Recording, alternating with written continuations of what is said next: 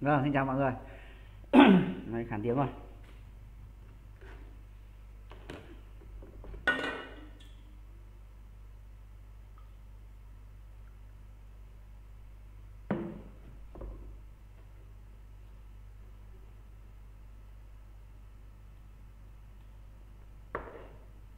chào anh cường, mai anh nghỉ sớm với anh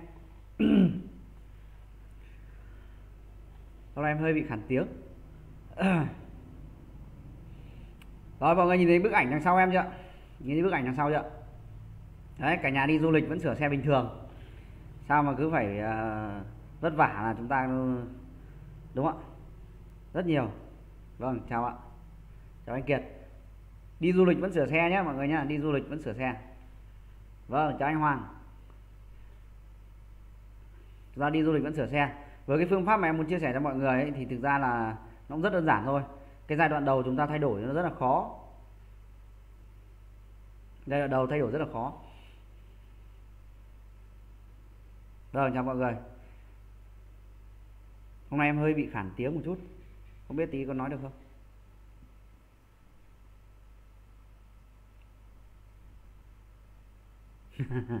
Vâng. Em chưa biết được để xem như nào em tinh thần anh em có còn uh, mai nghỉ lễ có đi đâu không hay là thôi? Em thì bình thường em vẫn ở nhà thôi chả đi đâu cả. Vâng.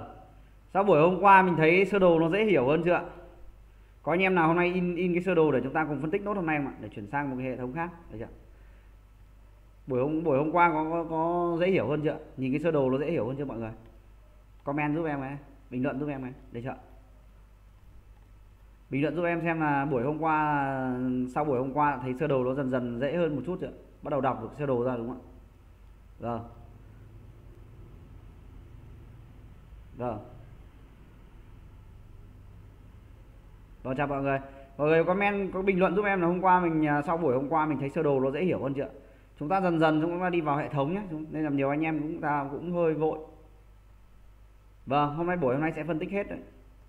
Hôm nay là hết tất cả các chân trên esen luôn rồi. Thì chúng ta chuyển sang phần cảm biến. Thì quan trọng mọi người cứ đọc được sơ đồ đi, còn các cái cảm biến sau những buổi sau mọi người thấy nó chả có cái gì cả, được chưa? Vâng, thì điều đương nhiên thôi. Đấy, có nhiều anh em mới tiếp cận thì sẽ thấy nó hơi khó hiểu. Nhưng mà sẽ dần dần à, dễ hiểu dần rồi. Vâng, chỉ vài buổi nữa thôi. Vâng, chào anh Khôi. Mấy vài buổi nữa thôi thì chúng ta sẽ thấy là chúng ta sẽ đọc à, được cái sơ đồ đấy ngay, được chưa? Còn hiểu hay sâu hay không nữa thì chúng quan quan trọng là chúng ta phải thường xuyên nhìn nó. Và thứ hai là chúng ta cũng phải lên, cũng cũng cũng phải thường xuyên nhìn thấy nó. Em như em hôm qua em chia sẻ, thường xuyên nhìn thấy nó thì mọi người sẽ dễ hình dung hơn.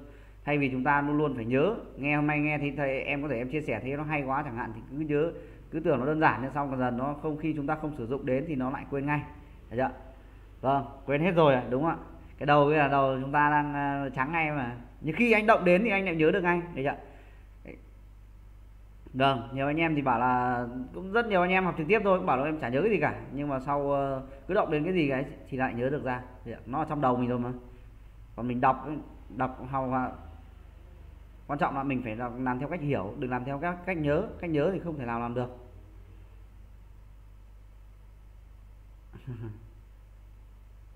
Vâng tất nhiên rồi mới buổi được hai buổi uh, buổi phân tích sơ đồ làm sao mà sâu được đúng không ạ? Thì chúng ta sẽ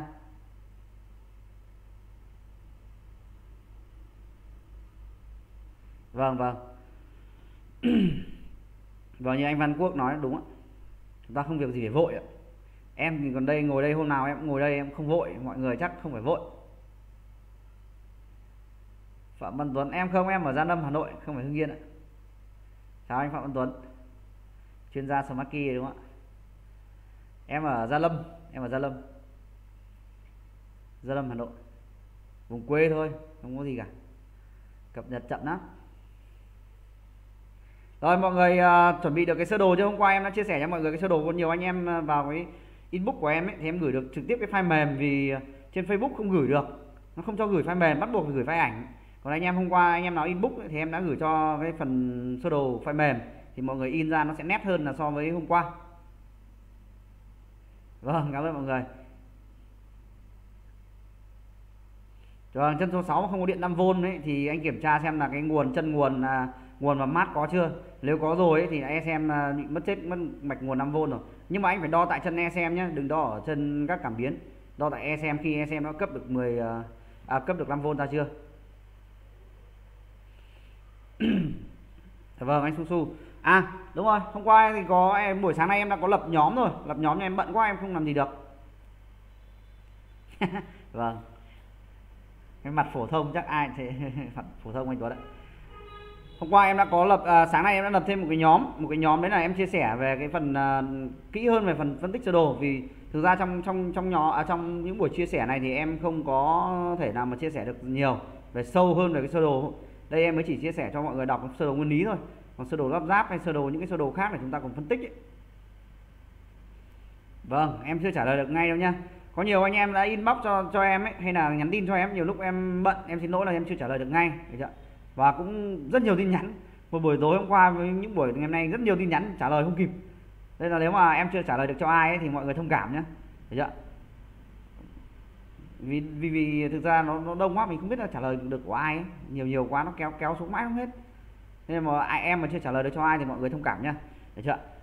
Mọi người thông cảm. Em đã lập ra cái nhóm ấy cái nhóm để để phân tích sơ đồ và chia sẻ sơ đồ ấy. mọi người ờ, đây có anh tiến anh tiến ấy anh tiến anh ấy ờ, sẽ hỗ trợ em một chút em thì muốn có sẽ có trong cái buổi uh, sẽ có cần đến ờ, một số anh là trong kiểm duyệt hoặc là phát triển nhóm em thì em nhiều lúc cũng bận em không, không phát triển được nhóm nên là sẽ có nhiều anh em Vâng, in sơ đồ gì sau những buổi sau em sẽ chia sẻ là, là in sơ đồ gì chỉ cần vài sơ đồ thôi chúng ta sẽ làm được.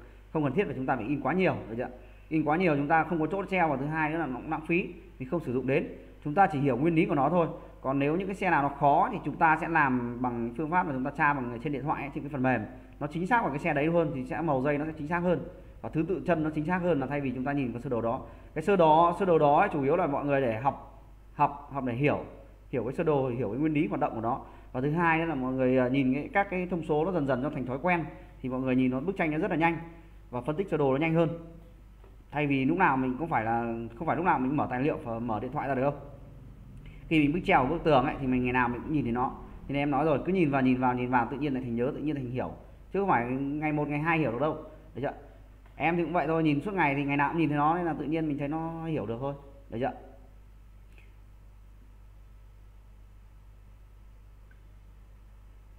À vâng một máy nào cũng được anh ạ. Máy motoken hay là mst hay là những máy khác đều được, đều sử dụng được cho mọi người nhé quan trọng là mọi người cứ phải có cái máy để kết nối với xe để chúng ta đọc được cái thông số ra có nhiều anh em mà gọi điện cho em hỏi hỏi nhiều lúc các anh cũng không chưa biết được như nào để em nói chung là nhiều lúc cũng không không thể làm mà hỗ trợ được. Thứ nhất là các anh cũng chưa được uh, tiếp cận đến cái cách đo kiểm. Thứ hai là anh lại không có máy nhiều lúc em chả biết uh, hướng dẫn kiểu gì. Nên là mọi người thông cảm nếu mà em không giúp đỡ được thì mọi người thông cảm. Em thì thường xuyên làm về máy và phân tích sơ đồ nhiều hơn. Nếu anh em nào đọc được sơ đồ ấy, thì sau những buổi sau ấy, thì em sẽ à, hay là hỗ trợ thì nó dễ hơn nhiều. Thứ nhất anh anh à, tả cho em chuẩn cái bệnh và thứ hai nó quay lại cho em cái video cái máy chẩn đoán để em xem được cái xe nó đang hiện tượng gì thì phân tích nó dễ hơn. Thay vì chúng ta cứ đọc cái lỗi. Nhiều anh em cứ bảo lỗi lỗi nọ lỗi kia nhiều lúc em không không không thể là phân tích được vì nó thiếu rất nhiều dữ kiện nên chúng ta không thể phân tích được ngay. Mọi người phải để ý là xe điện tử rồi nó không còn đơn giản như ngày xưa mà chúng ta chỉ cần việc ban bệnh đâu. Nó rất khó chúng ta phải phân tích. Vâng xin chào mọi người. À, thì à, mọi người để ý nhé chúng ta nên có một máy chẩn đoán máy nào cũng được được chưa? Hiện tại thì máy nào cũng được đều em thấy là đều sử dụng ok không không có máy nào là hiện tượng là bị lỗi hay là bị sai trong số đâu nhá. Được chưa? Máy nào cũng được. Quan trọng phải có máy đã. Không cần thiết phải xịn hay là đắt tiền hay gì đâu. Nhưng quan trọng là cái máy đấy nó phải chính xác một chút không phải cái máy nào mà nó nó bị làm sai hoặc là cái máy nó nó không chuẩn thì lúc ấy chúng ta sẽ bị đưa đưa chúng ta đi sai con đường. Được chưa? nên rất rất mất thời gian. À, vâng ok mọi người cứ tham gia vào nhóm thì sau em sẽ sẽ sẽ, sẽ đồng ý sau vì uh, vì sau buổi livestream em sẽ đồng ý. Được chưa? Vâng khi có cái phần ở bài viết của em sẽ có cái phần là vào nhóm ấy, đăng ký vào nhóm thì mọi người kích vào đường link đấy và tham gia vào nhóm. Thì sau đó em sẽ trả lời sau. Được chưa? Nhóm này nhóm kín nhóm kín, được chưa? Nhóm kín. Nên em muốn em, mục đích của em là muốn chia sẻ với mọi người một cách nó chất lượng hơn chứ không phải là chúng ta cần số lượng. Vì số lượng không thể là một mình em hỗ trợ được rất là nhiều người. Nên chúng em cần một cái là là chúng ta phải chất lượng, không cần số lượng, được chưa? Đây là cái tại sao em lập nhóm kín. Không phải là nhóm nhóm mở nhóm nhóm mở ra thì mọi, rất nhiều người vào thì nhiều lúc cũng rất là nhiều nó bị loạn nó không thể là chất lượng được. Em muốn làm sao mọi người đều đều đều ờ, đều sử dụng được thôi. Rồi ok bắt đầu thôi mọi người. Được chưa? Rồi ok. Ngày mai em sẽ cho anh tiến à, em sẽ để anh tiến làm làm làm à, kiểm duyệt trong cái phần đấy giúp em nhé em nhiều lúc em bận em không không tham gia được thì cố gắng chúng ta cùng phát triển theo một cái xu hướng nhé mọi người đấy là em đang muốn một cái mọi người là chúng ta chuyển sang một cái xu hướng là phân tích sơ đồ, không phụ thuộc quá nhiều vào tài liệu. Mọi người nhìn trên bức tranh bức tranh đằng sau của em ấy, đó cái là gì? Chúng ta muốn hãy thay đổi đi, có thể giai đoạn đầu là chúng ta sẽ vất vả vất vả hơn nhiều so với cách chúng ta đang làm, chúng ta đang xem, được chưa? Nó nó khó, chứ không phải nó dễ, được chưa? Nhiều người cứ nghĩ là bây giờ mọi, nếu mọi người thích dễ thì mọi người chỉ cần học theo cách làm. Thì rất nhiều cách làm người ta chia sẻ cho mọi người. Em thì em chia sẻ cho mọi người một phương pháp mới hơn, được chưa? Nếu anh em nào mà cố gắng thì giai đoạn đầu vất vả thì sau những buổi sau thì mọi người thấy nó nó nhàn hơn nhiều. Được chưa? Rồi ok. Ok mọi người thì mà chúng ta chuẩn bị nhá. Mọi người nhớ là cái bức tranh hình ảnh cái, cái hình ảnh em chia sẻ cho mọi người đấy có nghĩa là chúng ta đều đi du lịch chúng ta sửa đều sửa xe được vẫn bình thường được chưa?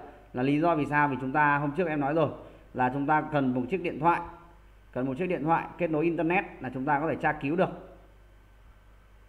Vâng thì chúng ta có thể tra cứu được để làm được như vậy thì chúng ta cần phải phân phải đọc được hiểu phân tích sơ đồ được thì chúng ta mới sẽ chỉ chỉ đạo từ xa được đúng không ạ? Chúng ta điều hành được từ xa không cần thiết phải trực tiếp vào nhà.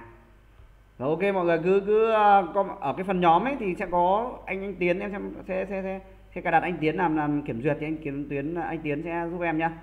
Vì em cũng rất là bận không không có thời gian. Đây là sẽ em sẽ trực tiếp livestream hoặc là em sẽ chia sẻ vào cái nhóm để chúng ta trao đổi trực tiếp hơn thì chia sẻ nó dễ hơn được chưa? Rồi chào mọi người chúng ta bắt đầu nhá được chưa? Chúng ta bắt đầu. Bắt đầu được chưa có anh em có ý kiến nào không ạ? Chúng ta bắt đầu vào buổi hôm nay nhá. Ok chưa vâng. Rồi mọi người, ok thì chúng ta chuyển à, vào ngày một, bài ngày hôm nay luôn ạ.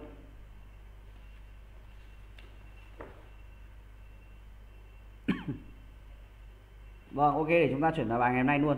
Không mất thời gian của mọi người. Rồi ok chúng ta sẽ chuyển sang bài nhóm à, bài ngày hôm nay luôn ạ. Không mất thời gian của mọi người nữa nha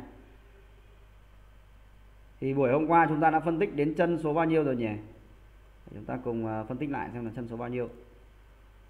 Mọi người đừng vội nhé anh em nào vội thì chúng ta sẽ bị rất bị lãng phí. Đằng nào mất công học rồi. Em à, chia sẻ mà chưa thấy vội. Được chưa?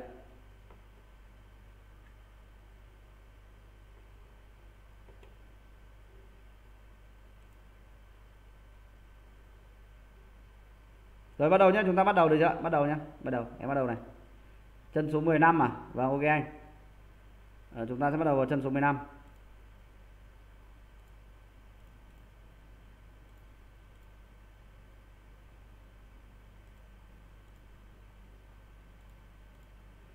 Rồi, mọi người để ý em chân số 15 nhá.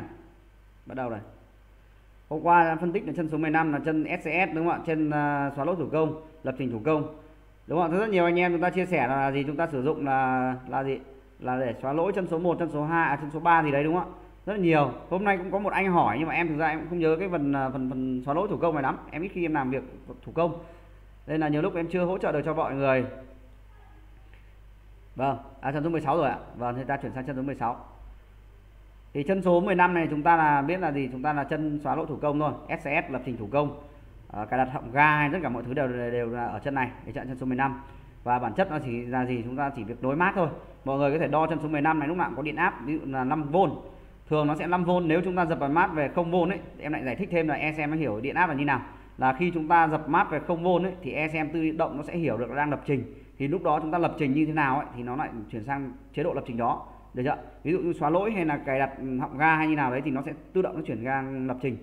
Được chưa? Rồi em không phân tích sâu về này nữa em hiểu điện áp thôi nhá. Tiếp theo chân số 16 injector. Hôm qua em chia sẻ mọi người là gì? Chúng ta à, thấy đo tại sao nó luôn luôn có 16 v à 12 v ở chân số 16 này. Nếu chúng ta mà không thì không thấy chân số 12 ấy à, chân số 16 này có 12 v ấy thì chắc chắn là gì? Trên à, đèn pin sẽ báo lỗi. Được chưa báo lỗi.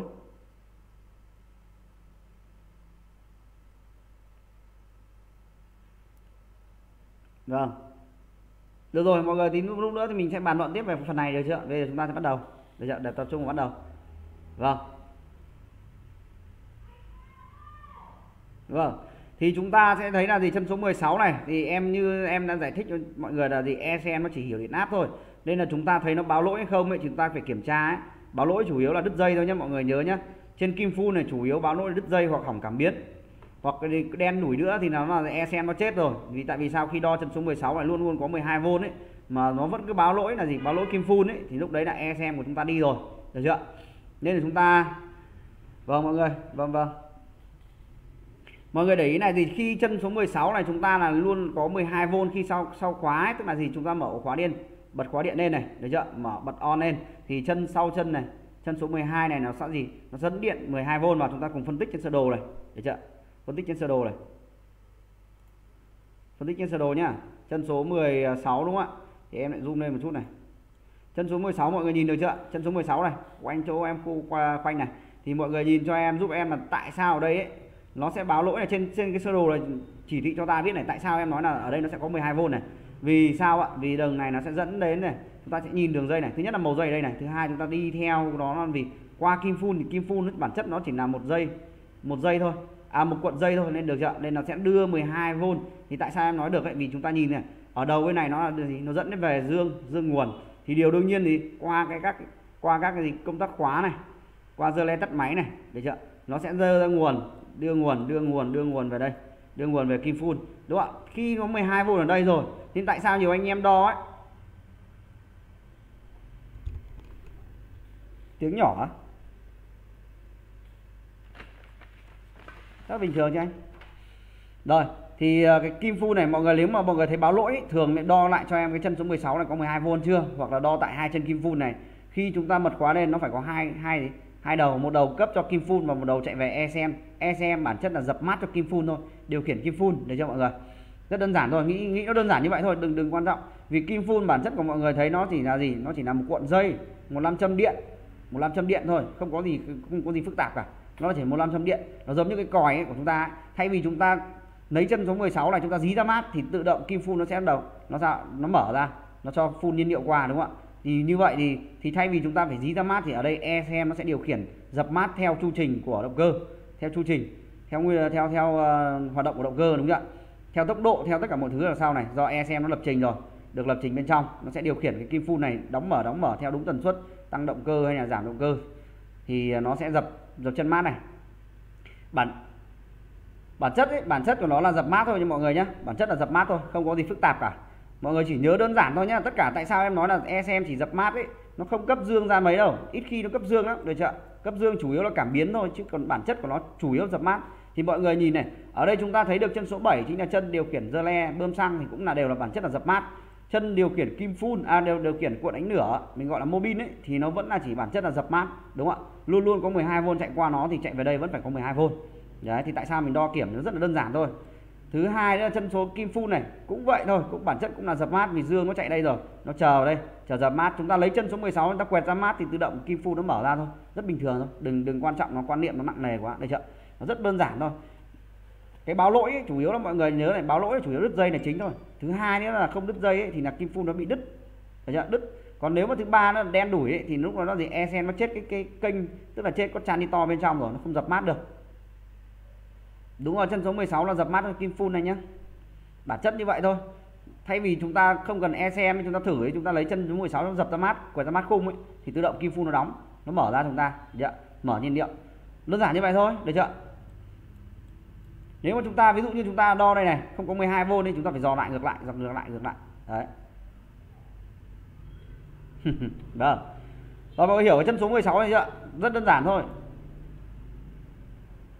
Chân số 16 mọi người hiểu chưa để em chuyển sang một cái chân mới, để chúng ta chuyển sang phần phần khác nó hay hơn. Phần hôm nay chúng ta sẽ chuyển sang phần cảm biến, một phần của cảm biến, được chưa rồi, tiếp tục chúng ta chuyển sang chân khác nhá. Tiếp tục chân mới này. Chân số 16 ok rồi nhá được chưa? Chân số 16 mọi người nhìn cho em ở trên màn hình này. Đấy là chính là cái rắc của chúng ta này. Có hôm nay có anh nào anh hỏi ấy. Hôm nào hôm nay có anh hỏi anh hỏi à, anh bảo là bây giờ cái sơ đồ của chúng ta không đúng màu dây ấy. Không đúng màu dây ấy, thì mọi người làm theo phương pháp khác. Rất nhiều cách làm chúng ta thì, thì chúng ta đếm số thứ tự chân chân rắc trên e xem này. Không cần thiết mà chúng ta phải nhớ màu dây. Vì màu dây hôm trước em đã nói rồi. À không dập quẹt ra mát không chết được e xem anh nhé không chết được. Không chết được e xem đâu bình thường thôi. Quẹt ra mắt thoải mái thì mọi người để ý này khi chúng ta cái sơ đồ của chúng ta nó khai màu dây ấy chả làm sao cả. Thì mọi người nhìn cho em cái số thứ tự. Được chưa? Nó không đúng màu dây thì mình bảo ô thế này cái màu này nó không đúng. Với cả trên ESM thì mọi người phải nhìn theo thứ tự. Thứ tự tức là gì? Chúng ta đếm cái số chân ấy. Cái số chân ở trên ESM ấy, thì nó sẽ ra được cái chân như vậy cái cái màu dây này quy ước này do cái nhà sản xuất người ta người ta quy ước thôi. Còn nếu mà chuẩn nếu ta xem chuẩn thì chúng ta xem đúng là số thứ tự chân tức là số ví dụ chân số 16 ấy, thì nó phải đếm đếm đếm đúng chân số 16 là được. Còn màu dây gì ấy, thì bản chất là do nhà thiết kế nó theo thôi.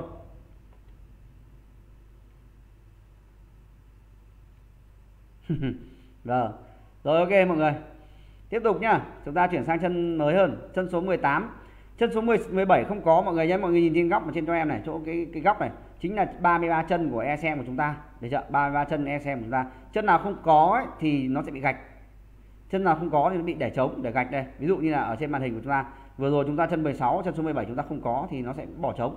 Nó chuyển sang chân số 18 được chưa? Rồi chân số 18 là chân gì? Rồi chân số 18 là chân giật mát cho đèn min.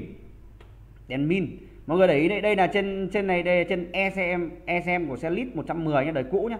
Cái đời này nó nó nó nó nhiều cảm biến hơn rồi nó nhiều uh, nó nhiều dơ le hơn đây là em em để em phân tích cho mọi người. Mỗi chúng ta đều chúng ta đều có là gì? Chúng ta đều có một cái xe là xe gốc để chúng ta làm việc chúng ta phân tích theo một cái nguyên lý nó dễ hơn. Thì sau này chúng ta làm những xe khác đều như vậy thôi không có gì phức tạp cả. Rất đơn giản được chưa? Rất đơn giản. À mọi người chờ em vài phút nha em à, chia sẻ lên nhóm à, vài nhóm tí rất nhiều hôm nay rất nhiều anh em chúng ta chưa được uh, được được được. Rất nhiều anh em hôm nay chưa chưa được tiếp cận đến cái khóa học rất là lãng phí. Để em chờ em vài phút thôi.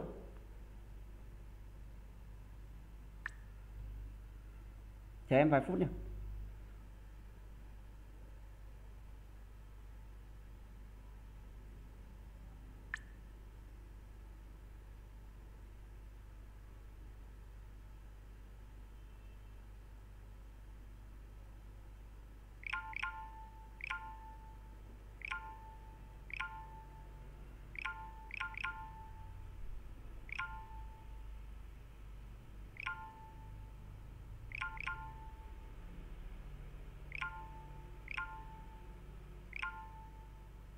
mọi người chờ em vài phút ạ. Chia sẻ vài nhóm cho nhiều anh em hôm nay cũng chưa biết đến cái khóa học này nó thật sự là mình cũng mình chia sẻ thôi mà không không được.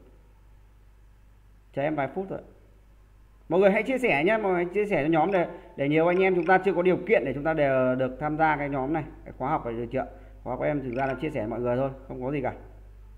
Mọi người có chia sẻ giúp em.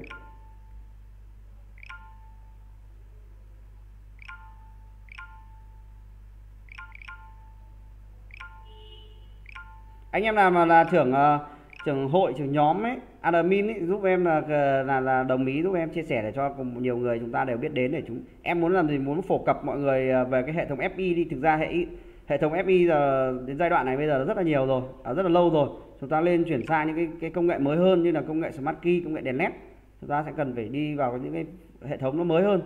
FI giờ thì thực ra nó cũng rất là lâu rồi nhưng thực, thực tế là FI nó rất là khó mọi người nhá vì nó rất là nhiều nhiều ban bệnh, mà đến hiện tại bây giờ nó vẫn chưa hết được ban bệnh. Nên là chúng ta phải hiểu nguyên lý thì cái bệnh gì chúng ta cũng đều có thể làm được. Được chưa? đều có thể, chúng ta có một cái nguyên lý chúng để chúng ta phân tích ra.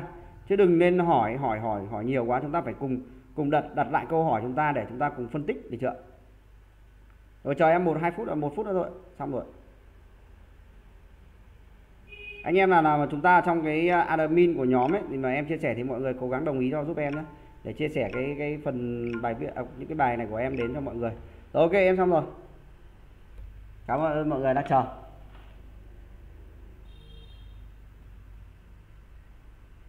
À vâng chào anh phi. Không có gì trễ cả. Vâng.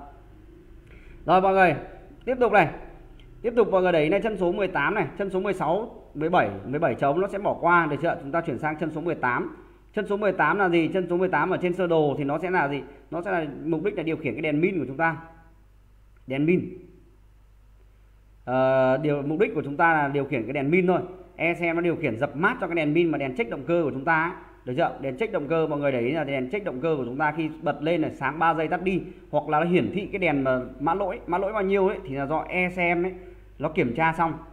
Sau đó nó báo lỗi qua cái đèn pin này bằng cách là chúng nó dập dập mát tức là đèn cho đèn nháy nháy theo đúng theo theo đúng kiểu của uh, theo đúng lập trình của của ECM tức là nó báo mã lỗi. Ví dụ mã lỗi số 8 thì nó sẽ nhập dập 8 lần cho cái đèn pin này nháy nháy đúng không ạ? Vâng mất tiếng ạ. Alo vẫn tốt mà anh. Nhiều anh em chúng ta kiểm tra lại nhá chúng ta chưa bị mất tiếng đâu. Rồi thì mọi người để ý giúp em là chân số 18 này là gì? Bản chất là dập mát cho e cho đèn min này. Đèn đèn này là mục đích là để báo lỗi cho chúng ta đúng không ạ? Bây giờ chúng ta cùng phân tích cái sơ đồ này. Chân số 18 đúng không ạ? Đây này chân số 18 màu dây của nó là gì? Bờ u sọc y. Để chưa? Coi như em một người chưa biết gì cả. Bờ u sọc y. Rất là nhiều anh em chúng ta chưa biết chưa chưa được uh, cập nhật thêm về cái tiếng Anh. Em cũng như mọi người thôi. Bờ u sọc y thì em tìm tra ký ở xuống dưới đây. Bu u đấy được chưa? Là màu xanh. Blue đấy được chưa? Màu xanh. Đấy màu xanh ra trời và tiếp theo là sọc o. O là gì? O là màu cam. Đấy chúng ta chúng ta chỉ cần tra như vậy thôi không cần thiết phải là cao siêu quá. Để chưa cứ từ từ thôi. Nhiều trong này trong nhóm có rất là nhiều uh, các anh chú có nhiều tuổi rồi. Nên là tiếp cận tiếng Anh nó rất là khó thì mọi người có nhiều ai chúng ta thấy nó bình thường. À, thấy nó chậm quá hay nhà chúng ta cũng thông cảm vì uh, có rất nhiều tầng lớp rất nhiều uh, cái cách suy nghĩ nó nó nhanh chậm nó khác nhau. Nên mọi người đều thông cảm được chưa? Em chia sẻ nó chậm nhất thôi. Mục đích là chia sẻ cho những người chưa được tiếp cận là chính được chưa? Đó mọi người thì đấy là chúng ta ta thấy được cái màu dây này. Trong cái ECM này chúng ta thấy được được gì? À xanh nhọc vàng quên em lại nhìn nhầm. Vâng cảm ơn anh. À, bờ u sập y y tức là yellow. Đây chính là màu vàng em nhìn nhầm. À, cảm ơn anh em nhìn nhầm. Thì đây nó chính là bờ u bờ u chúng ta không biết là gì chúng ta sẽ nhìn xuống dưới đây nó sẽ là gì? Màu xanh. Và tiếp theo y là gì? Y chúng ta sẽ nhìn ở dưới đây bảng này bảng bảng này bảng chú thích cho chúng ta biết đó là màu vàng thì chúng ta sẽ lên là, là màu xanh sọc vàng. Rất là ok thôi vâng em nhìn nhầm, em nhìn nhầm. Nhìn nhầm nó thành màu o ở trên. Cái o ở trên. O. Rồi, ok. Không vấn đề gì đâu nhá. Chúng ta bỏ qua. Cái đấy nó nhỏ thôi. Thì mọi người để ý cho em này. Chúng ta bản chất của nó là gì? Chúng ta sẽ nhìn cho em này. Nhìn cái chiều đây, nó không nhìn thấy một cái đèn pin này. Thấy nó gì ạ? Nó là diode ạ. Cái chiều của diode. Diode quang ấy, hôm trước mà chúng ta học là cho nó có cái ký hiệu diode ở đây này. Cái ký diode. Diode, được chưa? Bản chất là gì? Nó là đèn led thôi. Đèn led, diode phát quang thì mọi người nhìn cho em này, giúp em này. Tại sao em nói đây là nhìn chúng ta chỉ cần nhìn sơ đồ là ta biết là đó là đưa 12V hay là đợi chúng ta dập mát đấy thì chúng ta nhìn này, giúp em này, chạy từ đây này. Chân số 18 này, bắt đầu đi này. Đi đi đi. Đúng chưa? Chúng ta chạy ngược, lật ngược lên, lật ngược lên, lật ngược lên xem nó đi đâu. Đấy để chợ nó chạy về dương, thì tức là gì? Nó đưa chúng ta biết là đưa cho nó 12V mọi người đo đây nhá, chắc chắn chân này có 12V luôn. Đèn nếu đèn không sáng nhá, đèn không sáng. Đèn không sáng sẽ có 12V nhưng mọi người để ý nhé chúng ta không được dập cái chân này ra mát đâu nhé dập chân này ra mát sẽ chết ngay cái đèn pin. Chết ngay đèn pin, cháy đèn pin ngay. Tại vì sao ấy? Vì đèn pin này nó chỉ sử dụng được điện áp khoảng 3V thôi. Tức là đèn đèn nét ấy, chúng ta, nếu mà chúng ta sử dụng 12V đi qua nó nó sẽ chết ngay. Nếu anh em nào muốn thử ấy, chúng ta phải tách cái dây này ra và chúng ta qua con diode à quên, qua cái một cái điện trở. Điện trở khoảng 1k là chúng ta dập ra mát thì đèn pin này sẽ sáng bình thường. Được chưa? Đấy là bản chất của cái cách chúng ta đọc sơ đồ thôi. Chúng ta không đi sâu về quá về cái à, chính xác về cái mục đích khác, được chưa? Chúng ta quan tâm là chúng ta đọc được sơ đồ là tại sao nó lại ở đây lại có 12V mà em không cần nhớ mà em chỉ nhìn trên sơ đồ mà em biết đây là chân 12 có 12V phải không ạ? Mục đích là chúng ta đọc được cái sơ đồ đã, không cần thiết phải chính xác quá đây chưa thứ nhất là chúng ta đọc được cái sơ đồ, cái chân này số 18 là 18 là cái gì? Được chưa và chỗ màu này là cái cái chữ này là cái gì? Được chưa và đây là cái gì? Và đường dây này nó đi đâu? Thì chúng ta chỉ cần quan tâm như vậy thôi. Được chưa đầu này nó là nối với dương thì chắc chắn nó sẽ đưa dương vào đây, đưa dương vào đây đi qua thiết bị và đi về đây. ECM này, trong trong ECM này sẽ có một con trở nó dập. Nên là tại sao ấy? Nó dập mà không chết đèn ấy. Là lý do là trong có điện trở rồi. Được chưa? Trong, bên trong có điện trở rồi. Còn nếu chúng ta muốn thử bên ngoài này chúng ta phải qua một con trở khoảng 1k thì chúng ta dí ra mát thì đèn pin sẽ sáng. Bản chất như vậy thôi. Thì ở bên trong mà ECM nó sẽ là dập. ECM nó sẽ dập mát cho mọi người dập mã nha. Ví dụ như là báo nó sẽ báo chỉ thị cho ta biết là mã lỗi thông qua cái đèn min này. Ví dụ như là mã lỗi số 8 thì cái đèn chân số 8 này à chân số 18 này sẽ dập 8 lần. Tức là cho sáng đèn này sáng 8 lần theo lập trình của của nó là ngắn dài ngắn dài đấy theo lập trình của của nhà thiết kế thì mình không quan tâm. Được chưa? Mình chỉ hiểu như vậy thôi.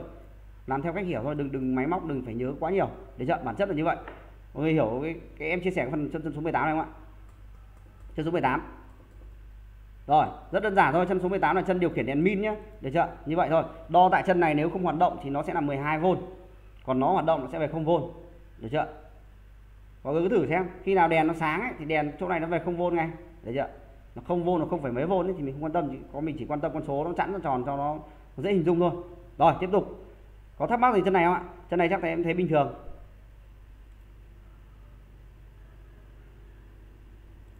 Chân số 18 đấy màu dây này điện áp này được chưa? Thì quan tâm mọi người chỉ quan tâm như vậy thôi chứ đừng đừng đi sâu vào vào, vào, vào chi tiết làm gì cả được chưa? Vâng. Nó bản chất như vậy thôi thì mọi người cứ tự phân tích từng chân tín hiệu một thì chúng ta đọc trên sơ đồ chúng ta sẽ phân tích được. Được chưa? Chân số 18 đã xong. Tiếp tục à đây bốn chân này bốn chân IACV nhá mọi người nhá. Không sáng thì mới không nháy. Vâng, ok rồi, mọi người đọc cho em là trên này nó sẽ có bốn cái chân vani ACV. để chợ bốn chân vani ACV thì ở đây là vani ACV này sẽ báo lỗi. Lỗi là mã lỗi số 29 mã lỗi 29 được chưa? Mã lỗi 29 thì ở đây nó sẽ bộ sử dụng bốn chân để điều khiển cái con van này. Van này, bản chất động, nó là động cơ bước, cái motor bước thôi. Thì như nhiều anh em thì chúng ta sẽ không có cách là chúng ta phải đo cái cặp ở trên van, trong cặp van của van ACV này, đúng không ạ? Rất nhiều anh em chúng ta phải nhớ là cặp số 1 số 2 số 4 hoặc là số 2 số 3 đúng không thì em thì thường ra em cũng chẳng ít khi em nhớ lắm. Em chỉ nhìn trên sơ đồ sơ đồ nguyên lý này nó sẽ chú thích cho ta biết được. Thì chúng ta đọc được ngay được chưa? Chúng ta sẽ có hai cặp hai cặp. Hai cặp tức là cặp 1A và 1B là một cặp. 2A và 2B là một cặp được chưa? Thì đấy là chúng ta sẽ, sẽ phân tích được. Thì nó nó ở chân số nào thì chúng ta nhìn ở trên sơ đồ à, trên trên thực tế trên thực tế trên xe chúng ta chỉ nhìn hai phân tích hai cái màu đấy là chúng ta biết đấy là hai cái cặp dây của nó được chưa? Bản chất trong cái motor bước này nó có hai cặp dây thôi mà. Hai cặp hai cặp hai cặp cuộn dây. Được chưa? Để nó điều khiển cái động cơ bước của chúng ta động cơ cái cái cánh quạt của chúng ta tịnh tiến tịnh tiến lên tịnh tiến xuống để mục đích là đưa gió uh, nhiều vào hay ờ, hay đóng gió lại. Mục đích như vậy thôi. Được chưa? Mọi người hiểu cái chân số 20 tà à, bốn cái chân này của van IACV ấy được chưa? Chúng ta cùng phân tích vào trên sơ đồ này. Bắt đầu chúng ta lại phân tích sơ đồ.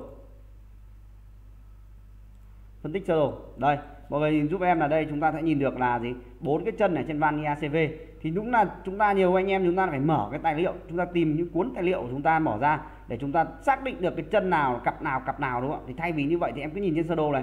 Ví dụ một A một B này màu dây của nó màu gì này em sẽ nhìn vào trên đó. Và nhìn trên thực tế nó sẽ ra được ngay là chân đấy nó là một cặp cặp A đấy là một cặp được chưa? Và ví dụ như một A một B là một cặp một uh, cặp nữa là 2A 2B là như vậy thôi. Chúng ta cần gì phải chúng ta phải mở ra cuốn tài liệu hay chúng ta phải nhìn xem chú thích là phải dở cái trang trang của chúng ta ra cái trang trong tài liệu ấy rất nhiều tài liệu chi cho chúng ta rất là chi tiết rất là tốt không sao cả nhưng mà chúng ta sẽ làm như vậy nó sẽ mất thời gian của chúng ta thôi được chưa? nếu mà chúng ta không muốn dở tài liệu thì chúng ta lại phải nhớ thì thay vì nhớ thì chúng ta nhìn thấy bức tranh chúng ta cũng biết được nó là cặp nào cặp nào rồi chúng ta chẳng cần quan tâm hoặc chúng ta lấy đồng hồ chúng ta đo thì thường nó sẽ có hai cặp hai cặp hai cặp sẽ không thông nhau vâng được chưa mọi người hiểu cái phần này tại sao em nói là không cần phải thuộc không phải nhớ là vì lý do là trên cái sơ đồ chúng ta phân tích nó ra thôi cực kỳ đơn giản thứ nhất là chúng ta, cho chúng ta biết được bốn dây này. Bốn dây này nó sẽ là đâu là một cặp với nhau và thứ hai là màu dây nó là màu gì. Thì chúng ta chỉ cần nhìn nó biết là đâu, chân số A1 này B1 nó là một cặp. Thì nó là màu dây gì thì chúng ta nhìn được ngay ở trên thực tế của cái xe ấy. thực tế của xe nó sẽ có cho chúng ta biết bốn dây ấy. Thì chúng ta chỉ việc nhìn trên đó là chúng ta biết được nó là một cặp từ. Được chưa? Vâng, thì chúng ta cần gì đọc đâu, em chỉ cần nhìn như vậy là em cũng ờ, hướng dẫn mọi người làm gì. Chúng ta nhìn trên sơ đồ là chúng ta có thể phân tích được lỗi rồi, được chưa? Thì trên cái này thì lúc chúng ta sẽ học về nó chúng ta sẽ có phân tích ờ, về cái điện áp, điện áp của nó là bao nhiêu thì em thực ra em ít khi quan tâm lắm, được chưa? Chúng ta có thể nhiều cách thử mà. Vâng đúng rồi anh Cái điện áp của nó khoảng 1,2V thì phải Em không nhớ nhiều nhưng chắc chắn chúng ta sẽ thử bằng đèn led được Vì nó bản chất nó điều khiển cái này liên tục Chúng ta đo đồng hồ nhiều lúc nó thay đổi thay đổi rất là nhanh Đúng không mọi người Khi chúng ta bật khóa lên thì chúng ta thấy được gì Cái van IACV nó test lên sau đó quay về đúng không ạ? Thì chúng ta sẽ kiểm tra được bằng cách là chúng ta cắm đèn led và chúng ta đo. Thì Nhìn cho nó rất dễ được chưa Và thứ hai là nếu chúng ta không có ấy, Thì chúng ta có thể lấy một điện trở khoảng bao nhiêu ôm ấy thì em không nhớ lắm. Nhiều tài liệu chia sẻ cho mọi người. Rất, rất là có cách kiểm tra rất là đơn giản thôi nhưng mọi người lấy cái đèn led nó dễ hơn đúng không đèn led nó có rất là nhiều ở rất là nhiều nơi. Thì chúng ta lấy cái đèn led nó khoảng 3 v thôi chúng ta không không cần phải cho điện trở gì cả. Chúng ta thử vào thôi. Thì chúng ta kiểm tra như vậy nó là rất là dễ. Được chưa rồi ok chúng ta chỉ phân tích về sơ đồ thôi nhé không đi sâu về cảm biến đâu nha mọi người nhé không đi sâu về về cái con van IACV này làm gì cả chúng ta chỉ đi cách đọc sơ đồ thôi được chưa? Chúng ta đang làm sáng tỏ cái bức tranh này của chúng ta bức tranh này cho chúng ta những cái gì để cho tại sao em nói là nó rất là lợi ích rất là hữu ích cho chúng ta. Nhiều anh em chúng ta không không không có thời gian để đọc tài liệu nhiều ấy, thì tại sao em nói là chúng ta nên có bức tranh to để chúng ta nhìn vào đó nhìn vào đó ngày nào chúng ta cũng nhìn vào đó thì tự nhiên chúng ta sẽ thấy được.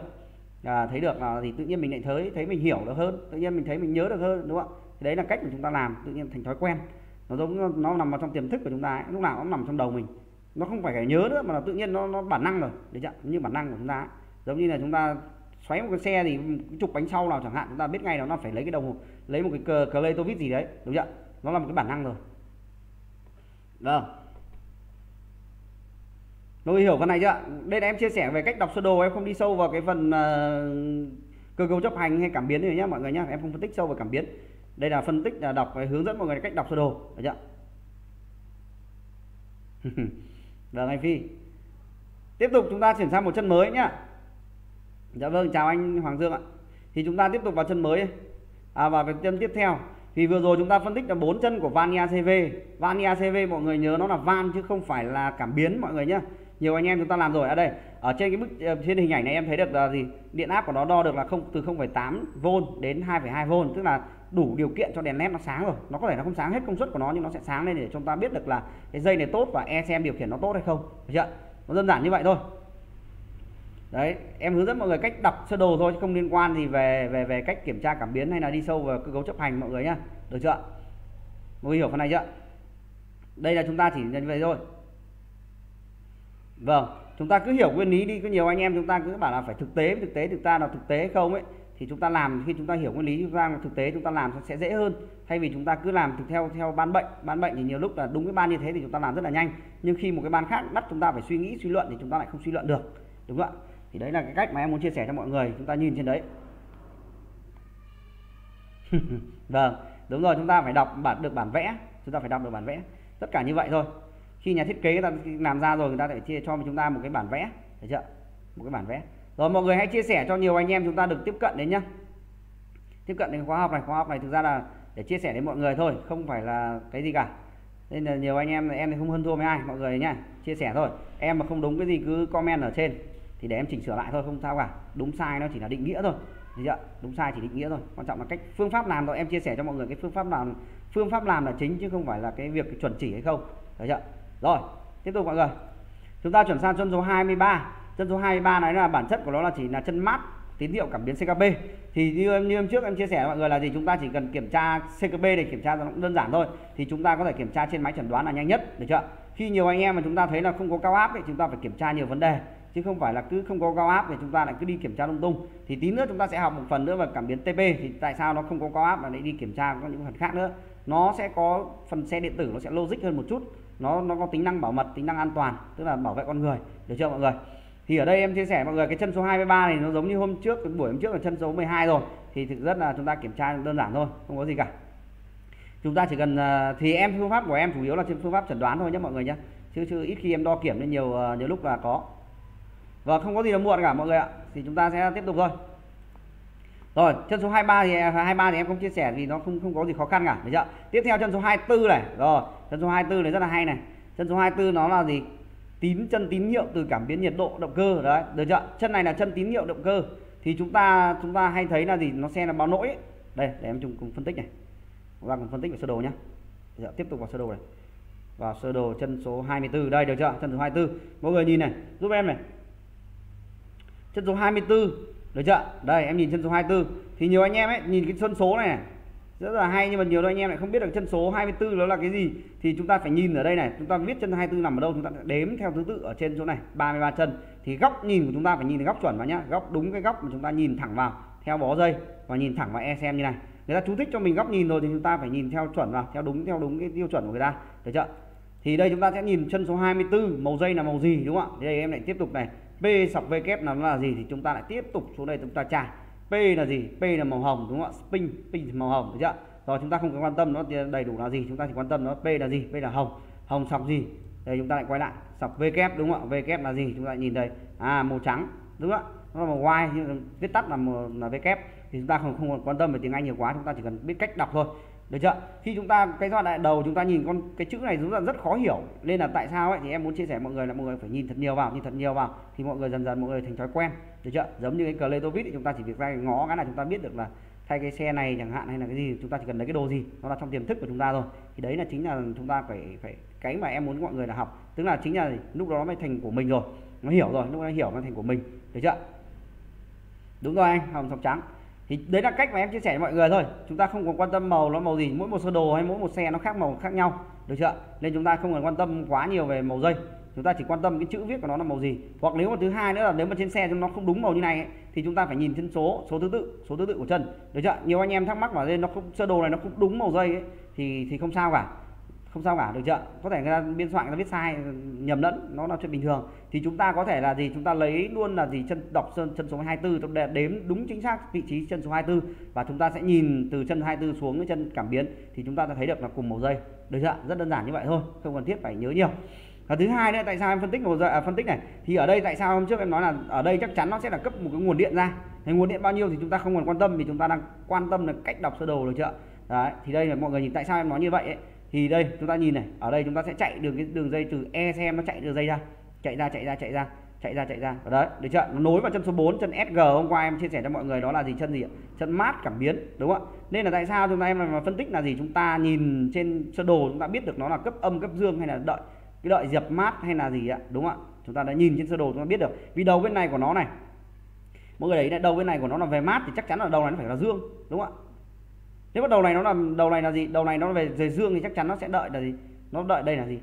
Đợi cấp dương vào đây, đúng không ạ? Nó sẽ đưa cái đường dẫn, dây dẫn này đưa dương vào đây, đúng không mọi người? Đó đó là một cách mà chúng ta đọc sơ đồ thôi. Cái đầu bên kia của nó là về dương hay về mát thì chúng ta sẽ nhìn được như vậy. Nó dễ hơn, dễ hình dung hơn là chúng ta à, phải nhớ đúng không ạ? Thì chúng ta không quan tâm vào điện áp bao nhiêu chúng ta chưa còn quan tâm chúng ta chỉ biết đọc sơ đồ thôi. Phương pháp em chia sẻ cho mọi người đọc sơ đồ. Thì nếu mà cái chân số 24 này nó bị lỗi ấy, thì nó báo ở đây này. À, được chưa? Thanh ờ, cái cái mọi người đấy là nếu mà nó đứt dây ở đây ấy, nó sẽ báo lỗi này báo lỗi số 7 này được chưa? Thì trong trong những cái buổi sau mà em phân tích và cảm biến ấy, thì mọi người sẽ thấy được là gì? Mọi người sẽ thấy được là chân này tại sao em nhìn em nhìn trên, trên máy chẩn đoán ấy, em phân tích là gì? Tại em biết ngay là chân này bị đứt hoặc là gì bị chập. Nhìn trên máy chẩn đoán biết ngay hoặc là nó bị sai giá trị của con gì cảm biến nó bị già hóa rồi nó bị sai thì chúng ta sẽ nhìn trên máy chẩn đoán. Thì chúng đấy là cái phương pháp mà chúng ta tra cứu à, phân tích phân tích trong số hiện hành thấy chưa? Thì đấy là cái phương pháp sau. Thì chúng ta đây, buổi đầu tiên thì chúng ta đang tiếp cận với cách đọc sơ đồ đã. Thì bức tranh sơ đồ này dần dần chúng ta thấy được nó sẽ dễ dần rồi dễ dần rồi đúng không ạ? Thì đấy là chân số 24 chúng ta phân tích chân số 24 rồi. Ok chưa mọi người thắc mắc gì cái phần sơ đồ không ạ? Chân 24 này. Thì em nhìn qua đây em biết được nó là gì cấp nguồn dương ra vì tại sao ấy? Vì đầu dây đầu dây bên kia của nó là là phải mát đúng không ạ? Thì chắc chắn phải cấp dương ra thì phải mát được. Chứ hai cái mát với nhau thì có tác dụng gì ạ? Đúng không ạ? Vô nghĩa người ta gọi là mức cao và mức thấp được. Thì thôi nhưng mình không quan trọng được cái từ ngữ nó chuyên môn quá. Thì chúng ta cứ gọi là thì đầu này nó có dương và đầu này có âm. Đầu này nó âm nó sẵn rồi thì chúng ta sẽ có gì? Là chắc chắn lại có dương chạy ra. Được chưa? À, như vậy thôi. Mọi người hiểu phần này không ạ? Hiểu, phần em chia sẻ cái sơ đồ ạ đến đến buổi hôm nay thì thấy nó dễ dàng hơn một chút nào chưa dễ hiểu hơn một chút nào chưa mọi người cái buổi hôm nay dễ hiểu hơn chút nào chưa cái phần mềm của em nó đang chạy nó chậm hơn mất mười mấy giây, nhiều lúc em nhìn trên mọi người nó chậm quá. Nó không kịp mấy cả theo cái hình ảnh em chia sẻ. Nó chậm hơn. Rồi, mọi người thấy ok thì mọi người ờ, comment cái là ok ok để em chuyển sang phần mới nhá. Rồi, tiếp tục. Hoặc là ai có câu hỏi gì cứ cứ chia sẻ để em trả lời thì em muốn phân tích mọi người bằng cách đọc sơ đồ nó tốt lên. Thì sau này chúng ta làm cái việc gì nó cũng rất là dễ. Thì tại sao cái bức ảnh em chia sẻ mọi người ấy, là là chúng ta đi du lịch, chúng ta vẫn sửa được xe ở nhà ấy, là lý do như vậy. Đầu tiên là chúng ta đọc được sơ đồ, chúng ta tìm được sơ đồ bằng trên chính chiếc điện thoại của chúng ta.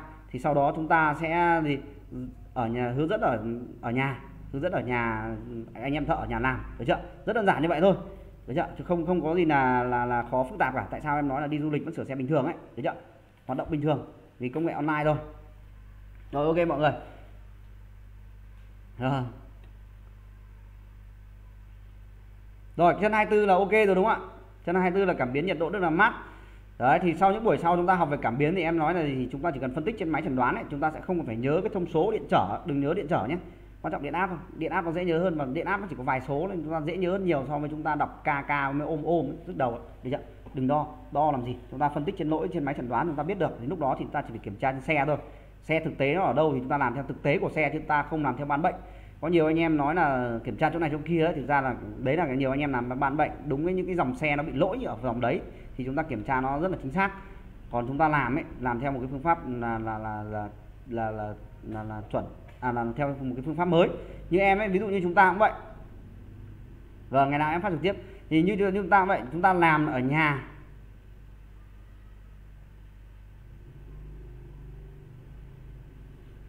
cái đấy thì có khả năng bị chập rồi chập e rồi chứ không có ảnh hưởng gì cả Dạ, chúng ta phải có phương pháp phân tích vì nhiều anh em mà chúng ta luôn học theo kiểu tư duy nhớ ấy, thì cứ đúng ban bệnh này chúng ta làm rất là đơn giản nhưng mà cái gì khỏi ngoài cái ban bệnh đấy của chúng ta thì chúng ta bắt đầu chúng ta bí thì thay vì như vậy chúng ta có cái bản chất chúng ta có cái nguyên lý trong người rồi thì cứ bất kể một cái xe gì đến chúng ta cũng đều làm được chúng ta đều tự tin để chúng ta làm được chưa có thể anh em làm nhiều anh em làm quen thì nó chỉ trong vòng 10 15 phút 20 phút là xong nhưng chúng ta lâu ấy thì chúng ta phải mất độ một tiếng hơn tiếng thì là điều đương nhiên. Một cái xe ba bán bệnh nó khó nó xảy ra thì là chúng ta phải mất nhiều thời gian chuyện bình thường. Được chưa? Rồi tiếp tục. Chúng ta chuyển sang một chân mới này.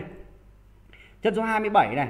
Đấy chân số 27 là cảm biến MAP chưa? Chân số 27 MAP thì em sẽ lại cũng lại phân tích tiếp này. Chúng ta lại tiếp tục phân tích này. Điện áp của nó là gì?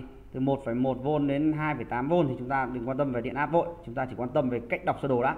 Được chưa? Thì chúng ta sẽ nhìn xem nó là chân này là chân lấy tín hiệu của e xem nó cấp điện áp ra hay là là gì ạ? Hay là là, là là chúng ta thấy được là là là e xem đợi dập mát cho e xem này đúng không ạ? Chúng ta nhìn trên sơ đồ. Thì chúng ta bắt đầu phân tích lại sơ đồ này. Chân số 27 đúng không ạ? Số 27 đây mọi người nhìn này. Chân số 27 thứ nhất chúng ta đọc được số thứ tự chân này. 27 này. 27 này. Được chưa nó sẽ có màu dây đi ra này. Màu dây đi ra là màu gì? Thì bắt đầu chúng ta em lại không tích phân tích nữa. Được chưa em đọc luôn. Đó là màu vàng sọc đỏ. Được chưa màu vàng sọc đỏ thì đấy là như vậy. Thì chúng ta nhớ là chúng ta phải nhớ cái từ tiếng Anh nhé. Đừng đừng theo cái phương pháp của em là đọc tên hay là gì đấy. đừng đừng làm như vậy. Mà chúng ta phải học theo cái kiểu như vậy. Thì khi như khi chúng ta làm một cái sơ đồ này có thể nó giai đoạn đầu nó sẽ rất là khó. Nhưng mà là gì? Trong những giai đoạn sau ấy, những cái lần sau nữa hay là những cái cập nhật những cái sơ, sơ đồ mới ấy, thì mọi người lại thấy nó dễ dàng hơn. Thay vì bây giờ em sẽ việt hóa cho mọi người thì mọi người làm rất là dễ. Nhưng mà thay thay vì như vậy thì mọi người sẽ bị bị gần em nói là gì? Cũng bị ngu hóa đi. Tại sao lại ngu hóa đi? Vì chúng ta luôn luôn bị ăn sẵn ăn sẵn. Khi một cái mới lên chúng ta lại không biết đó là một cái gì. Được chưa? Lúc ấy lại bị bị bị vấp. Thì thay vì như vậy chúng ta bị có thể khó ngay từ giai đoạn đầu. Thì sau đó thì chúng ta sẽ thấy nó nó dễ dàng hơn. Được chưa? Đằng nào cũng mất công tập đi mà. Tập, tập đếm với tập đi thì lúc nào cũng khó khăn hơn. Thì khi đó nó đi nó chạy thoải mái. Được chưa? Vâng. Chào mọi người. Thì mọi người để ý cho em giúp em này. Đây này cái dân này nó sẽ chạy ra đi đâu này? Nó chạy ra chạy ra này. Chúng ta nhìn ra trên sơ đồ này. À đây. Thì cả chúng ta không cần nhìn cái bức tranh vừa rồi em phân tích ấy, thì chúng ta cũng thể nhìn được đây. Đây là gì? Nó là dây tín hiệu của cảm biến MAP thấy chưa? Tín hiệu cảm biến MAP thì tức là gì? Cảm biến MAP này nó giống như một con biến trở như TP như em chia sẻ ấy. thì nó nhưng mà nó lại là một dạng khác. Nó một dạng khác tác động đến nó là bản chất của nó là một con biến trở silicon tức là dùng màng silicon để để gì? Nó cảm nhận được cái sự sức hút của của của bùng đốt để cho nó cảm nhận, nó báo về ECM để tính toán lượng xăng, được chưa? Thì đấy là cái cái việc chúng ta học về cảm biến sau, được chưa? Chúng ta chỉ quan tâm về đường dây điện thôi. Đường dây điện mà đọc sơ đồ. Thì thay vì chúng ta ngày xưa, nếu mà chúng ta có đọc tài liệu nhiều ấy, rất nhiều tài liệu cho chúng ta biết được bộ ba cảm biến này, chân cảm biến MAP là chân gì, chân số bao nhiêu, màu gì, đúng không ạ? Thì thay vì chúng ta lại phải đi tìm những cuốn tài liệu đấy để chúng ta tìm ra đó là màu dây gì, để chân số bao nhiêu để chúng ta tìm ra cái con cảm biến MAP này khi xe báo lỗi thì chúng ta lại phải đi tìm cái sơ đồ ra đúng không ạ tìm cái bức tranh đó ra để chúng ta tìm được cái chân màu dây để chúng ta sửa thì thay vì như vậy chúng ta chỉ liếc qua cái sơ đồ nguyên lý này chúng ta đã biết được nó là màu dây gì đúng chưa ta, ta cần đâu phải nhớ là nó phải nằm ở thứ tự bao nhiêu đúng không ạ thì chúng ta chỉ nhìn thấy là gì chân số 27 màu dây là màu gì thì chúng ta nhìn trên rắc thì tí nữa chúng ta sẽ phân tích trên bộ ba cảm biến này em sẽ chỉ cho mọi người tại sao em em lại nói là chúng ta không cần uh, quá nhiều tài liệu để chúng ta làm được chưa? Thì chúng ta chỉ cần nhìn màu dây thôi chúng ta biết được màu dây nó chạy đến bộ ba cảm biến là màu gì? Màu đỏ sọc à, màu vàng sọc đỏ. Thì chúng ta biết được đó là gì? Là chân của cảm tín hiệu cảm biến MAP thì thay vì vậy thì chúng ta cần gì? Phải tìm tài liệu nữa đúng không chúng ta đã chủ động được công việc của mình rồi. Được chưa? Ok mọi người? Thấy nó đơn giản chưa ạ? Bức tranh dần dần đơn giản chưa ok cái thế nào? Được chưa? 366 anh em rồi. Chưa hôm nào được 500 anh em nhỉ? 500 anh em vui ấy. mọi người chia sẻ tăng cho những anh em nào chúng ta chưa được tiếp cận em đã có có có có chia sẻ cho mọi người thì mọi người cũng nên chia sẻ cho người khác để luôn luôn chúng ta được cập nhật luôn luôn được cập nhật. Được chưa? Luôn luôn được cập nhật những cái kiến thức mới. Chia sẻ cho mọi người. Em thì em sẽ hay chia sẻ theo kiểu nguyên lý như này thôi. Rồi, thực tế thì nó mỗi một xe nó một khác không thể nào mà chia sẻ theo kiểu bán bệnh được. Em là như vậy tính em như vậy. Bất kể một chiếc xe nào đến thì mình cũng đều làm được được chưa? Đều có một nguyên lý để chúng ta làm. Nó sẽ có thể lâu hơn lâu không thể nhanh được như mọi người. Vì mọi người làm nhiều thì mọi người sẽ sẽ thấy nó nhanh thời gian rút ngắn thời gian. Còn cái việc mình mới đến ấy, một bất kể một chiếc xe nào đến được chúng ta làm được hết. Đó là cái chủ động của chúng ta. Có thể nó lâu được chưa? Lâu là vì xe nó khó nhanh thì người ta đã làm được rồi làm gì phải đến lượt mình đúng không ạ? Rồi ok cảm ơn mọi người. Rồi mọi người thấy bức tranh nó dễ hiểu chưa và thấy nó tác dụng chưa? Em em muốn chia sẻ như vậy nó thay vì một bức tranh này nó thay cho mọi người rất nhiều cuốn tài liệu được chưa?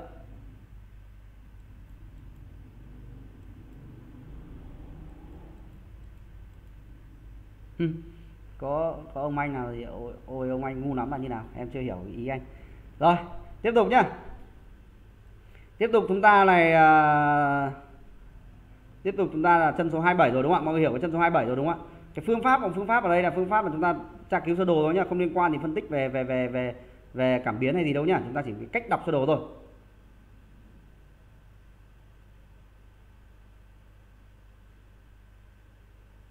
À, vâng cái đây giai đoạn, anh chắc anh buổi hôm nay anh mới vào đúng không ạ? Thì anh sẽ thấy nó hơi khó hiểu. Không sao. Thì ờ, anh có thể anh xem lại những buổi trước và chúng ta sẽ dần dần dần dần sẽ hiểu được ạ. Đó không phải là một cái một buổi, một sớm, một chiều chúng ta lại học được cái bức đọc được bức tranh sơ đồ đâu. Nó cũng hơi phức tạp đấy, thấy chưa? Vâng mọi người chia sẻ là 500 anh em cho nó vui ạ, đúng không ạ? 500 anh em rồi ok chúng ta chân số 27 chúng ta có thắc mắc gì không ạ? Đây là cách đọc sơ đồ nha chúng ta không liên quan gì đến cái phần mà chúng ta tra Q à, làm việc về cảm biến. Thì sau buổi sau khi chúng ta phân tích hết chân này thì chúng ta sẽ uh, chúng ta sẽ kệ à, chúng ta sẽ chuyển sang là phần uh, uh, cảm biến được chưa? Cảm biến chúng ta sẽ thấy được. Uh, cảm biến của chúng ta à, tí nữa chúng ta sẽ chuyển sang cảm biến. Nó đơn giản hơn chúng ta phân tích tại sao em nói là chúng ta không cần thiết phải phải nhớ. Tại vì sao ấy? Thì thứ nhất chúng ta đã đọc được sơ đồ rồi. Thứ hai nữa chúng ta sẽ thấy được mấy con cảm biến ở trên xe này chúng ta sẽ làm gì nó cũng được được chưa và nếu nó lỗi nó ảnh hưởng gì được chưa hôm sau anh ấy nói là anh ấy bị anh ấy không tiếp thu được thôi. Không phải vấn đề đâu mọi người nhá. Không không không không có gì cả. Anh ấy không có ý gì đâu được chưa anh ấy anh nói là anh ấy chậm hiểu à, anh ấy nói ý anh ấy bảo như vậy thôi. Không không có gì cả. À, thì bao giờ cũng vậy mà. Học điện nhưng mà à không không có gì đâu anh ạ. À. cái việc bình thường mà chuyện bình thường mà mọi anh. Cái đây thì à, ai cũng vậy thôi. Vì chúng ta chuyển đang làm cơ khí mà chuyển sang điện tử nó nó hơi phức tạp hơn. Vì điện tử nó bao giờ nó cũng sẽ là có một cái à, cái cái cái, cái gọi gì? Quên mất rồi. Cái điện tử bao giờ nó cũng phải có một cái à, cái gì nhỉ? Tự nhiên nó lại quên mất này nó hơi hơi khó diễn tả nó. Nó nó phải có một cái hình dung trong đầu ấy. Có nghĩa là nó trừu tượng nó hơi trừu tượng hơn có nghĩa là phải hình dung trong trong phần đầu chúng ta để chúng ta biết được cái cái đường đi như nào vì điện chúng ta không nhìn được. Cơ khí thì chúng ta nhìn được ngay là bánh răng nó bị lỗi hay bánh răng bị mẻ hay là bị phần dao thì chúng ta nhìn đều nhìn được. Nhưng điện chúng ta không nhìn được nên chúng ta phải có một cái tư duy logic. Nên tại sao em nói là phải phải có một cái logic hơn một chút chứ đừng đừng làm cái việc mà nhiều anh em gọi điện cho em mà hỏi là cái bây giờ nó bị mất cao áp thì sửa cái gì? Thì, thì, thì sau tí nữa buổi sau em thấy là rất nhiều thứ liên quan để chúng ta mất cao áp nên đừng nói là uh, mất cao áp sửa cái gì nữa mà chúng ta phải biết làm thế nào làm thế nào để khi cần có cao áp thì có những cái gì để có cao áp? Tức là phải có điều kiện. Tức là gì? Mình muốn anh tôi muốn sửa xe à, anh muốn tôi sửa xe cho anh thì tất nhiên là anh phải trả tôi tiền. Thì đó là một cái điều kiện. Được chưa? Cũng vậy thôi cũng như con người không có vấn đề gì cả. Rồi điện thì bao giờ cũng vậy nó hơi trừu tượng hơi có hình dung. Nó không như là cơ khí được chưa?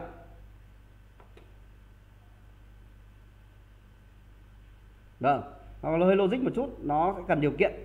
Rồi tiếp tục này chúng ta lại tiếp tục vào phần uh, chân số 27 rồi xong rồi. Nó là chân của cảm biến MAP được chưa? Thì đấy là cách của chúng ta đọc sơ đồ thôi. Mọi người để ý là em chỉ phương pháp những buổi này là phân, phân tích sơ đồ không liên quan gì đến cảm biến. Được chưa? Không đi sâu về cảm biến. Thì những buổi sau chỉ vài hai vài buổi nữa thì mọi người sẽ học hết tất cả các cảm biến. Và cảm biến mọi người sẽ thấy nó chả nó có cái gì để phức tạp mà chúng ta phải lo quan tâm cả. Được chưa?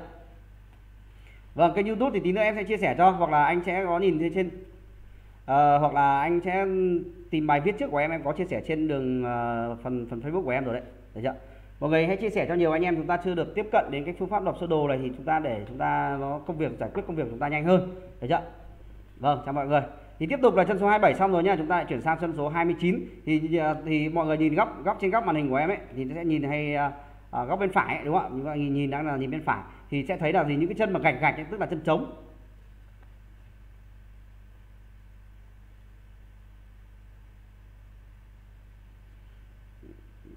Em thì chủ yếu em phân tích về Honda thôi nhé vì Honda nó dễ hình dung hơn, còn những cái chân khác thì nó đều nguyên lý như vậy thôi.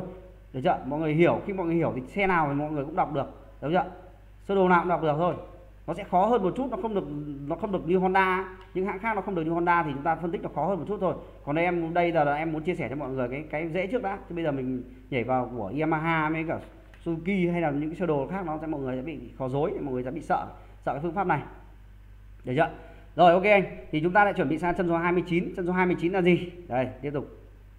Đây, chân số 29 là chân trạng thái khởi động. Đó chân trạng thái khởi động. Được chưa? Chân trạng thái.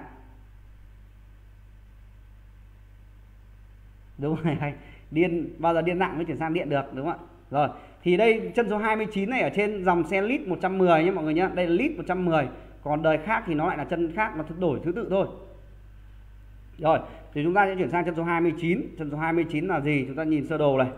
À, bắt đầu em lại phân tích sơ đồ lại. Tiếp tục chân số 29 là gì? Tới công tắc khởi động được chưa? Rồi tới công tắc khởi động thì tức là gì? Cái công tắc này để chúng ta gì? Thì khi ngày xưa chúng ta thấy là khi chúng ta đề e xem ấy khởi động e, khởi động khi nhấn nút khởi động thì là gì? À, thì chúng ta điều khiển trực tiếp vào cuộn hút của dơ le đúng không ạ? Thì thay vì như vậy thì bây giờ trên e xe nó sẽ lấy tín hiệu của chúng ta là bóp phanh ấn đề để gì để để để để an toàn hệ thống an toàn còn một đời sau nữa thì chúng ta sẽ thấy được là gì? Gạt chân trống. Thì trên đề này nó chưa có chân trống thì chúng ta không phân tích về chân trống nữa. Thì chúng ta sẽ quan tâm đến chân số 29 thì chân số 29 này nó là bản chất là đưa nếu cái công tắc này bản chất của những cái dòng xe hiện đại bây giờ ấy, thường là mục đích là đưa 12V về. Như cái hôm trước chúng ta phân tích trên sơ đồ của cái mạch cái mạch hàm hàm hàm và ấy đúng không ạ? Hàm và hàm hoặc hàm và ấy đúng không ạ? Hàm hoặc hàm và. Thì đây nó chính là hàm và. Tức là tôi và anh có nghĩa là phải hai người cùng cùng có thẩm quyền mới quyết định được cái vấn đề này. Thì tức là gì? Anh phải bóp phanh, tức là bóp phanh là gì? Mục đích gì? Anh đưa cái 12V qua tay phanh, công tắc đèn phanh, và bắt đầu đưa qua đó đến công tắc khởi động. Được chưa? Khi anh bóp phanh mà không ấn đề thì nó cũng không có tác dụng, mà khi anh bóp phanh ấn đề thì lúc đó mới có tác dụng. Thì tức là mục đích là gì? Nó đưa dẫn điện 12V là như mọi người để nhá, dẫn điện 12V dẫn điện 12V mục đích dẫn điện 12V ở đây. Có những đời là gì? Nó dập mát thì chắc chắn là chân số 29 này sẽ đưa người, cái điện áp ở đây ra. Được chưa? ECM nó chỉ hiểu điện áp thôi nhá. Nếu nếu ở bình thường mọi người đo ở đây ấy, nó là không v ấy, thì chắc chắn là gì nó đang đợi là gì đưa một cái điện áp vào. Thì thường nó sẽ là một là 5V hai là 12V mình chỉ nhớ như vậy thôi. Điện áp nó chỉ có hai con số để chúng ta quan tâm thôi là 5V và 12V thì thường là sẽ đưa 12V vào đây. Nếu như vậy ấy, mọi người để ý này nếu trên sơ đồ ấy mọi người bây giờ em chả cần thiết là gì. Khi em bóp phanh ấn đề em kiểm tra ngay trên máy chẩn đoán là được ngay đúng không? Nhiều anh em làm rồi mà. Chúng ta sẽ nhìn trên máy chẩn đoán nó sẽ gì thấy trạng thái là on off on off có on off không? Tức là mình bóp phanh ấn đề bóp phanh ấn đề trên máy chẩn đoán nó sẽ phải lẩy số là gì? Lẩy gì? Lẩy trạng thái là on off on off. Nhưng nếu nó không nhảy trạng thái on off ấy thì tức là gì? Có đường dây nó bị vấn đề rồi. Thì như vậy thì nếu mà bình thường ấy em nếu mà e xem nó đang lộ ở ngoài ấy, em chỉ cần lấy chân số 29 này em nhìn trên sơ đồ là gì? Nó đang hoặc em đo lại chân số 29 này. Nếu có nó có điện áp ấy thì mình chỉ cần dập nó ra mát là tự động nó đủ điều kiện để nó đề lúc này nó sẽ dập chân mát cho chân số 28 này. Chân số 28 là chân này gì hôm trước là gì? Tới giờ này khởi động tức là gì? Chân số 2 tà, chân số 8 này luôn luôn có 12V ở đây. Tại sao em nhìn được ấy? Vì nó mình nhìn được cái sơ đồ bản chất của nó ấy, thì mình sẽ nhìn được. Được chưa bản chất là gì? ECM luôn luôn dập mát. Được chưa ECM luôn luôn dập mát. Thì như vậy thôi. Thì chân số 2 chân số 8 này luôn luôn là gì? Qua cái cuộn hút của dơ le khởi động. Bắt đầu nó đưa 12V về chân số 8 thì thay vì ngày xưa là gì? Chúng ta bóp phanh ấn đề là mục đích là gì? Dập mát cho cái cái cái tín hiệu của dơ le khởi động. Thì bây giờ là gì? Chúng ta lấy tín hiệu 12V về gì? Chân số 29 này. Bản chất như vậy thôi. Được chưa bản chất như vậy thôi thì chân số 29 này, khi nó có 12V xuất hiện 12V ở đây, thì tự động nó hiểu được là gì? Là ECM đủ điều kiện rồi, bây giờ dập mát cho chân số 8 thôi, thế là xong. Đấy là cái nhiệm vụ của nó thôi. Thì chúng ta phân tích này, phân tích màu dây, thứ nhất màu dây, số thứ tự này, tên của nó, tên viết tắt nó, như vậy thôi.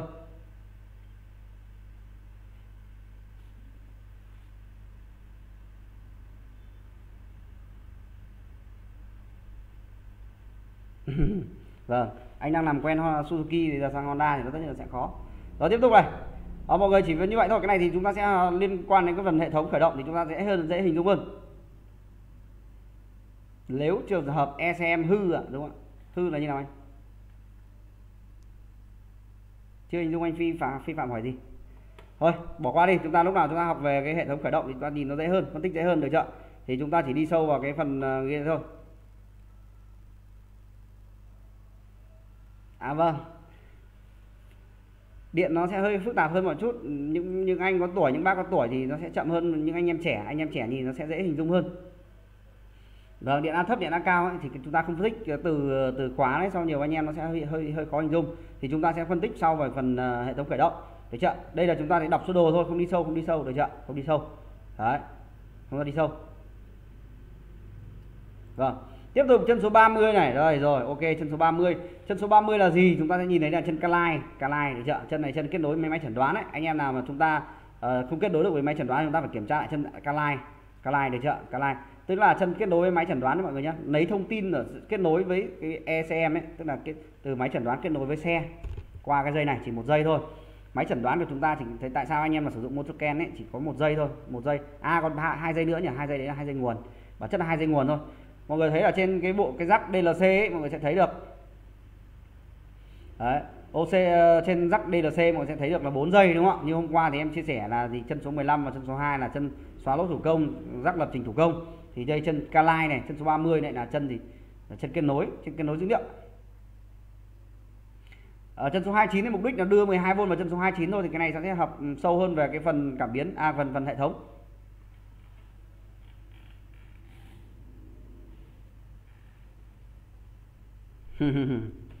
rồi, thì mọi người đấy này bắt đầu chúng ta phân tích chân số 30 này. Chân số 30 trên sơ đồ này. Phân số 30 trên sơ đồ. Rồi, ok, mọi người nhìn nhá đây. Trên sơ đồ nó sẽ có chân 30 màu nó là gì? Màu cam, sọc trắng, o, sọc với kép, được chưa? O, sọc kép. Em chỉ đọc tên tên viết tắt thôi. Thì mọi người đấy này o sọc với kép là trên dòng Honda thì bao giờ cũng dây này, cái dây này nó cũng là cái dây Caline để cho em thấy em kết nối xe rất là nhiều, em nhìn thấy cái dây nào, bao giờ cũng là dây này là Caline thì cả Honda ấy, thì bao giờ nó có quy chuẩn màu dây, nên có thể mình sẽ làm nhiều, mình thành thói quen. Được chưa? Nhưng mà em sẽ không có hướng dẫn mọi người cách, kiểu, làm theo cách nhớ. Mà có làm nhiều thì mọi người thấy thấy nó nhớ thôi. Được chưa? Rồi, thì tiếp tục ở đây mọi người nhìn thấy là Caline này Caline này. Để chợ dây Caline để là gì? Để kết nối với máy chẩn đoán. Nhiều lúc mà ta cắm ở trên máy chẩn ờ, trên máy chẩn đoán và rắc này mà không đọc được ấy, thì chúng ta phải kiểm tra lại từ dây này đến điểm Caline này đã đã thông nhau chưa? Và như vậy rồi cái dây Caline bản chất nó là gì? Lấy dữ liệu từ trong ECM cấp cung cấp cho gì? Máy chẩn đoán. Thế thôi. Chúng ta không quan tâm vào phần này. Được chưa? Đây là dây đọc lỗi nhá. Dây kết nối máy máy chẩn đoán đấy mọi người.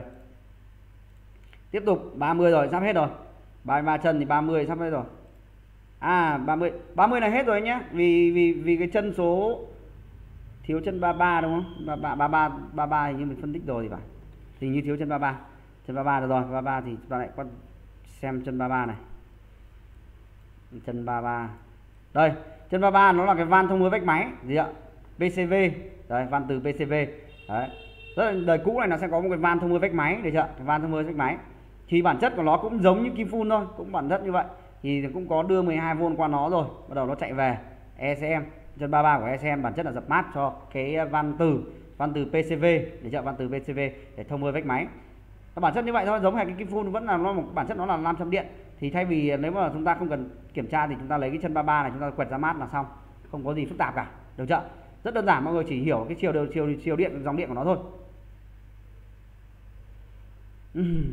Cảm biến góc này nó không đi vào đây cảm biến góc này nó không đi vào trong cái mạch của con đời này. Đời này cảm biến góc nó trở là nó chỉ là một công tắc điện tử thôi. Công tắc này để dập mát cho cái dưa le tắt máy đúng không ạ? Anh em nào mà làm rồi anh thấy là gì? Anh anh đối tắt được đúng không? đối tắt cái dây màu ờ, đỏ sọc cam này với dây mát. Bản chất là gì? Là dập mát cho cái dưa le tắt máy.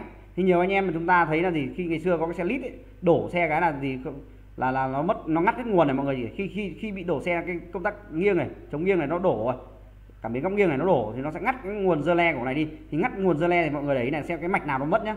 Thì em sẽ nhìn này, mạch này nó mất này. Một cái mạch mạch nó là mạch bơm xăng mất này. Tiếp theo mạch của e xem cũng bị mất này. Đây, nó chạy đây, chạy vào chân số 1 e xem cũng bị mất nguồn. Được chưa và tiếp theo là chân thì cuộn đánh lửa cũng mất nguồn. Đấy, tiếp theo là gì? Kim phun và tất cả mọi thứ đằng sau nó đều mất nguồn. Đấy, là chính là cái cái việc mà chúng ta, ở trên đời này thì nó sẽ không báo lỗi. Cảm biến à, góc nghiêng nó sẽ không báo lỗi trên phần này. Được chưa nó rất đơn giản như vậy thôi có nhiều, rất nhiều kiểu cảm biến góc nghiêng cảm biến góc nghiêng khác thì nó là mục đích nó đổi điện áp nó gửi về e xem. Thì nay mai mình thích lừa nó cũng được, mình lấy một cái điện, lấy một cái giá trị điện áp đúng của nó thì mình dí vào đấy là tự động nó sẽ hiểu, không quan tâm. Được chưa? Rồi, mọi người hiểu phần này chưa? Thì chúng ta chuyển sang cái phần à, vào cảm biến thôi nhỉ? Vào cảm biến thôi.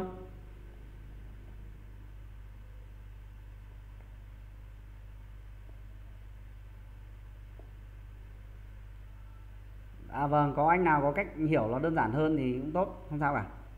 Đây là em chia sẻ cách của em thôi, không sao cả, được chưa? Anh có có cách nào hay anh cứ chia sẻ lên cho mọi người cùng cùng biết, không sao cả. Nó rất là hay thôi, cách nào dễ thì mình làm, đúng không ạ? Chân 30 ạ, chân 30 là chân gì? À chân 30 nối với dây gì anh? Bờ à nối, nếu mà nếu mà anh nối chân 30 này với chân đen sọc trắng ấy là chết ô chết ngay đấy chết ngay đấy được chưa?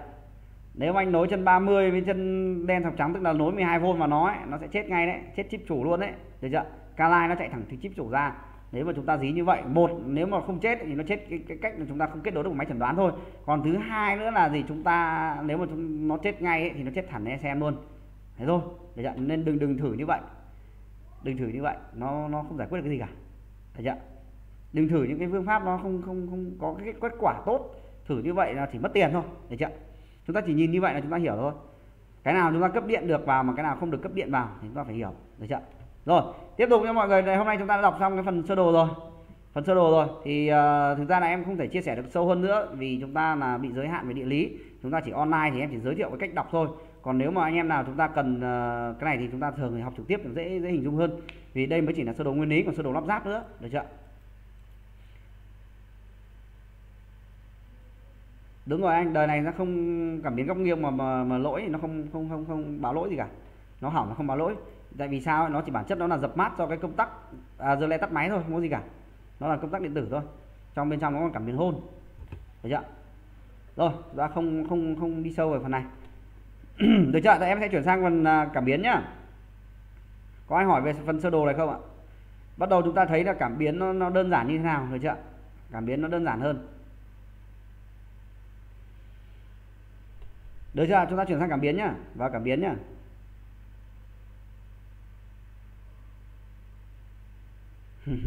Báo lỗi hay không ấy thì mọi người vẫn cứ thắc mắc báo lỗi à? Thì nếu ở trên này nó cái cảm biến này cảm biến góc nghiêng này mà nó báo lỗi ấy, thì mọi người phải nhìn này. Nó sẽ có chú thích là cái mã lỗi ở đây này. Ví dụ như số 1 này bên cạnh nó cảm biến MB thì nó phải có cái mã lỗi là mã lỗi số 1 ở đây nó không chú thích cho chúng ta là mã lỗi thì thì thôi. Chúng ta không chắc chắn nó sẽ không báo báo mã lỗi rồi. Được chưa? Rồi chúng ta bắt vào cảm biến. Cảm biến thì nó sẽ tại sao em nói là không phải nhớ mà chúng ta phải làm theo cách hiểu thôi?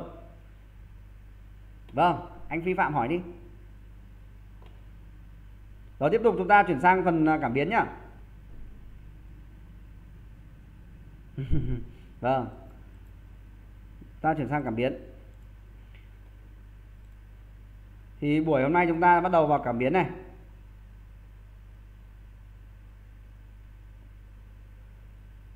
Rồi bắt đầu chúng ta vào cảm biến. Chân số vô bắt đầu này à, cái tranh thì để xem cho tí nữa chúng ta tổng hợp lại nhé nhiều anh em thì uh, muốn có bức tranh ấy thì ra là để để để em tổng hợp lại vì em rất là bận thì em sẽ có nhờ một anh nào đấy anh tổng hợp lại số lượng. Thì em sẽ đặt số lượng mà in cho mọi người chỉ cần vài bức tranh thôi. Thì đấy em sẽ chia sẻ sau được chưa? Chỉ vài bức tranh mọi người làm thôi. Đừng nhiều anh em thì bảo in hết tranh ấy thì nó in nó nhiều lắm. Chúng ta chỉ cần vài bức tranh thôi nếu mà để sơ đồ mạch điện của Honda chúng ta chỉ cần hai sơ đồ nguyên lý là chúng ta cũng làm được khá là nhiều xe rồi. Được chưa? Hai sơ đồ nguyên lý thôi. À cái chân số 4 anh lúc nãy anh hỏi là cái chân số 4 mà mà bị mất mà chúng ta lấy mát của mát tổng mát mát khung mát sườn đấy đúng không ạ? Ờ, lấy thì nó vẫn báo được về xem nhưng nó bị sai số anh nhá. Anh cứ thử xem. Khi anh cắt cái nguồn chân số 4 đi anh, anh lấy chân ra mát ấy thì anh sẽ thấy cảm biến của anh nó sai số nó nhảy loạn lên. Thì tại sao ấy? Nó phải sinh ra chân số 4 ấy là tức là sinh ra chân số cái chân số mà gọi là hôm qua em nói rồi mát mát hoặc là dương nó uh, ổn áp tức là gì? Có thay đổi gì điện áp ở cái nguồn khác thì nó vẫn không bị ảnh hưởng. Được chưa? Nó không bị ảnh hưởng. Nó là như vậy thôi bản chất là như vậy thôi. Nên tại sao nó phải sinh ra cái chân số 4 ấy? Nó không lấy mắt khung ấy. Anh cứ thử hôm nào anh mà thử lấy cái chân số chân mắt khung ấy anh à, cái mắt số 4 anh lý nối ra mắt khung ấy thì nó sẽ bị ngay. Được chưa?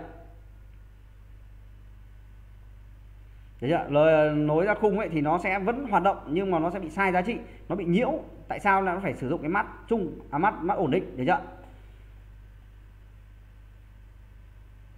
À, hai sơ đồ chủ yếu là em chỉ cần sơ đồ một cái xe 110 và xe lít 110 nào nó thông số nó rất là nhiều và thứ hai là xe lít 125 là cái thông số cho cái hệ thống đề ACG chúng ta có thể làm được rất là nhiều xe rồi rất nhiều dòng xe được chưa? Chúng ta không cần thiết phải in quá nhiều in quá nhiều chúng ta thứ nhất là chúng ta không có đủ diện tích để chờ để căng uh, treo trên nhà thứ hai nữa là nó lãng phí chúng ta không đọc. Khi chúng ta cần thì chúng ta mở tài liệu à, mở cái cái phần mềm trên điện thoại của chúng ta ra chúng ta tra cứu chúng ta làm nó dễ hơn nhiều. Được chưa? Chúng ta không cần thiết phải đo, đo phải ờ, in quá nhiều cho nó lãng phí nó tốn tiền ra tốn kém vào mọi người thôi không có gì cả. Em em muốn tiết kiệm cho mọi người. Được chưa? Cái phương pháp thì em tại sao em muốn chia sẻ mọi người ấy, thì uh, khi chúng ta phải đọc được sơ đồ rồi chúng ta phải có sơ đồ để chúng ta phân tích chứ không phải là chúng ta nói suông xong là về một hai hôm là chúng ta sẽ bị quên ngay. Nên tại sao em muốn là mọi người phải có sơ đồ? Là như vậy. Đấy chưa? Ngày nào chúng ta cũng nhìn vào, ngày nào chúng ta cũng nhìn vào. Như em nói rồi, ngày nào cũng nhìn vào, ngày nào cũng nhìn vào. Tự nhiên mình lại nhớ, tự nhiên mình thuộc, tự nhiên mình hiểu. Đó là như vậy. Đó là cái học ấy, không phải gì cả. Được chưa? Rồi, tiếp tục chúng ta vào cảm biến này. Đầu tiên chúng ta sẽ học vào cảm biến à, TP thì theo mọi người, cảm biến TP là gì ạ? Có nhiều anh em thì chúng ta làm rồi, chúng ta biết cảm biến TP là cảm biến gì. Còn à, nhiều anh em chúng ta cũng, thực sự là em đi đào tạo nhiều người là cũng chưa biết cảm biến TP là gì, hình dạng ra làm sao. Còn nhiều anh còn không biết tháo tháo bộ ba cảm biến ra thế nào rất nhiều. Vì uh, dạy online trực tiếp và và cái, cái quy mô nó cũng rộng như này nó không giới hạn được cái, cái cái đối tượng nên là cũng rất nhiều anh em chúng ta làm rồi và rất nhiều anh em chúng ta chưa được tiếp cận. Nên anh em nào tiếp cận rồi thì thông cảm cho những anh em chưa được tiếp cận được chưa? Rồi ok thì cảm biến TP bản chất nó là cảm biến vị trí bơm ga thôi được chưa? Cảm biến vị trí bơm ga. Rồi đấy không nếu chúng ta không hiểu nó đau đầu ấy, ba dấu hỏi xung quanh ta đấy được chưa? Đau đầu. Khi chúng ta hiểu rồi thì chúng ta thấy được. Rồi nó là vị trí bơm ga thôi không có gì cả nhưng mọi người phải nhớ cái tên của nó nhá. Cái tên của nó đấy cái tên của cảm biến này. Cái tên của cảm biến là TB được chưa? À, cái khổ em in khổ tường à, khoảng 80 m 2 khổ tranh khoảng 80 m 2 nó mới đủ để chúng ta nhìn được. Dạ. In toàn tất cả đều chất liệu tốt tức là chất liệu bằng đề can. Đề can mà in mực ngoài trời nó không để nó không bị bay màu được chưa? Và cán cán ở ngoài rồi. Cán bảo vệ tức là cán lớp bảo ngoại bảo vệ ở ngoài rồi. Rồi thì tiếp tục vào cảm biến thôi. Cái đấy thì em sẽ giải thích sau được chưa? Rồi thì tiếp tục chúng ta vào cảm biến này thì sau những buổi này thì em sẽ giới thiệu tại sao chúng ta lại không phải nhớ ấy. À, vì rất nhiều anh em chúng ta có kiến thức nhớ hoặc chúng ta rất nhiều anh em chúng ta đọc phải đọc sơ đồ và đọc tài liệu quá nhiều ấy, thì thay vì như vậy thì chúng ta sẽ nhìn trên trên đây em sẽ buổi sau buổi chia sẻ này thì chúng ta thấy được con cảm biến TP nó chẳng có cái gì phức tạp cả và cũng chẳng phải nhớ cái gì cả và rất nhiều anh em mới bảo nó có thông số chuẩn ấy, thì tất nhiên nó có vài cái thông số chuẩn thôi còn chúng ta sẽ làm được nó như sau và chúng ta giả lập hay chúng ta làm gì nó cũng được vâng có rất nhiều anh em chưa được bao giờ rồi mọi người để ý chúng em chúng ta sẽ bắt đầu vào cảm biến TP này. Cảm biến TP bản chất nó là gì? Cảm biến TP là để dùng để xác định vị trí bướm ga để cho gửi về tín hiệu về ECM để biết được tay ga chúng ta đang muốn di chuyển tốc độ nhanh tốc độ cao vòng tua máy cao vòng tua thấp theo cái di chuyển theo con ý muốn của con người ấy, đúng không ạ? Nó rất đơn nó cơ bản như vậy thôi. Thì mọi người đều hiểu nó như vậy rồi. Thì thay vì hôm nay em sẽ chia sẻ sâu hơn một chút là mọi người sẽ hiểu được vào nó là như thế nào được chưa? Cảm biến TB bản chất mọi người nhìn cho góc, trên cái góc của trên trên ngừa sau lưng em chưa? Cái góc, cái hình ảnh ấy, đó là con con, một con biến trở. Bản chất là như vậy thôi, bản chất nó là một con biến trở, không có gì phức tạp, không gì cao sang cả. Bản chất nó là một biến trở thôi. Nó thay đổi hình dạng của nó và nó thì nó ứng dụng vào một cái việc gì đó thì nó lại chuyển đổi tên, được ạ đổi tên. Nó giống như là cả hồn hồn trước ma ra, ba ra hàng thịt chẳng hạn. Nó vẫn là, của nó bản chất là như vậy thôi. Vẫn nó chỉ là một con cảm biến nhưng nó thay đổi hình dạng. Đấy rồi rất nhiều anh em chúng ta nhìn thấy bản chất của nó chỉ là một con biến trở chúng ta thường xuyên thấy ở nhà giống như là gì? Giống như là chúng ta thấy được ở trên âm ly loa đài của chúng ta ấy, những cái bộ đấy có cái núm vặn xoay xoay ấy thì bản chất nó như vậy. Thì đây vì thay vì như vậy gì chúng ta tác động lực ngoài bên ngoài vào với nó. Còn những cái cảm biến như cảm biến nhiệt độ thì chúng ta tác động nhiệt độ môi trường nó cảm nhận được nhiệt độ môi trường. Thì cảm biến TP này nó tác động ngoại lực tức là tác động với cái việc tay ga chúng ta vặn lên vặn xuống thì nó sẽ thay đổi giá trị. Thì tí nữa chúng ta sẽ đi sâu vào phần cảm biến TP này, mục đích nó là gì? Chúng ta sẽ hiểu được nó mà chúng ta không cần phải nhớ một cái gì. Tại sao em nói là không phải nhớ? Mà kiểm tra cực kỳ dễ, được chưa? Cực kỳ dễ nhé mọi người nhé cực kỳ dễ, không sợ cái gì cả, kiểm tra rất đơn giản thôi. Rồi, bản chất của cảm biến TP này nó là một cái than điện trở. Bên trong nó là một cái than điện trở, được chưa? Nó nó di chuyển di chuyển lên, di chuyển xuống là mục đích là gì? Nó thay đổi cái giá trị điện trở. Nó đưa cái điện áp về cho e xem nó thay đổi thay đổi theo cái tay ga của chúng ta. Ga lớn, ga nhỏ, ga lớn, ga nhỏ để mục đích để điều chỉnh là gì? Lượng phun, thời gian phun này, được chưa? Thời gian phun thời gian đánh lửa, nó chỉ bản chất như vậy thôi. Thì tí nữa sẽ đi sâu vào cái cảm biến này thì mọi người thấy nó rất là hay. Cảm biến TP rất là hay nhá.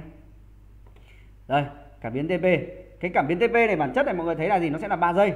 Mọi người nhìn trên sơ đồ nguyên lý vừa rồi ấy, chúng ta nhìn thấy nó là sơ đồ là gì? Sơ đồ sử dụng 3 giây. Thì 3 giây là gì? Một chân chúng ta sẽ lấy tín hiệu được điện áp vào. Thì điện áp ở đây chúng ta sẽ thấy là gì? Chúng ta sử dụng nguồn VCC 5V cho nó ổn định. Và thứ hai nữa là chúng ta sử dụng cái nguồn mát của nó mát của nó là mát chân số 4 chân SG đấy được chưa? Để gì mục đích của nó là ổn áp. Tại sao nó là nguồn nguồn ổn áp ổn định? Ổn định này mục đích là gì? Để chống nhiễu. Chống nhiễu khi chúng ta làm cái việc khác nó không bị ảnh hưởng đến nó. Thì gọi là ổn áp được chưa? Ổn áp. Ổn áp là mục đích như vậy thôi không có gì cả. Ổn áp được chưa? Đấy là cái nguồn tại sao nguồn VCC phải sử dụng trong này? Nó phải sử dụng nguồn uh, cảm nguồn ổn định. Rồi thì tiếp theo là chúng ta sẽ thấy được là gì? TP này khi chúng ta ga lớn lên thì điện áp gửi về e xem sẽ lớn đi hoặc là chúng ta ga nhỏ để góc góc mở đúng ga nhỏ đi ấy, thì sao ạ? Điện áp sẽ nhỏ đi, nó tỷ lệ thuận với tay ga của chúng ta. Nó chỉ đơn giản như vậy thôi. Thì tí nữa chúng ta phân tích vào cảm biến TP chúng ta sẽ thấy được nó là rất đơn giản, cực kỳ đơn giản là vì sao? Được chưa? Rồi thì tiếp theo mọi người để ý này cảm biến TP này nó xác định được thời gian phun xăng phun xăng cơ bản nhé đây là nhiều anh em này. Tí nữa em phân tích tại sao ấy mà mất cao áp lại liên quan đến thằng này. Được chưa? Rất là hay. Cảm biến TP nó rất là ảnh hưởng đến rất nhiều hệ thống và liên quan đánh lửa và phun xăng. Đấy. Quan tâm là như vậy thì chúng ta khi chúng ta thấy là gì? Cái cảm biến TP này chúng ta nó thay đổi theo tốc độ của tay ga của chúng ta. Ví dụ như ta ga nhỏ thì cảm điện áp gửi về ECM nó biết được chúng ta đang đi bình thường. Mà khi chúng ta ga đột ngột thì nó bắt đầu cái điện áp gửi về ECM nó lớn lên thì bắt buộc chúng ta thì thấy là gì? ECM nó sẽ phải cấp cái nguồn điện à cái cấp cái lượng xăng và đánh lửa phải thay đổi theo cái tay ga của chúng ta. Đấy là cái mục đích của của gì? Của cảm biến TP ngày xưa thì chúng ta dùng cơ khí thì nó là chỉ là cái cơ khí hút bằng hút lực hút của, của họng ga là lực hút của cái cơ khí động cơ thôi. Ở đây và bây giờ chúng ta phải sử dụng bằng điện tử, nó thay đổi như vậy để gửi về ECM ECM bắt đầu tính toán là đánh lửa sớm lên và phun xăng nhiều đi hay là ít đi, được chưa?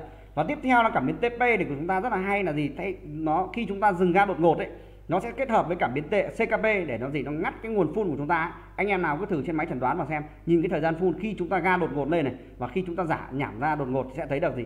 Thời gian phun nó sẽ về 0.0 mini giây anh em nào cứ thử xem được chưa? Đó là một cái cách của chúng ta kiểm tra về cảm biến TP hoặc là ảnh hưởng sức ảnh hưởng của nó đến uh, thời gian phun này thời gian đánh lửa góc đánh lửa được chưa? Góc đánh lửa và thời gian phun. Đấy là chính là cái tác động của cảm biến TP đến với hệ thống của xe. Thì bản chất của trên xe chúng ta là đều thì tất cả cảm biến đều ảnh hưởng đến hai hai cái phần thôi là phun xăng và đánh lửa.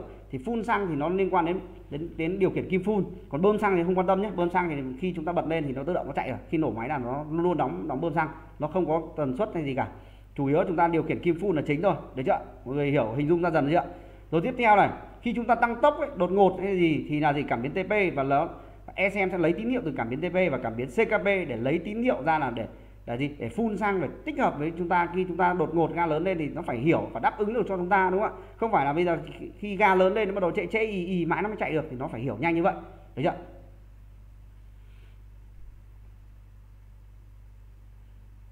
vâng chào mọi người mọi người hiểu phần phần này em chia sẻ chưa? Cái điện áp của TP này gửi về ECM nó sẽ nó sẽ là gì? Nó sẽ nó sẽ tương tích với à, tương đồng với nó cùng giá trị với uh, tay ga của chúng ta. Khi chúng ta ga lớn lên thì điện áp gửi về ECM nó sẽ lớn lên. À, cảm biến TP hỏng có báo lỗi không anh? À cái này có anh nhá cái này thì có chắc chắn rồi. Cảm biến mà báo lỗi. Thì tí nữa em lại phân tích vào sơ đồ cho mọi người thấy nó cực kỳ hay. Bắt đầu vào sơ vào, vào sơ đồ nhá. Tí nữa phân tích sơ đồ bắt đầu mọi người sẽ hiểu được hình dung được ra cái cái cái sơ đồ nguyên lý của chúng ta giá trị như thế nào được chưa? Bắt đầu khi vào sơ đồ ấy bắt đầu vào nguyên lý này bắt đầu vào cảm biến này. Mọi người bắt đầu thấy nó hay hơn chưa? Cảm biến bắt đầu là như nào? Thì sau những buổi này mọi người sẽ thấy được. Chưa? Rồi tiếp tục nhá mọi người nhá. Mọi người nhớ là gì? Cái thời gian phun cơ bản này khi, khi, khi em chỉ nhắc lại một lần này. Khi chúng ta để trên máy chẩn đoán khi chúng ta ga đột ngột ga lớn lên mà chúng ta giảm đột ngột tay ga ra về vị trí về không không ấy thì mọi người sẽ nhìn thấy cái thời gian phun ấy nó sẽ về 0.0 mini giây tức là nó ngắt kim phun ấy. Thì sau này mọi người sẽ nhìn thấy ở trên cái xe của xe xe uh, xe SH 2020 mọi người gì đấy? SH 2020 nó có kiểm soát được kéo ấy được chưa? Thì mọi người sẽ thấy được nó sẽ tích hợp luôn vào đấy là trên nó lấy tín hiệu là gì? Khi chúng ta đóng hoàn toàn ấy thì khi khi chúng ta bóp phanh cái này giải thích nó hơi lan man. Cái này thì nó liên quan đến cái phần à, ngắt kim phu này nó rất là hay. Được chưa? Thôi được rồi em không liên liên quan vào cái phần kia nữa nó, nó mọi người lại bị phức tạp. Được chưa? Được rồi ờ, hơi phức tạp nhá mà em không không đi giải thích lan man nữa xong mọi người lại dối lên. Tiếp tục này. À thế thôi. có anh nhớ mã lỗi rồi ok. Rồi tiếp theo cái hình ảnh của là cái cảm à, cái cái sơ đồ khối của nó này. Cái sơ đồ khối của nó này. Được chưa? Mọi người nhìn thấy là gì? Nó tác động. Nó tác động từ lực ngoại lực của chúng ta tức là tác động.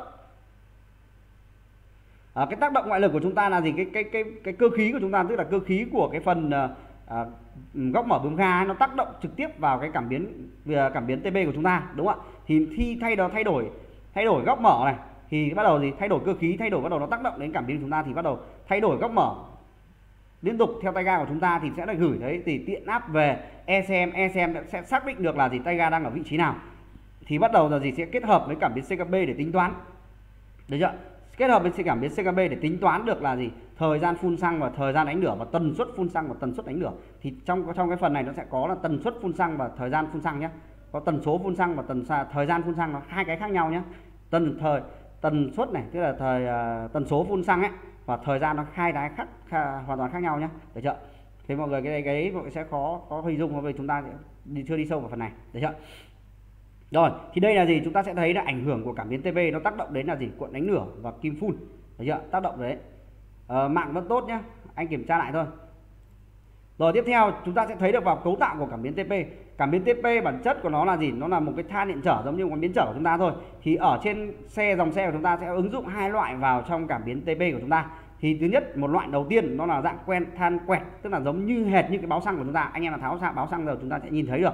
Nó có một cái than điện trở bên trong mà bắt đầu nó sẽ nó sẽ quẹt lên, quẹt xuống và thay đổi cái góc. Đấy, là mục đích là gì? Lấy tín hiệu thì tí nữa chúng ta phân tích sâu hơn vào cái phần phần tín hiệu đó. Thì chúng ta đây là cái hình dạng thực tế của chúng ta sẽ nhìn thấy được ở trên cảm biến TP của chúng ta ở hình bên trái thì mọi người sẽ nhìn thấy được nó là gì?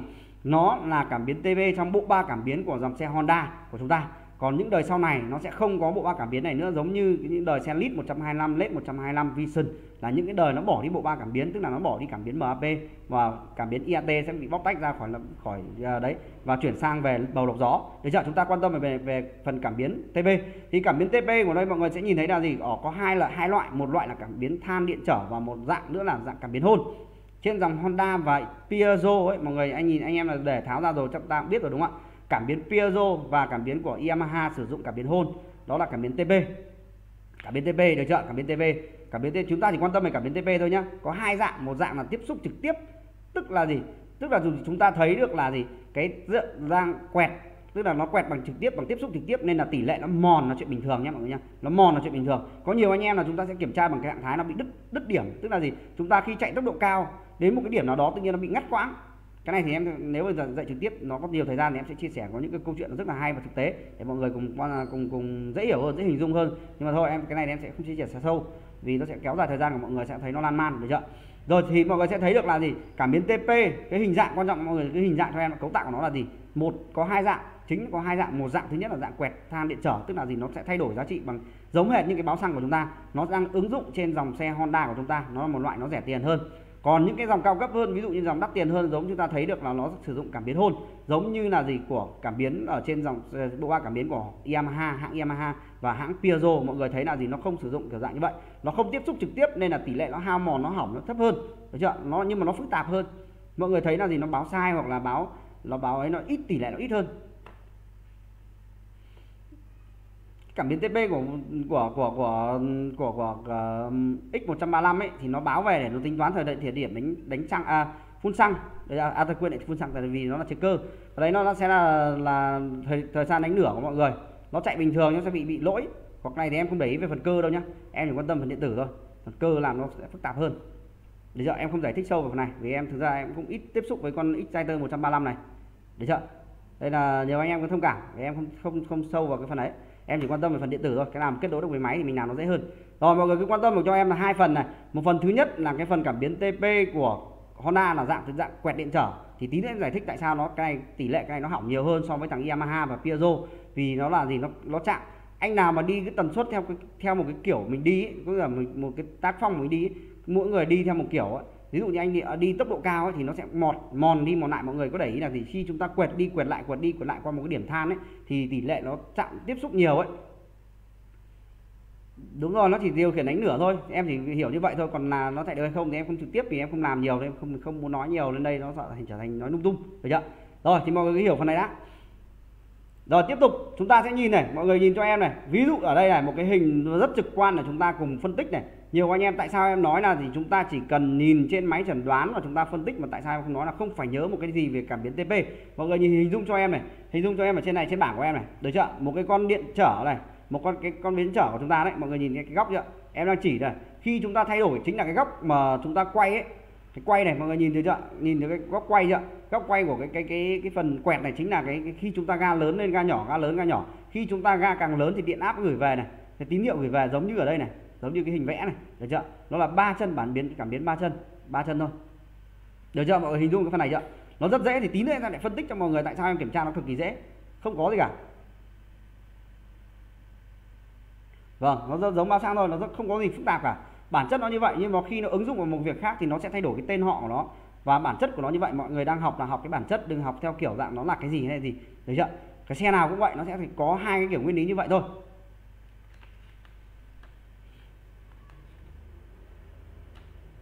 Đúng rồi dạng như vậy. À, báo số thì nó khác báo số là dạng quẹt quẹt là quạt quẹt tiếp mát thôi chúng ta không không quan tâm về cái nó khác hẳn hoàn toàn nhá. Đây nó là điện trở.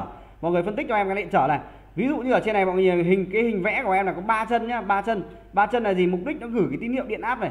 ECM sẽ cấp cái nguồn điện 5V chúng ta chúng ta sử dụng cái nguồn VCC 5V này cấp cho cảm biến. Được chưa? Cảm biến giống như ở chúng ta nhìn được cái hình ở dưới nó quẹt lên quẹt xuống ấy, thì bản chất là cấp cái nguồn điện 15V cho nó này. Rồi tiếp theo là lấy một tín hiệu mát, tức là mát SG đấy. Lúc đấy anh nào hỏi đấy tại sao không lấy mát khung ấy?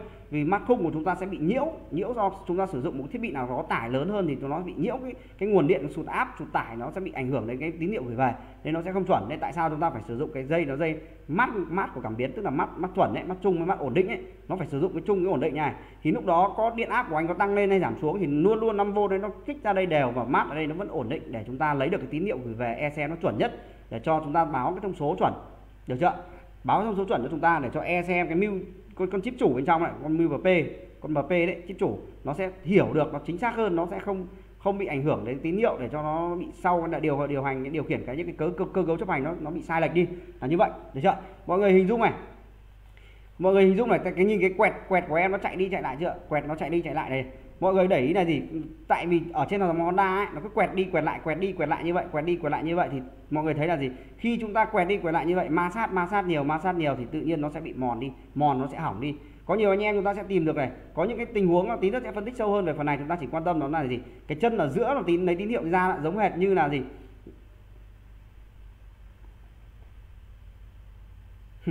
Chuẩn là không độ à? nó chỉ hai phải mấy vô thôi đừng đừng chuẩn cái chẳng có gì nó chuẩn hóa cả gì ạ? Chúng ta chỉ quan tâm đến cái, cái, cái nguyên lý hoạt động nó. Thì đấy này tí nữa em phân tích sâu hơn này. Mọi người thấy là gì? Chúng ta sẽ thấy được nó cái, cái lỗi trong giải ấy, tức là gì? Nó sẽ làm một cái giá trị bất kỳ ở đây này. Nó sẽ không biểu hiện lỗi nhé này hơi hơi khó hình dung nhỉ? Hơi khó tả một chút. Khi chúng ta nhìn thấy là gì? Khi chúng ta cảm biến TP của chúng ta hoạt động được chưa? Cảm biến TP của chúng ta hoạt động nó có nhiều trạng thái. Một là trạng thái nó bị đứt hẳn nó sẽ báo lỗi ngay trực tiếp.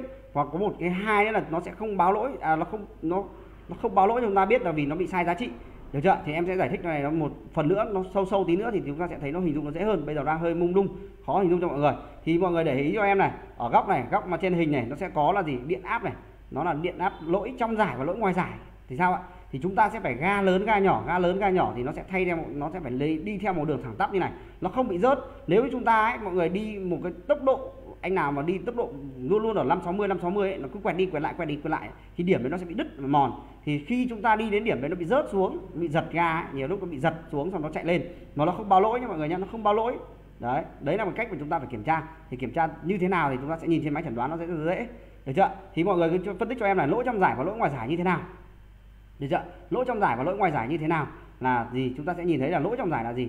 Nó sẽ nằm ở con số từ 0,29 đến 4,76 V tức là nằm trong giải từ, từ từ điểm này đến điểm này nó một con số vôn điện áp bất kỳ. Đấy chưa? Nó bị sai giá trị đi chứ nó không bao lỗi. Nên tại sao lại gọi là lỗi trong giải? Mà lỗi trong giải đấy là cái việc mà chúng ta cần phải sửa chữa. Đấy. À, đấy là cái việc mà chúng ta cần phải phân tích để sửa chữa. Còn cái việc mà báo lỗi thì cực kỳ đơn giản. Được chưa? Cực kỳ đơn giản. Đấy, cực kỳ đơn giản được chưa? Đấy. Thì chúng ta phải kiểm tra được như nào? Đó là lỗi trong giải và lỗi ngoài giải. Nếu nó chúng là nếu lỗi trong giải tức là nó một con số điện áp bất kỳ ở chúng ta mà giải từ 0,29 đến 4,76 là nó sẽ không báo lỗi cho mọi người đâu nhá. Nó chỉ bị sai giá trị tức là xe của chúng ta đi không bốc không ngọt không có hiện tượng nó đi nó không hoạt động ổn định được ấy thì chính là cái lỗi cảm biến TP này nó làm một lỗi trong sai sai trong giải. Mà chúng ta cần phân tích phân tích dễ nhất là mọi người nhìn trên máy chẩn đoán. Thì nhìn trên máy chẩn đoán này mọi người nhìn cho em này như đây mọi người nhìn được cái máy chẩn đoán đó góc này, em lấy một cái ví dụ, một cái chiếc máy chẩn đoán đây. Nó sẽ có cho chúng ta là điện áp bướm ga này. Tức là điện áp bướm ga nó sẽ có một cái điện áp là chúng ta ga lớn lên này. Thì đồng hành với chúng ta sẽ thấy cái điện áp này nó tăng dần tăng dần tăng dần. Và vị trí bơm ga này nó cũng tăng dần tăng dần tăng dần. Thì em, tại sao em nói mọi người là chúng ta kiểm tra cực kỳ dễ mà không phải nhớ một cái gì cả? Là gì chúng ta sẽ nhìn trên máy chẩn đoán. Khi chúng ta kéo ga từng nhích từng nhích từng nhích từng nhích, một nhích từ nhích đến ngước một thì chúng ta sẽ thấy được là vị trí bơm ga nó thay đổi dần dần dần dần dần dần. Nhưng đến một cái điểm nào đấy nó bị rớt, bị đứt thì chúng ta sẽ nhìn thấy ngay được nó bị hỏng ở điểm đấy. Thì chúng lúc đó chúng ta chỉ việc thay cảm biến là xong thôi. Không có gì cả. Đấy chưa đúng là phân tích trên máy chẩn đoán cực kỳ dễ. Thì tại vì sao nó là phải có máy chẩn đoán thì chúng ta làm việc dễ hơn nhiều so chúng ta phải nhớ, phải đo. Tại sao nó là không phải nhớ là lý do vậy? Chúng ta có công cụ để chúng ta làm việc. Được chưa chúng ta sử dụng máy nào cũng được, chúng ta phải đo. Quan trọng là có máy chẩn đoán rồi nhá. Máy nào cũng được được chưa? Rồi, thì mọi người để ý là mỗi một thông tin, mỗi một thông số nó sẽ phải có hai trạng thái cho chúng ta. Tức là một, mỗi một cảm biến nó sẽ có hai thông tin. Thông tin thứ nhất là gì? Là điện áp và thứ hai là vị trí. Để vị trí này chúng ta nhìn nó dễ hơn dễ hơn nhiều so với chúng ta nhìn bằng điện áp. Điện áp nó sẽ khó hiểu hơn, được chưa? Thì chúng ta vẫn vẫn hình dung ra được, nhưng mà chúng ta nhìn giá trị cái vị trí bơm ga này nó dễ dàng hơn là chúng ta phải nhìn điện áp. Thì điện giá trị à, vị trí bơm ga này chúng ta sẽ nhìn nhìn như sau chúng ta kết nối với máy chẩn đoán và chúng ta sẽ ga dần lên ga dần lên nhích tay ga của chúng ta lên thì cái con số ở đây nó sẽ nhảy. Ví dụ như là nhảy uh, vị trí bơm ga là 0.1 hoặc 0.5 chẳng hạn nó nhảy 5 bước 1 hoặc là một bước 1 thì chúng ta sẽ nhìn trên đấy để chúng ta làm. Thì chúng ta sẽ kéo từng lớp từng lớp một cho đến kịch ga. Được chưa? Thì cái con số nó phải nhảy đều. Ví dụ như là ờ, uh, 0.5 rồi đến gì? 1.0 rồi 1.5 nó phải đều như vậy đều như vậy đều như vậy đều như vậy cho đến kịch. Nhưng mà đến một một con số nào đấy chẳng hạn như là đang là uh, 5.1 5.5 chẳng hạn nhưng mà khi mình ga đến mức độ là đáng lẽ nó phải lên là 6.0 nhưng mà nó lại bị rớt về không. Thì lúc đó mình mới biết là gì? Trên cảm biến TP đấy nó bị đứt một cái điểm than, tức là cái than đấy nó bị đứt rồi. Nó bị mòn, đúng không ạ? Nó mòn cơ khí này, điều đương nhiên nó sẽ bị hỏng. Đấy ạ. Mọi người hình dung cái phần em chia sẻ cho mọi người chưa cảm biến TP nó cực kỳ dễ, nhưng nó sẽ bị ảnh hưởng rất nhiều đằng sau nó nó liên quan đến phun xăng và đánh lửa. Đấy là cái cách mà chúng ta, em muốn chia sẻ mọi người cách phân tích tại sao là chúng ta không phải nhớ. Và chúng ta giả lập nó đều được rồi được chưa nhưng giả lập để chúng ta kiểm tra thôi. Còn chúng ta, nếu hỏng, chúng ta lên thay mới, được chưa lên thay mới vì cảm biến TP nó hoạt động liên tục, chúng ta mà sửa chữa hay là gì lỗi là sẽ ảnh hưởng sau này. Rồi đấy là cách mà chúng ta phân tích, được chưa? Phân tích. Đó cái cách phân tích thôi, được chưa? Phân tích lỗi theo cách của em em làm việc nó như vậy nó sẽ đơn giản hơn thay vì chúng ta phải nhớ phải nhớ cái thông số giá trị điện trở. Rất nhiều anh em chúng ta phải thông số, thông, nhớ thông số giá trị điện trở, nhớ màu dây rồi tất cả những điều cái. Thì tí nữa chúng ta sẽ phân tích, em lại phân tích trên sơ đồ mạch điện, chúng ta thấy được chúng ta không cần phải nhớ một cái gì cả, không cần phải nhớ màu dây nào cả. Chúng ta nhìn được ngay, được chưa? Đấy là một cách mà chúng ta em, mà em làm rất là nhiều vâng. Thì đấy là một cách mà chúng ta hình dung ra được cảm biến TP nó như thế nào. Cảm biến TP cực kỳ đơn giản được chưa? Một con cảm biến chúng ta thấy được nó rất đơn giản mà không phải nhớ rồi. Thì sau những buổi sau nữa chúng ta sẽ thấy được những cái phần cảm biến khác nó lại cũng như vậy thôi đơn giản như vậy thôi. Được chưa? Vâng, không có may đồng lỗ chúng ta vẫn kiểm tra được bằng cách là chúng ta đo cái chân tín hiệu gửi về ECM ấy, cái chân mà tín hiệu gửi về ECM tí nữa em phân tích trên sơ đồ ấy, anh đo cho em cái chân đấy thì chúng ta sẽ đo đồng bằng đồng hồ, đo bằng hồ điện áp cho chúng ta sử dụng đồng hồ đo vôn, chuyển thang đo đo vôn, được chưa? Đo vôn DC vôn ấy, tức là khoảng thang đo khoảng 20 v Được chưa? Thang đo 20 v Đó chính là cái chúng ta đo ở cái trạng thái ở đấy ở chân gửi về tín hiệu gửi về chính là cái chân giữa này. Mọi người nếu mà chân biến trở thì nó là chân giữa này. Điện áp gửi về ECU ấy, ECM thì thay vì vậy thì ta sẽ nhìn trên phân phân đồ sơ đồ ấy chúng ta sẽ nhìn được cái chân tín hiệu gửi về. Ta đo chính xác vào chân đấy một chân nó thì ta dí vào đấy và lấy que đỏ ta dí vào vào cái chân PCB này chân tín hiệu của ECM gửi về. Và chân kia chân đen que đen que mát của đồng hồ chúng ta lấy vào chân mát này. Và chúng ta ga lớn ga nhỏ lên thì nó sẽ thay đổi điện áp về cho chúng ta. Nếu không thay đổi được ấy, thì là do gì? Do do do nó bị lỗi rồi. Thì chúng ta bằng cách kiểm tra đồng hồ cũng được. Thì chúng ta mất mất công chúng ta phải gì? Màu tìm màu dây. Thứ hai nữa chúng ta lại phải tìm uh, gì? Uh, đo đồng hồ nó mất thời gian phải tháo xe ra thì thay như vậy chúng ta chỉ phải kết nối với máy chẩn đoán nó đọc nó nhanh hơn nhiều đúng không ạ? Đó là cái cách mà em phân tích ở trên máy chẩn đoán. Nó cực kỳ dễ hiểu thay vì chúng ta à, thay vì chúng ta là phải à, nhớ quá nhiều về cái thông số giá trị giá trị điện trở mà chúng ta chỉ quan tâm vào giá trị điện áp nó gửi về thôi. Cái quan trọng là cái kết quả nó gửi về cho chúng ta. Thay vì chúng ta không cần phải sử dụng nguồn VCC 5V của nó chúng ta lấy một cái điện áp mà chúng ta sử dụng nó là con uh, biến trở LM7805 chẳng hạn chúng ta dí một cái điện áp thay đổi về ECM nó sẽ không không báo lỗi được chưa? Đó là một cách mà chúng ta làm uh, cực kỳ đơn giản. Tại sao em nói? Đấy được chưa? Cái cảm biến TP này nó hay bị lỗi theo kiểu dạng nó bị đứt điểm, được chưa? Đứt điểm, tức là khi chúng ta ga một điểm từ điểm ờ, mọi người nhìn trên hình ảnh này, khi chúng ta ga một điểm góc mở nhỏ nhất cho đến góc điểm, góc mở lớn nhất thì nó phải chạy thêm một đường thẳng. Nếu đến đêm điểm giữa này, chúng ta có một cái thói quen là hay đi vào tốc độ 60 chẳng 60 70 chẳng hạn. Góc mở đến điểm đấy nó bị mòn, chúng ta ga đi ga lại nó mòn đi, thì chúng ta rơi, khi chúng ta kéo ga đến điểm đấy nó bị tụt xuống, tức là nó bị bị gì? Nó bị đứt điểm đứt điểm. Đứt điểm này thì sao? Nó bị tụt điện áp xuống thì lúc đó nó bị lỗi, mà lỗi nó sẽ không báo lỗi cho chúng ta đấy chưa? Nó, nó vì nó quá nhanh nó không báo lỗi cho chúng ta thì lúc đó xe đi đến điểm nó bị giật cảm giác nó bị hụt ga cảm giác nó bị rất là khó chịu. Thì lúc đó chúng ta đo đồng hồ cũng được mà chúng ta lấy máy chẩn đoán để đo nó dễ hơn. Thì chúng ta chỉ việc kéo từ từ kéo từ từ từ góc nhỏ lớn góc mở nhỏ nhất cho đến góc mở lớn nhất là chúng ta kiểm tra được ngay cái điểm nào nó bị đứt. Mà đã đứt đứt một điểm rồi ấy, chỉ có bỏ đi thay cảm biến khác được chưa? Rồi đơn giản như vậy thôi. Vâng cảm ơn mọi người. Sắp được 500 anh em chưa rồi thì đây là cái cách mà chúng ta cái cách mà chúng ta giả lập lấy biến trở chúng ta giả lập cái tín hiệu cảm biến TP để kiểm tra cho xem là cảm biến TP của chúng ta hỏng hay không ấy. Thì thực ra cái này em chẳng cần thiết chúng ta phải giả lập đâu. Thì đây là cái hình dung để cho mọi người thôi. Chúng ta chỉ cần mua cho em cái sử dụng cho em một con biến trở ba ba biến trở ba chân này. À, à, giá trị điện trở nó là khoảng 10k để chúng ta sẽ nối. Một chân đầu ngoài là chân gì? Nguồn VCC 5V chân số 2 là chân lấy tín hiệu điện áp gửi về. Để chưa? chân số 3 là chân nối với mát của cảm biến chân SG ấy đơn giản như vậy thôi chứ không cần phức tạp. Em thì em không cần thiết phải à, giả lập. Thì chúng ta chỉ giả lập để cho mọi người nhìn thấy được cái sự thay đổi. Và chúng ta không cần thiết tại sao em nói là trong khóa học à, ờ, ba không tức là không thay thế loại trừ ấy, thì chính ra chúng ta chỉ việc lấy con biến trở này chúng ta thay đổi rất là nhiều thứ trong trong phần này. Được chưa? À, chúng ta chỉ cần lấy con biến trở này thôi chúng ta thay lập giả lập được rất rất nhiều rất nhiều cảm biến. Đây thứ nhất là một con giả cảm biến của gì? TP thứ sau này những buổi sau này nữa thì chúng ta sẽ giả lập được cảm biến IAT, ECT rồi tất cả những, những cảm biến chúng ta cần làm. Rồi đến cả cảm biến góc nghiêng chúng ta cũng làm được. Cảm biến VS thì nó là khác chúng ta không thể cảm biến được được chưa? Rồi thì tiếp tục chúng ta sẽ đây đây là hình ảnh em chia sẻ thôi không có gì cả mọi người có thể làm được hoặc trên YouTube của em có chia sẻ rồi. Mọi người có cách làm. Tiếp tục. Đây đây một cái hình ảnh mà em muốn chia sẻ cho mọi người mà tại sao em nói là đừng nhớ chân đừng nhớ chân này. Tại sao em phải nhớ cái một cái bức tranh của chúng ta rất là hiệu hiệu, hiệu quả nó nằm ở đây này? Ờ, à, MST cũng được không sao cả. MST hay là Motoken đều được. Quan trọng là mọi người có cái máy để chúng ta phân tích nó dễ dàng hơn cho chúng ta thôi được chưa? Rồi mọi người phân cùng phân tích cho em này. À, cùng cái đến cái phần hình ảnh này. Mọi người thấy là gì? Khi rất nhiều tài liệu cho chúng ta biết được cái bộ ba cảm biến của chúng ta là gì? Chân thứ nhất là gì? Màu gì? Chân thứ hai thì là gì? Tác dụng là gì? Chân thứ ba tác dụng là gì? Chân thứ tư tác dụng là gì? Chẳng hạn như vậy. Thì thay vì như vậy chúng ta chỉ cần nhìn trên sơ đồ nguyên lý của chúng ta sẽ thấy được nó cực kỳ hay là tại sao nó như vậy.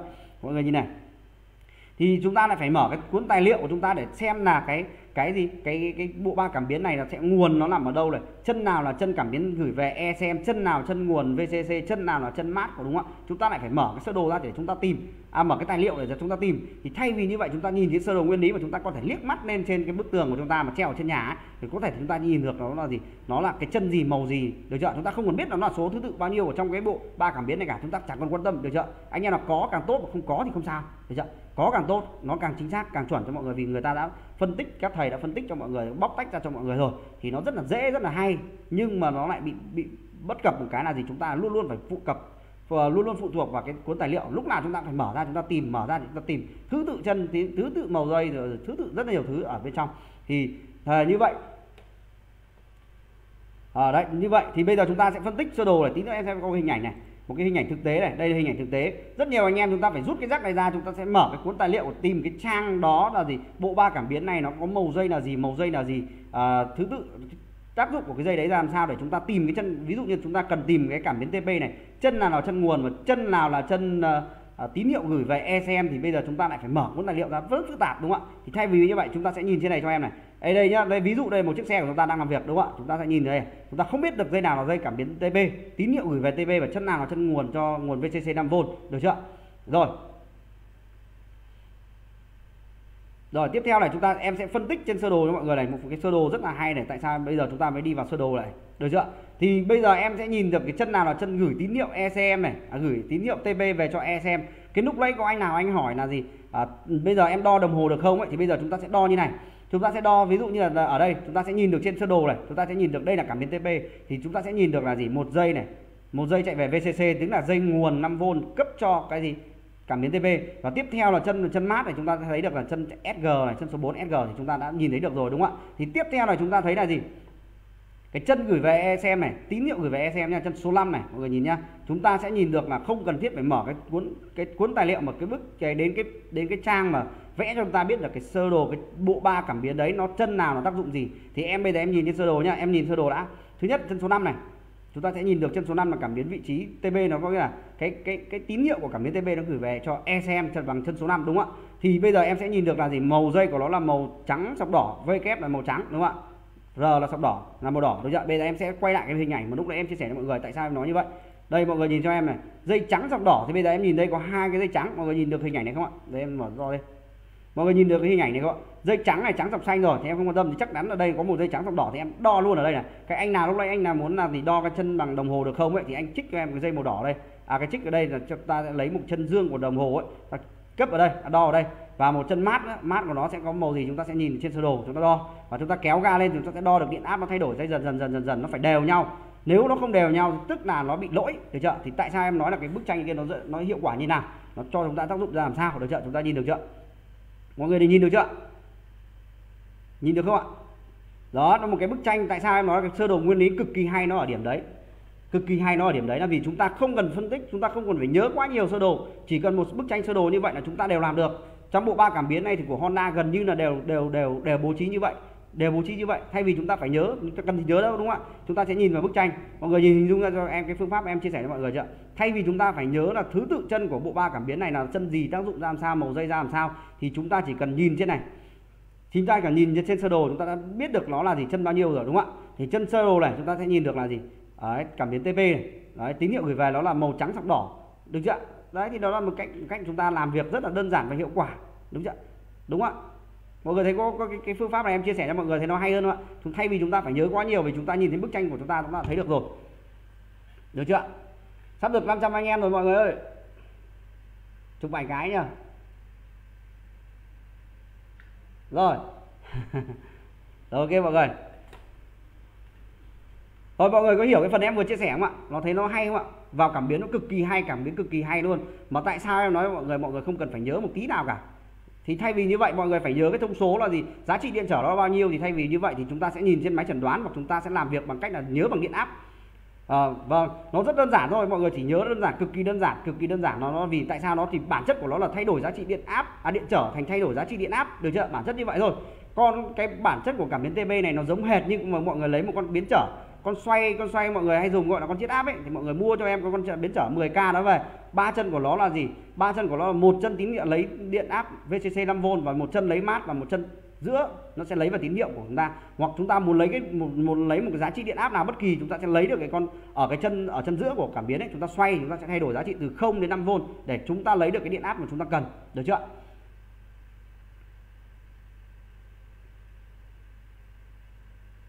có hiểu con này không ạ? Rất là hay đấy phần cảm biến TP rất là hay. Đấy tại sao em chia sẻ cho mọi người cái phần cái sơ đồ nguyên lý này cực kỳ hay mà chúng ta không cần phải không cần phải nhớ một cái gì cả? Tại sao em nói là không phải nhớ một cái gì? Cảm biến đấy nhiều anh em cứ bảo cho em cái thông số chuẩn của xe thì cảm biến TP thì có thể có thể là thông số chuẩn nhưng mà những cái cảm biến nhiệt độ thì nó không có phải một cái gì là chuẩn cả. Vì tại vì sao ấy? Vì nó phải phải theo đúng cái, cái hiện trạng của trên xe. Đúng không ạ? Xe người ta đang đi nhiệt độ bao nhiêu thì nó phải báo về như vậy chứ không bao giờ nó gọi là chuẩn chuẩn chuẩn được đúng không ạ? Thì đây là cái cảm biến TP thì chúng ta sẽ nhìn được vì nó là phải có đúng một con số nó nó chạy theo đúng như vậy đúng theo lập trình thì bây giờ chúng ta lại tiếp tục quay lại về cái phần ừ, nguyên lý này. À cái cái cái phần của nó. Được chưa? Đi bắt đầu đi sâu này bắt đầu đi sâu này. Được chưa? Thì cái đầu tiên vừa rồi em chia sẻ cho mọi người là gì? Chúng ta không cần thiết phải chúng ta phải nhớ cái cái hình à cái sơ đồ à, cái bức tranh mà để cái giá trị điện trở hay là hay là cái thứ tự chân của trên bộ ba cảm biến nữa mà chúng ta chỉ cần nhìn trên sơ đồ là chúng ta có thể thấy được là chúng ta cần tìm cái dây gì dây dây gì nằm ở đâu đúng không ạ? Đó là một cách mà chúng em sẽ làm đã làm rất là nhiều rất lâu rồi. Thay vì chúng ta phải nhớ quá nhiều và quá nhiều sự, sự, sự ấy à, thay vì chúng ta cứ phải quá phụ thuộc quá nhiều vào sơ đồ tài liệu thì tại sao bức ảnh em vẫn nói là à, đi du lịch vẫn sửa được xe là lý do là như vậy. Được chưa? Cảm ơn mọi người. Rồi tiếp tục. Tiếp tục tiếp tục. Được chưa? Tiếp tục. Rồi tiếp tục là cái hình ảnh thực tế của nó này. Mọi người thấy là gì trong trên em chỉ phân tích về Honda thôi nha còn Yamaha tất cả cái kia đều nó, nó nguyên lý đều như vậy thôi. Mọi người chỉ cần làm kiểm tra được theo phương pháp như của em thôi. Nó rất đơn giản thôi đấy thì tí nữa tí nữa tí nữa tí nữa chúng ta sẽ phân tích là có cao áp hay không có áp thì tí nữa bắt đầu chúng ta sẽ đi sâu vào phần đấy được chưa? Cái này sẽ có có cái phần mà anh muốn đăng anh anh anh vui ta nguyễn thắng thì anh đang muốn hỏi đúng không ạ? Thì tí nữa chúng ta sẽ phân tích vào nó được không? bây giờ chúng ta cách kiểm tra đã cách kiểm tra đã còn tí nữa nó ảnh hưởng như thế nào thì chúng ta tí nữa chúng ta kiểm tra được chưa? Rồi tiếp tục này chúng ta sẽ kiểm tra cái đây hình ảnh thực tế của nó này. Nhiều anh em nói là gì? À, có thông số thông số thông số chuẩn không ấy? Thì thực ra là cái này nó theo tiêu chuẩn của nhà của từng hãng sản xuất. Giống như Honda ấy Honda thì nó sẽ là về không không độ tức là về khi chúng ta đóng hoàn toàn ấy thì nó sẽ về không độ. Có nhiều anh em chúng ta sẽ thấy là gì? Phải đồng bộ lại họng ga ấy đồng bộ ấy, tức là bản chất là gì? Cái cảm biến TP này của chúng ta nó bị sai giá trị. Ví dụ như là nó báo là không uh, điện áp là chỉ là bao nhiêu? Bao là ờ, 0,29 độ hoặc 0,3 độ. Uh, 0,3 0,3 V thì nó lại báo là khoảng 5 độ. 5 độ hay gì đó đó là lúc nó bị mất đồng bộ thì chúng ta phải đồng bộ lại. Thì trên Honda nó như vậy thì đối với những dòng xe khác thì mọi người sẽ thấy được gì? Trên Yamaha nó sẽ góc mở của nó sẽ thay đổi. Nó không phải về không không nữa mà nó sẽ về nó nó sẽ nằm ở giá trị từ 14 đến 20 độ gì đấy. Nó sẽ có ở trên cái máy chuẩn đoán chúng ta sẽ có có có hình ảnh à có cái chia sẻ. Nên nhiều anh em mà kết nối với ờ, xe Yamaha lại nói là uh, tại sao cái xe này nó không về không độ ấy, thì bản chất là do nhà sản xuất người ta thiết kế rồi. Nó nó luôn luôn để góc mở là khoảng 16 độ. Nó không về không độ như của Honda nhé được chưa? Giống của SYM ấy thì nó sẽ là về 0,5 độ thì nó có thể nó sẽ, thông số nó sẽ là nó sẽ tăng giảm cái gì đó thì mình mọi người không quan tâm. Nhưng mọi người nhớ những cái hãng khác nó không về không công độ như của Honda là được rồi, được chưa? Đây là hai cái hình ảnh của cảm biến TP của dòng xe trên hãng Honda, được chưa? Trên hãng Honda. Đó, đây là cái hình ảnh của hãng Honda. Hay em chỉ chia sẻ Honda là chính thôi, ít khi em chia sẻ những cái dòng khác thì nó nó khó hình dung cho mọi người. Được chưa? Nguyên lý thì nó cũng như vậy thôi. Bản chất là lấy tín hiệu của cảm biến TP nó thay đổi, được chưa? Có lúc này, lúc nào có nào anh ấy hỏi lúc nào lúc đấy có anh nào hỏi ấy, anh nào hỏi là cảm biến TP này lỗi có có ảnh hưởng đến đánh lửa không ấy thì chúng ta bắt đầu chúng ta đi sâu vào này. Bắt đầu chúng ta đi vào phần phân tích nhá được chưa? Cứ từ từ bình tĩnh đầu tiên là chúng ta hiểu cái nguyên lý hoạt động của nó đã được chưa?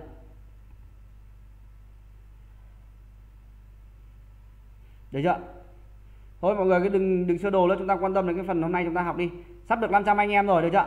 Rồi tiếp theo cái câu hỏi của anh vừa rồi anh hỏi ấy, là gì? Cái ảnh hưởng của cảm biến TB này có ảnh hưởng đến cái cái việc mà mất cao áp hay không ấy được chưa thì ở đây nó cho ta thấy chia sẻ được là gì? Chia sẻ được chưa mọi người nhìn thấy được chưa cái góc mở lớn hơn này góc mở của cảm biến TP mà lớn hơn 60 độ thì tự nhiên nó sẽ cắt phun xăng cắt đánh lửa. Đấy nhiều anh em nhé em lại chia sẻ một câu chuyện này. À, có một anh anh gì? Anh ấy mất cao áp. Được chưa mất cái điện à, mất cái cao áp tức là gì? Mất cái à, điện ở cao áp phần à, buji. Thì anh ấy đúng là anh ấy không có máy chẩn đoán thì anh làm rất là phức, phức tạp và vất vả là gì? Anh ấy phải uh, thay thế rất nhiều thứ nhưng anh cuối cùng anh không thay cái bộ ba cảm biến. Nên là là gì góc mở bướm ga nếu mà anh anh nào có máy chẩn đoán anh sẽ nhìn thấy ngay được nó bị sai số là chúng ta kiểm tra cực kỳ dễ được chưa? Thì thay vì như vậy thì à, cái cảm góc mở bướm ga này nó sẽ nếu mà nó lớn hơn lớn hơn 60 độ góc mở nó thì lớn hơn 60 độ thì nó sẽ là gì? ECM nó thấy nó phát hiện là nguy hiểm. Nguy hiểm tại vì sao? Khi chúng ta nổ máy lên thì nó gì? Góc mở lớn quá nó sẽ gây ra hiện tượng là gì? Ờ, là bị trồm xe ga, trồm ga và rất là nguy hiểm cho người lái xe nên là gì nó e xe nó hiểu được là do do người thiết kế người ta lập trình là gì góc mở lớn hơn 60 độ là gì mức nguy hiểm, không cho gì, không cho khởi động nên là nó sẽ cắt được cái đánh lửa của mọi người đi nhá cắt đánh lửa, cắt bơm xăng bây giờ Cắt một trong hai cái phần nó cũng không thể nổ máy được rồi. Nhưng khi không có đánh lửa thì cũng không có phun xăng. Mọi người đấy là logic của dòng i, của của xe ừ, phun xăng điện tử nó sẽ có logic một chút là gì? Không có đánh lửa thì nó sẽ không có phun xăng. Được chưa? Không có ánh lửa, không phun xăng. Vì tại vì sao ấy? Nó thấy là gì? Không có ánh lửa rồi, phun xăng nó trở thành vô nghĩa. Nên là nó gì? Nó cắt luôn đi. Được chưa? Đó là một cách. Đó mà tại vừa vừa có một câu hỏi, anh nào hỏi ấy, anh nào hỏi là gì? Nó có ảnh hưởng gì đến không ấy? Thì chính là như vậy. Được chưa? Được chưa? Đó là cái ảnh hưởng, sức ảnh hưởng của nó. Là gì? Nó là bảo vệ con người. Được chưa? Đó là cái ảnh hưởng. Nên là nhiều anh em mà trước nó bảo là vì uh, mất cao áp thì kiểm tra ở đâu ấy thì thứ nhất một cái nguyên nhân nó đã xảy ra mất cao áp rồi được chưa? Mọi người phải hiểu là gì? Nhiều anh em hỏi ấy, thì bây giờ chúng ta phải biết là gì? Nếu mà cần có cao áp thì nó phải có gì? Có cái việc cái cái tín hiệu gì hay điều kiện gì để cho nó có cao áp thì mọi người phải lật lại câu hỏi người ta phải tìm lại. Chứ đừng làm gì cho theo cái kiểu truyền thống là bây có cao áp thì làm thế nào nó làm rất là nhiều vấn đề. Thứ nhất là gì? Nếu xe cơ thì nó đơn giản hơn vì nó ít cái chức năng. Thì bây giờ nó sẽ có rất là nhiều liên quan đến ví dụ như cảm biến à, cảm biến à, nhiệt độ của anh cũng liên quan đến phần à, cao áp được chưa có rất là nhiều nguyên nhân xảy ra thì ở đây em nói đến phần à, gì cảm biến TP đã không nói gì đến phần khác. Thì cảm biến TP này tác động rất nhiều liên quan đến phần đánh lửa và phân xăng. Vâng đúng rồi nó bị treo giá trị đúng rồi.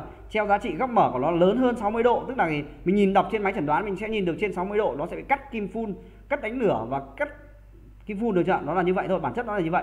Có nghĩa là gì? Nó góc mở, nó lớn lên, lớn hơn con số này, nó nó nó xác định, xác nhận được là gì? Nó mất an toàn, không an toàn cho người sử dụng xe, cho người lái xe nên nó sẽ cắt đi. Đó là tính năng bảo vệ con người, bảo vệ tài sản thôi. Nó do ECM nó thông minh hay không là do người lập trình của nó thiết kế ra rồi. Nó sẽ tự động nó sẽ làm như vậy. Được chưa? Thì cái này nó sẽ nó sẽ đơn giản, mọi người cứ hiểu nguyên lý nó như thế đã. Được chưa?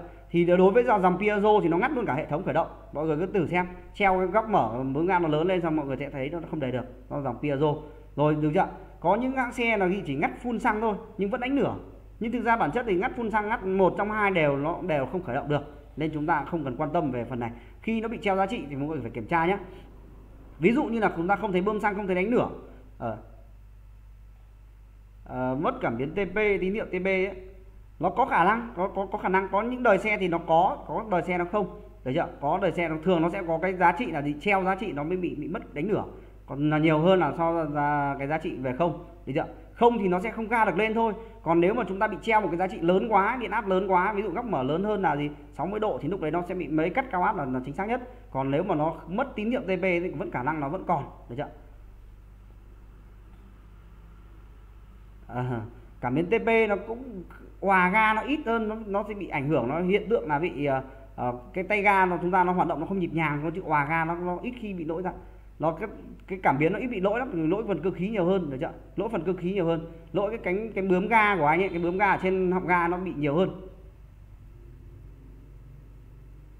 À, nó nhiều loại lắm anh ạ. Có loại motoken loại ờ, uh, MST rồi loại easy uh, uh, AC Pro, AC Pro sao? Nó cũng rất là nhiều. Thì uh, mọi nào anh anh sử dụng loại nào thì anh dùng thôi. Em thấy tất cả cái các cái máy đều đều đều tốt mà đều ổn định mà. Được chưa?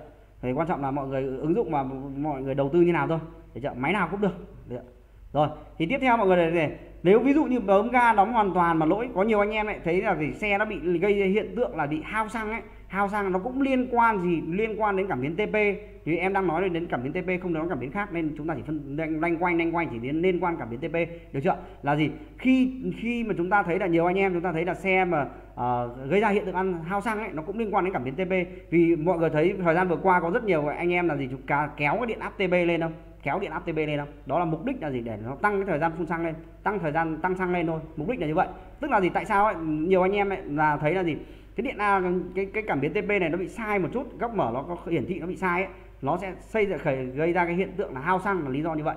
Đấy, giống như nhiều anh em chúng ta vừa rồi có thời điểm là kéo điện áp TP lên. Đấy, đấy là đấy một cái. Vâng đấy là một cách mà chúng ta thấy được cái cảm biến TP được chưa? Vâng, cái đấy không phải, đấy là em em nói thôi. Đó là một cách mà chúng ta tăng cái lượng xăng lên bằng cách là chúng ta kéo cái điện áp TB lên thôi. Thì bằng cách là chúng ta bẻ, chúng ta tăng kiểu gì thì tăng hoặc là chúng ta đối nối tắt điện trở. Có thời gian thời điểm vừa rồi có có những cái điểm là cái thời gian mà chúng ta là gì đối nối điện trở, đúng chưa? Nối điện trở vào hai cái điện trở với nhau để để gì kéo điện áp TB lên thôi. Đó là mục đích gì để để nó tăng xăng, chống hụt ga đầu. cái nguồn 5V hôm qua mất rồi. À, tiếp theo này à, chúng ta lại có cái câu hỏi là về cái phần này không ạ cái ví dụ như cái cảm biến TP này hay bị lỗi lỗi về cái mất đồng bộ lắm mọi người nhá. Để ý là lỗi mất đồng bộ rất là nhiều nhé để chưa? nên tại sao chúng ta phải có máy chẩn đoán để chúng ta đọc dễ hình dung hơn. Thứ nhất là chúng ta hình dung được cái cái máy này nó đang nó đang bị lỗi đồng bộ là ví dụ như là à, góc mở điện áp TB thì nó vẫn báo là 0,3V chẳng hạn nhưng mà nó góc mở của nó lại lên đến khoảng 7 8 độ hoặc 15 độ 20 độ. Nó là bị sai sai tức là nó mất đồng bộ với nhau thì tại sao chúng ta lại phải đồng bộ lại reset lại ECM ấy là như vậy. Là vì để chúng ta uh, uh, để chúng ta chúng ta chúng ta đồng bộ lại được với nó để nó hoạt động nhịp nhàng hơn ấy, thì đấy là bản chất. Thì mọi người để ý là cảm biến TP nó liên quan đến gì? Thời gian đánh lửa và thời gian phun xăng rất rất rất nhiều nhé nó liên quan nó gần giống như cảm biến TP CKP là nó liên quan trực tiếp đến thời gian phun xăng thời gian đánh lửa. Mọi người cứ nhìn ở trên máy chẩn đoán mọi người sẽ thấy được thời gian phun xăng và góc đánh lửa nó thay đổi liên tục liên tục theo TP của chúng ta. Vâng, được được Khi chúng ta đóng TP hoàn toàn tức là chúng ta chạy tốc độ cao và chúng ta giảm ga đột ngột chúng ta sẽ thấy được nhìn trên máy chẩn đoán nó sẽ thấy được là gì? Cái thời gian phun nó sẽ về 0.0 mini giây. Đó, đó chính là cái cái mà cái mà chúng ta thấy được là nó ngắt kim phun. Ngắt kim phun, được chưa? Ngắt kim phun. Rồi, mọi người thấy được ạ, cái phần này mất mất cái cảm biến TP ảnh hưởng rất nhiều Vâng, cái cái máy máy thì nó rất nhiều máy MST thì nó là tiếng Việt và thứ hai nó là rắc nó chuẩn chuẩn mình đang cắm nó dễ hơn. Còn rất nhiều mọi người mọi ai anh em nào sử dụng máy nào thì vẫn cứ sử dụng máy đấy thôi, không sao cả. Máy MST thì nó được cái nó kinh tế hơn và đầu tư nó thấp hơn. MST à cái Motorken thì cũng rất là tốt vì ở Việt Nam do thầy Dũng thầy thầy Dũng sản xuất, thầy. Thầy Dũng bên công ty DDD đã nghiên cứu và sản xuất ra rất là tốt, ứng dụng rất là hay. À thì cũng tốt thôi, nhưng mà chi phí nó hơi cao thì anh em nào có kinh tế chúng ta lên đầu tư cũng không sao cả. Máy nào cũng được được chưa máy nào cũng được. Miễn là chúng ta phải có máy để chúng ta làm việc. Được chưa?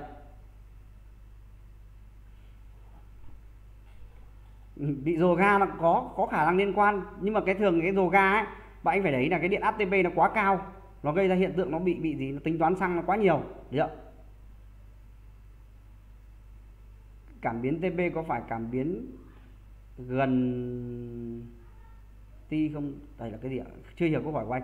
Thực ra cái cảm biến này, cảm biến TP nó ảnh hưởng đến nha, mọi người cứ nhớ này. Hòa ga nó cũng có liên quan, được chưa cũng có liên quan, nhưng mà phần cái phần cơ khí của nó nhiều hơn là phần điện tử. Cả phần cơ khí nhiều hơn phần điện tử. Vì cái cái cảm biến ở trong cái đồng tiền bên trong của chúng ta bị mòn ấy, thì nó xảy ra hiện tượng đấy. Cái thực ra cái này thì mọi người làm cơ khí hay là anh em làm nó nhiều hơn. Em thì em thì hãy chia sẻ theo kiểu nguyên lý hoạt động của nó. Được chưa cái thực tế thì mỗi một xe nó một kiểu nên là tại sao ấy nhiều anh em làm theo ban bệnh ấy, thì nó rất là khó. Khi chúng ta làm một cái hiện tượng hòa ga như, như anh nói chẳng hạn nó cũng rất nhiều nguyên nhân xảy ra. Ví dụ như là nó lỗi liên quan đến cái đồng tiền cơ khí nó bị hở quá nó bị lượng gió nó vào nhiều quá thì lúc đó xăng nó cũng phun quá nhiều. Được chưa phun thêm xăng lên được. Thứ hai nữa là điện áp của chúng ta để điện áp cao quá thì nó cũng phun tốn xăng hơn. Khi phun xăng nhiều hơn thì máy của chúng ta sẽ bị rồ hơn. Được chưa nó cũng gây ra gây ra hiện tượng như vậy. Được chưa mọi người có thấy gì ạ?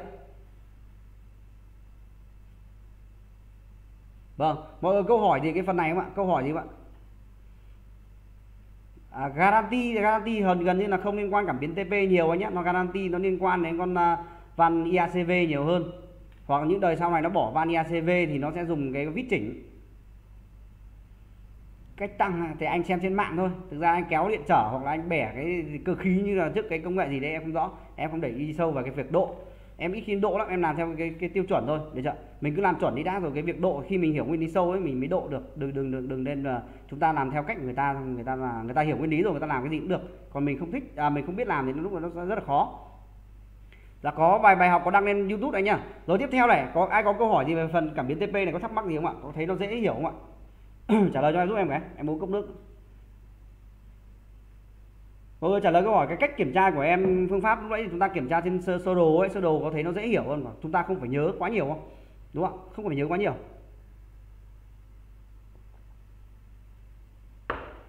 Chúng ta không phải nhớ quá nhiều mà chúng ta phải mở cuốn tài liệu của chúng ta ra để chúng ta tìm cái chân đấy. Thì thay vì vậy chúng ta nhìn trên sơ đồ nguyên lý chúng ta sẽ thấy được là nó là màu dây gì để chúng ta kiểm tra đơn giản hơn và nhanh hơn nhiều hiệu quả hơn nhiều. Và thứ hai nữa chúng ta sẽ kiểm tra bằng trên máy chẩn đoán thì tại vì sao em nói là mọi người đừng đừng đừng đừng phải nhớ cái gì cả một con cảm biến mọi người không phải nhớ rồi đúng không ạ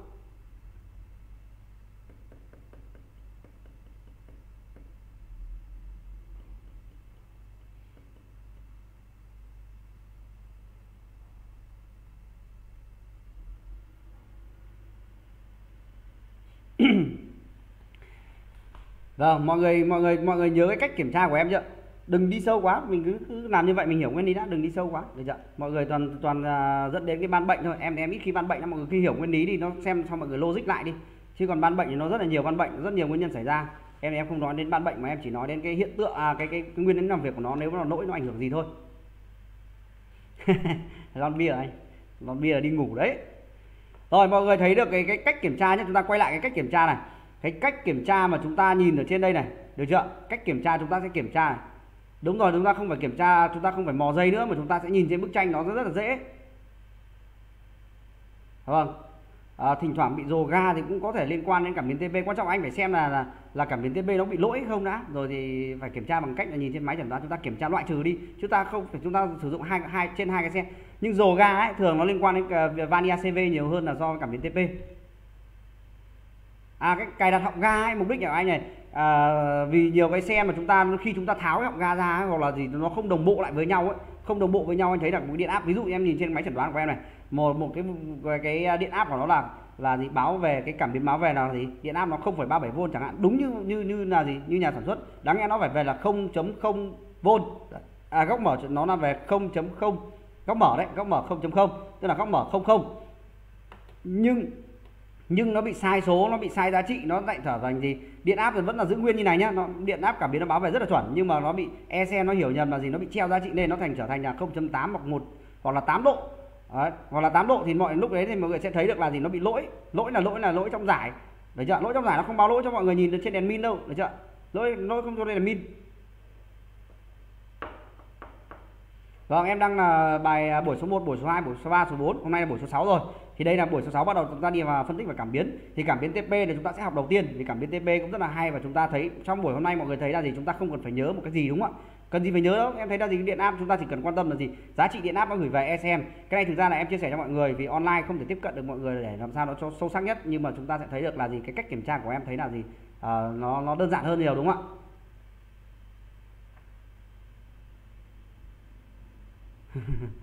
ạ? vâng cảm ơn mọi người. Thì thực ra cái này ủng hộ ủng hộ là ủng hộ quỹ thôi chứ em cũng không gì đâu. Em muốn là chia sẻ thứ nhất là chia sẻ đến mọi người thay vì miễn phí thì mọi người có một cái chung một cái quỹ để ủng hộ cho cho cho cho quỹ à, phòng chống dịch covid thôi. Và thứ hai nữa là khi mọi người mất tiền mọi người thấy là mọi người phải uh, sát sao hơn vì mất tiền mà đúng không ạ? Còn miễn phí thì mọi người không tôn trọng mọi người không quan tâm. Học thì học chả học chả làm sao cả. Nên là tại sao em phải nói đây là thu phí. Ai nhiều anh em chúng ta vào đây người ta cũng không mất tiền. Người ta vẫn học bình thường em không phân biệt ai cả. Được chưa anh em nào thắc mắc chỗ nào thì họ hỏi thôi. Còn anh em nào thấy là gì khóa học này trị giá được khoảng 50.000 thì cứ ủng hộ cho em được chưa không không đến 50.000 thì thôi không sao cả. Không vấn đề gì. Ấy hôm nay là sắp được 500 anh em rồi được chưa ngày mai cố gắng ờ, được 500 anh em nữa thì tốt. Online là vào, vào, vào ờ, từ thứ hai đến thứ sáu hàng tuần này nhá. Ờ, thì vào ờ, 8 giờ 20 giờ buổi tối ờ, sắp được 500 anh em rồi. Thì mọi người thấy nhá bắt đầu chúng ta phân tích và tiếp tục vào cảm biến TP này. Nó lại còn một cái cái cái cái lập trình của nó rất là hay này. Nhiều có khi nhiều anh em chúng ta không biết về cái tại sao lại có lập trình như này. Được chưa? Thì đây là cái cách mà chúng ta kiểm tra. Thì bản chất cảm biến TP nó chỉ 3 giây thôi. Được chưa? Nhiều anh em thì có thể tham khảo trên khóa học này thôi thì ờ, thấy nó hơi khó hiểu vì nó là online. Còn anh em nào mà học trực tiếp ấy, thì đi học những trung tâm ấy, người ta sẽ chỉ cho anh cách cách hiểu rất là dễ. Được chưa? Đúng rồi ECM chỉ hiểu điện áp thôi anh nhá tại sao em nói là gì? ECM chỉ hiểu điện áp tức là gì? Nó sẽ có con biến trở ba chân này nó sẽ cấp nguồn điện 5V vào. Được chưa? Cái này thì thực ra là nếu mà học trực tiếp em sẽ chỉ cho mọi người cái cách mà nhìn thấy nó nó nó nó, nó. Uh, à, có có một cái cách mà chúng ta sẽ nhìn được nó, nó thay đổi điện áp như thế nào thay đổi điện áp như nào. Nhưng mà ở trên online nó rất là khó hình dung được chưa? À, guarantee nó ít khi nó liên quan đến cảm biến TP anh lắm. Nó chủ chủ yếu là van IACV là nhiều nhất anh ạ. Ờ, à, TB là nó ảnh hưởng đến là, là, là hụt giật hay là tầm à, ờ, đến ảnh hưởng đến đến đến hòa ga cũng có. Và mất cao áp là nhiều nhất em chỉ chủ yếu phân tích mất cao áp. Còn garanti chủ yếu là liên quan đến vani acv là nhiều nhất được chưa? Cái đấy thì mọi người lên làm và đồng bộ ít nhất chúng ta lên đồng bộ lại một lần. Thì cách mà chúng ta kiểm tra ấy, mọi người hiểu là gì? ECM xỉ ở điện áp cái bản chất chúng ta đưa con cảm biến trở này vào này mục đích là thay đổi cái giá trị điện áp gửi về cho ECM thôi không có gì cả đấy chưa? Vâng em có số tài khoản ở trên phần sau đấy Offline à? Offline thì nhiều ờ, và ok anh ý kiến rất hay. Em thích nhưng bây giờ mà offline mà trong thời dịch như này thời dịch như này có thể là tất cả chúng ta đều lên ờ, uh, 14 ngày đấy. Ờ, cái này thì em sẽ cố gắng tổ chức được một offline thì rất là tốt. Em muốn chia sẻ thêm mọi người thực tế nó dễ hơn. Cái phân tích thông số hiện hành trên máy chẩn đoán hoặc là chúng ta phân tích thông cái cái hình ờ, cái cái cái việc phân tích sơ đồ là trực tiếp trực quan hơn. Khi mọi người có kiến thức cơ bản này rồi thì, thì lúc đó thì đi sâu nó rất là dễ hơn. Em thì em không muốn đi sâu về nhiều thì bây giờ online có nhiều anh em có cách hiểu, nó nó nó khó hình dung hơn. Được chưa? Nên là em muốn cái gì nó cơ bản nhất đã. Đừng đừng đi sâu vội cứ hiểu bản chất là như vậy. Nó nó ảnh hưởng đây nó ảnh hưởng là gì? Cảm biến TP nó ảnh hưởng đến đánh lửa và phun xăng rồi, kim phun đấy. Ví dụ như là chúng ta mất mất mất cái gì? Mất mất đánh lửa, mất cao áp thì chúng ta phải kiểm tra cả cảm biến TP được chưa? Không phải không phải có nghĩa là gì? Không có nghĩa là có có có cái phần khác. À không không có nghĩa là PP không liên quan đến phần mất cao áp, được chưa? Em đã làm rất nhiều xe nó bị treo giá trị TP này rồi nó mất cái cảm biến mất cái mất mất mất cao áp thì anh ấy cứ thay hết tất cả các loại rồi nhưng mà không được thì hóa ra nó là cảm biến TP nó bị treo được chưa thì đấy là cách và thứ hai đó là cái phương pháp chúng ta đọc sơ đồ và thứ ba nữa là chúng ta nhìn được trên máy chẩn đoán chúng ta kiểm tra nó dễ hơn nhiều Vâng, em có mở em có mở lớp nhưng hiện tại thì đang dịch nên em chưa có lịch cụ, cụ thể ấy nhé. Thì em sẽ trả lời bình luận sau. Được chưa? Rồi, tiếp tục này mọi người để ý này, ECM này. Đấy. Được chưa? Mọi người nhìn thấy có 5 chế độ điều khiển à, uh, ECM, mọi người thấy chưa? 5 chế độ điều khiển ECM.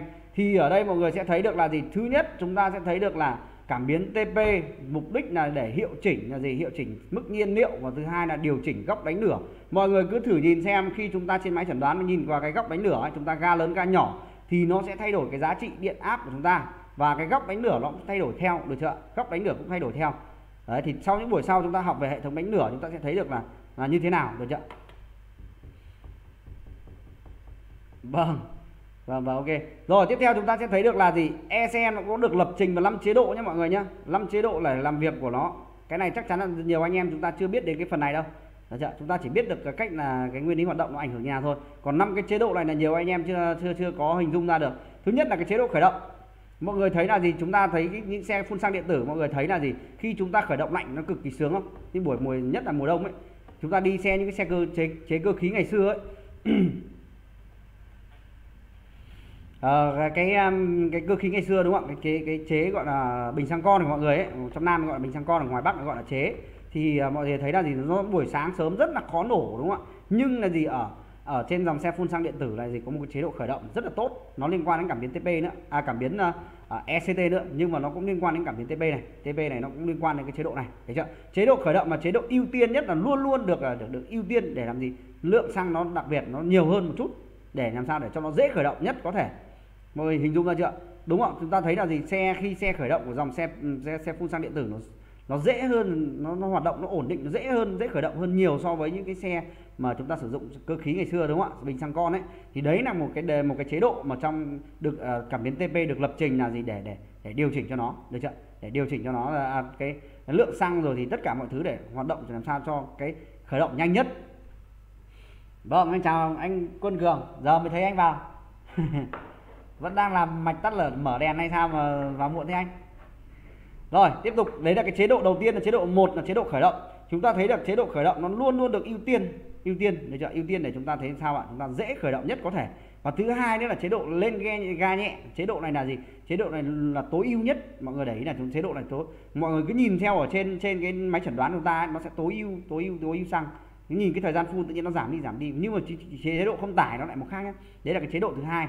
Chế độ là lên ga nhẹ chúng ta đi nhẹ này thì nó lại một cái chế độ mà điều khiển nhiên liệu nó khác và tiếp theo là cái chế độ thứ ba là chế độ không tải tức là chế độ guarantee của chúng ta đấy. Chúng ta hay để không ấy guarantee chúng ta sẽ thấy được là gì? Nó một cái chế độ riêng chế độ riêng được chưa? Chế độ riêng chúng ta sẽ thấy được là nó điều khiển theo một kiểu của nó một cái theo một cái lập trình sẵn của nó được chưa? Nó theo theo chu trì à, theo chu trình là làm sao để duy trì động cơ theo một cái vòng tua máy nhất định. Ví dụ như chúng ta thấy là trên máy của chúng ta đọc ra là thông số đó là khoảng 1.600 1.700 vòng trên phút thì thì chính như vậy thì nó gì cảm biến TP nó cũng tham gia vào cái phần này. Và nó cũng liên quan đến cảm biến và cái van IACV và tất cả nhiệt độ nữa, nó cũng liên quan. Nó để điều chỉnh làm sao duy trì được cái tốc độ không tải của chúng ta là gì? Không phải à, âm một nghìn à, sáu trăm vòng trên phút cộng trừ 100 đấy chẳng hạn nó tăng lên hoặc giảm xuống. Nó tùy như vậy, hoặc là những cái dòng xe đời cũ nó thường nghìn bảy, nghìn tám, là như vậy thôi. Được chưa? Bản chất là gì? Cái chế độ không tải nó như vậy. Nó duy trì một cái tốc độ không tải, tức là duy trì tốc độ không tải bình thường rồi thì tiếp theo một cái chế độ thứ tư là gì? Chúng ta thấy là gì? Chúng ta phải tăng tốc đột ngột. Thì đúng không ạ, thì cảm biến TP là cái cảm biến cảm nhận đầu tiên cho chúng ta biết tăng tốc đột ngột. Tăng tốc đột ngột thì làm sao chúng ta sẽ phải là gì? Và cái cái e xe nó phải tính toán làm sao phải tăng năng lượng sang thật nhanh thật nhanh thật nhanh để tăng tăng công suất động cơ để đạt được cái mong, cái tốc độ mong muốn của chúng ta, đúng không ạ? Đấy là một cách mà cái cái việc mà e xe được lập trình sẵn là vì nó liên quan đến cảm biến TP cảm biến TP cực kỳ hay để chưa mọi người thấy là gì có 5 chế độ, em thấy là ít nhất là có 5 chế độ này đã. Thấy chưa còn nhiều chế độ khác thì em không rõ, nhưng mà ít nhất 5 chế độ này. Cái chế độ thứ tư này là chế độ tăng tốc đột ngột, nó rất là hay.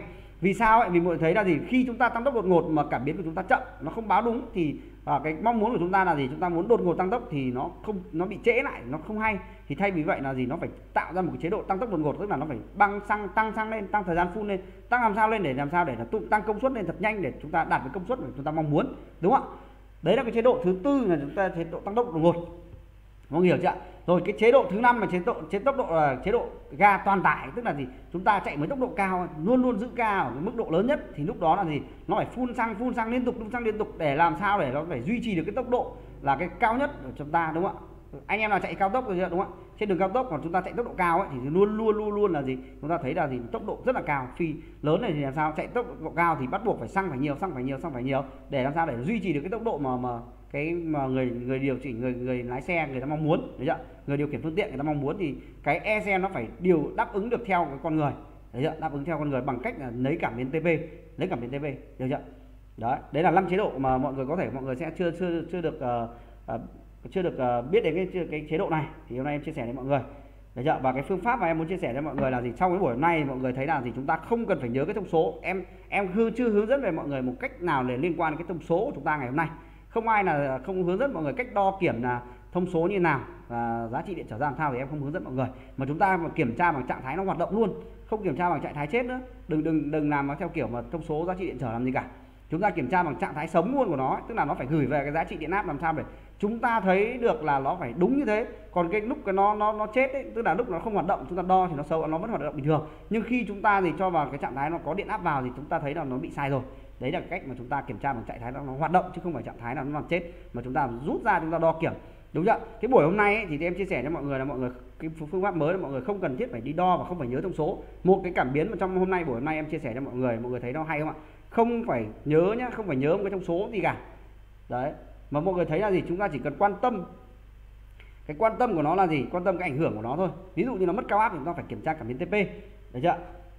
Đấy. Ờ, cảm biến này chúng ta cái này thực ra nếu mà anh em nào học trực tiếp thì em sẽ có hướng dẫn về phần thực hành thì nó dễ hơn dễ hình dung hơn. Còn đây trên là trên, trên lý thuyết chúng ta chỉ hiểu về cái nguyên lý hoạt động của nó thôi. Được chưa mọi người uh, mọi người uh, có những anh em là chúng ta thấy là thì toàn nói nói lý thuyết suông thôi. Nhưng thực ra bản chất là thì chúng ta học online thì có lý thuyết suông thôi không không được học thực hành. Cái thực hành này thực ra mà nếu mà mọi người làm ấy mọi người sẽ thấy hoặc anh em làm mà chúng ta có máy chẩn đoán rồi mà chúng ta chưa hiểu được cái cái cái phần này thì chúng ta sẽ thấy được là sau buổi hôm nay chúng ta thấy được là chúng ta kiểm tra nó như nào. Mà chúng ta không phải nhớ một cái thông số nào cả mà chúng ta cũng phải kiểm tra được nó chết hay không chết được chưa? Còn cái sức ảnh hưởng à, nó sau này hòa ga không hòa ga thì mọi người cứ từ từ trải nghiệm được chưa? Em em không muốn chia sẻ các các cái liên quan đến cái cái cái việc mà nó nó ban bệnh được chưa? Không sau lại mọi người cứ bảo ừ, ờ, trước thì hà nó chia sẻ là bây giờ cứ liên quan hòa ga thì nó đó là không phải. Mọi người lên hiểu cái nguyên lý của gốc của nó đã. Còn cái việc như nào thì mọi người thực tế mọi người lên làm mọi người lên khai thác nó ra khai thác nó ra bằng cách trực quan của mình làm được chưa? Và nên nên lần sau ấy nhiều anh em mà gọi điện mà hỏi bây giờ mất cảm biến TP ấy, thì làm thế nào? À quên mất uh, cao áp thì kiểm tra cái gì ấy, thì mọi người phải lật lại ít nhất nó có cảm biến TP tham gia vào cái việc mà chúng ta mất được chưa? Mất mất uh, mất mất uh, cao áp cũng có liên quan đến phần này được chưa? Rồi anh em có câu hỏi nào liên quan đến cái cảm biến này không ạ? Cái việc ban bệnh thì chúng ta loại qua đi nhé chúng ta chỉ liên quan đến cách kiểm tra và cái cách tra sơ đồ thôi được chưa? Em thì em không liên quan đến ban bệnh nhiều được chưa? Cái hòa ga hay không ấy, thì chúng ta phải kiểm tra thực tế, chứ không liên quan gì. Lúc bây giờ em nói này, sao lại nó bảo là đúng là như thế này không được? Chúng ta lên đừng đừng đừng máy móc mà đừng đừng kiểm tra theo kiểu dạng như là ban bệnh. Chúng ta làm theo kiểu nguyên lý đi. Cứ nguyên lý đã, cứ hiểu nguyên lý xong thì chúng ta sẽ khai thác nó ra, làm thế nào cũng được. Được chưa? Mọi người thấy là cái bức tranh hôm nay em chia sẻ cho mọi người, cái sơ đồ nguyên lý đấy, nó hay ở mức độ nào chưa? Thấy là nó nó nó gì ạ? Nó nó rất là là gì nó hữu ích cho chúng ta. Thay vì chúng ta phải nhớ quá nhiều về tài liệu nhớ quá nhiều về thông số. Mọi người cứ đọc cái cuốn tài liệu xong mọi người thấy bị rối lên. Thì em chia sẻ cho mọi người bằng cách là chúng ta kiểm tra cực kỳ đơn giản và nguyên lý hoạt động nó thế với bản chất nó như vậy thôi. Ô oh, đã ngủ ngon rồi anh. Rồi mọi người câu hỏi gì cái phần này không? Phần này hôm nay là chúng ta chỉ uh, chuyển sang cảm biến rồi thì một con cảm biến đầu tiên mà mọi người em thấy chia sẻ cho mọi người là gì? Chúng ta không phải nhớ được chưa? Không phải nhớ mà chúng ta kiểm tra bằng chạy thai sống. Thì anh em nào có máy chẩn đoán thì nhìn trên máy chẩn đoán nó rất là dễ. Còn anh em nào mà không có máy chẩn đoán thì bắt buộc chúng ta phải sử dụng đồng hồ đo. Thì đồng hồ đo thì chúng sẽ chuyển sang chúng ta sẽ là gì? Rất khó hình dung được chưa? Được chưa? Mọi người hiểu phần này chưa? Có câu hỏi gì không ạ? Có câu hỏi gì không ạ?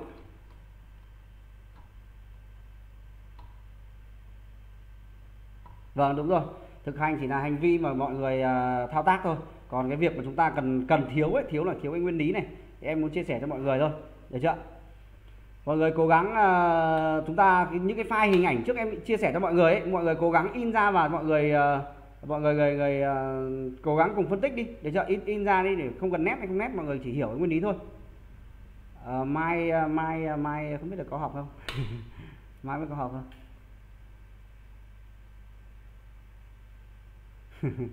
chập nguồn 5V nuôi TP thì có xảy ra hiện tượng gì không? Có chứ anh.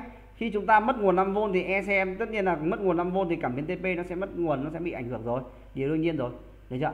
Cứ mất nguồn 5V thì hôm hôm qua chúng ta phân tích sơ đồ ấy. Uh, phân tích sơ đồ được chưa? Mọi người để ý này phân tích sơ đồ ấy hôm qua thấy là mất nguồn 5V thì những cái nguồn là cái cảm biến nào để sử dụng nguồn 5V thì đều đều bị bị lỗi được chưa? Đều báo lỗi như vậy.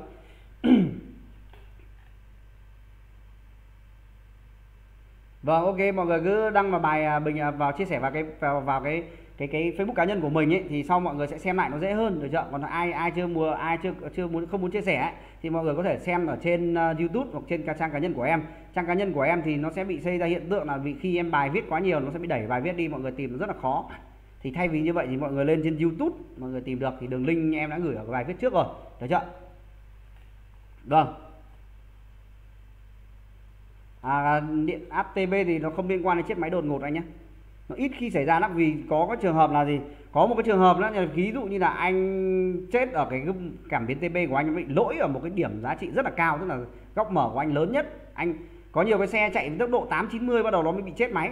Được chưa? Tại vì sao vì lúc đó là cảm biến gì? Anh đang chạy với tốc độ rất là cao thì sau đó anh vít gì? Tự nhiên nó đóng hoàn toàn ấy, nó sẽ ngắt động cơ của anh luôn có nhiều cảm biến TP em đã làm rất là nhiều rồi. Có nhiều cảm biến TP nó bị bị lỗi ở cái điểm là thì 80 góc mở 80 độ C à 80 độ ấy, tức là góc mở lớn đó anh anh đang anh đang chạy được à góc mở là khoảng bao nhiêu nhỉ? Góc mở gần như lớn nhất rồi đấy, em không nhớ không nhớ là góc mở bao nhiêu, nhưng mà cái tốc độ mà anh đang chạy nó khoảng 80 km/h thì bắt đầu nó bị lỗi lỗi ở cái điểm đấy. Khi anh vặn kịch ga bắt đầu bị lỗi. Còn nếu anh mớm ga hay anh nửa ga anh gần hết ga nó không bị lỗi, nhưng mà cứ đến kịch ga bắt đầu nó rụt. Hụt, nếu mà mình cố tình ga tiếp thì bắt đầu nó chết máy. Còn nếu không ấy thì mình, nó là bị giảm về. Ờ, uh, giảm về và ga tiếp nên nó bị hụt. Đó là một cái rất là hay. Cảm biến TP cảm biến TP nó không liên quan đến chết đột, chết máy đột ngột nhưng mà ở cái tốc độ cao ấy thì nó sẽ ra hiện tượng chết đột ngột được chưa? Chết đột ngột là do mình cứ giữ tay ga thì nó mới chết đột ngột còn không thì nó nhả ra nó lại trở về garanti thôi được chưa? Đấy là một cách à, đấy là một cái um, lỗi rất là khó phát hiện. Nếu mà chúng ta không có máy chẩn đoán nó rất là khó phát hiện. Chạy ở tốc độ toàn tải nhé tốc độ ờ, phải đến 80 km/h thì bắt đầu mình ga kịch ga lên thì bắt đầu nó mới hiện tượng hụt hụt hụt giật nó chết chết máy nếu mà mình nhả tay ga nó bình thường mình ga lên thì nó không sao. Nhưng mình cố tình giữ ga ở mức độ cao nhất ấy, góc mở lớn nhất thì bắt đầu nó bị chết. Vì tại sao? Thì nó điểm đấy là điểm đóng. Điểm đóng.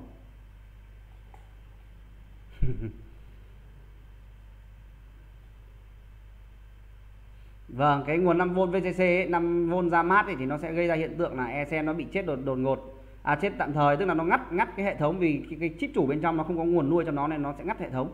Mọi người sẽ nếu mà mọi người đấy này khi chúng ta kiểm tra khi bật khóa điện lên mà không thấy đèn FI ấy, sáng mà ECM cái đèn check động cơ cũng không thấy hiện tượng xảy ra thì chúng ta phải kiểm tra cái nguồn 5V nguồn 5V này rất là quan trọng được chưa? Nên là thì lúc đấy khi chúng ta có thấy nguồn 5V ấy thì ECM nó vẫn đang hoạt động được chưa? Còn không có nguồn 5V thì lúc ấy phải kiểm tra nguồn lại ECM rồi tiếp tục tiếp tục tiếp tục. À, câu hỏi cái bài hôm nay chúng ta uh, chia sẻ đến cái phần uh, cảm biến TP mọi người thấy có hay không ạ?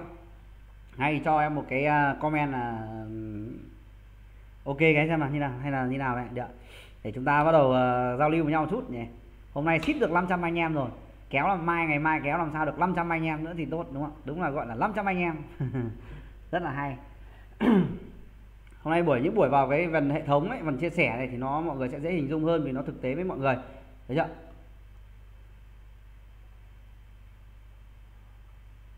Làm hơi nhiều nhé anh à, trang cá nhân của em là chính ờ, phần em chia sẻ đấy. Vâng cảm ơn mọi người. Thì uh...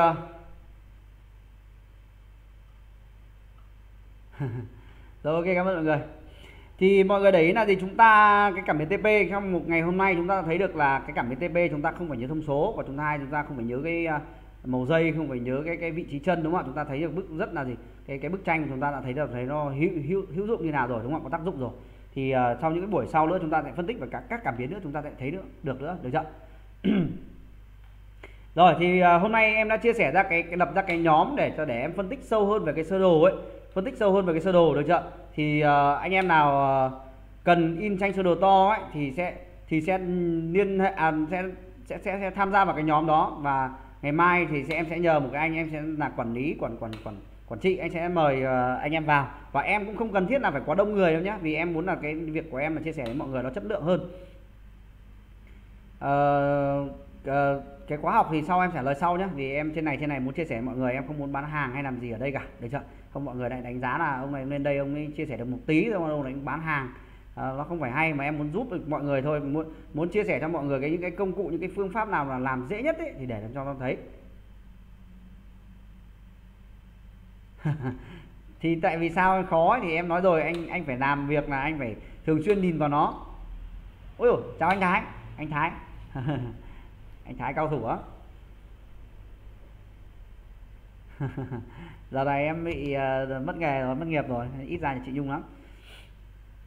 Rồi À, vâng, mọi em sẽ cái nhóm ấy thì ra mọi người cứ tham gia vào thôi thì cái cái này thì em sẽ chia sẻ chi tiết hơn là mọi người đọc được cái sơ đồ tất cả các loại sơ đồ được chưa? Sau này mọi người sẽ thấy mọi người sẽ không phải mua cuốn tài liệu nào cả mà chúng ta vẫn cái cái kho tài liệu của chúng ta ấy, đều dùng đều làm được. Ví dụ như là những cái cái kho tài liệu những cái ứng dụng mà em chia sẻ cho mọi người ấy nó rất là hay được chưa?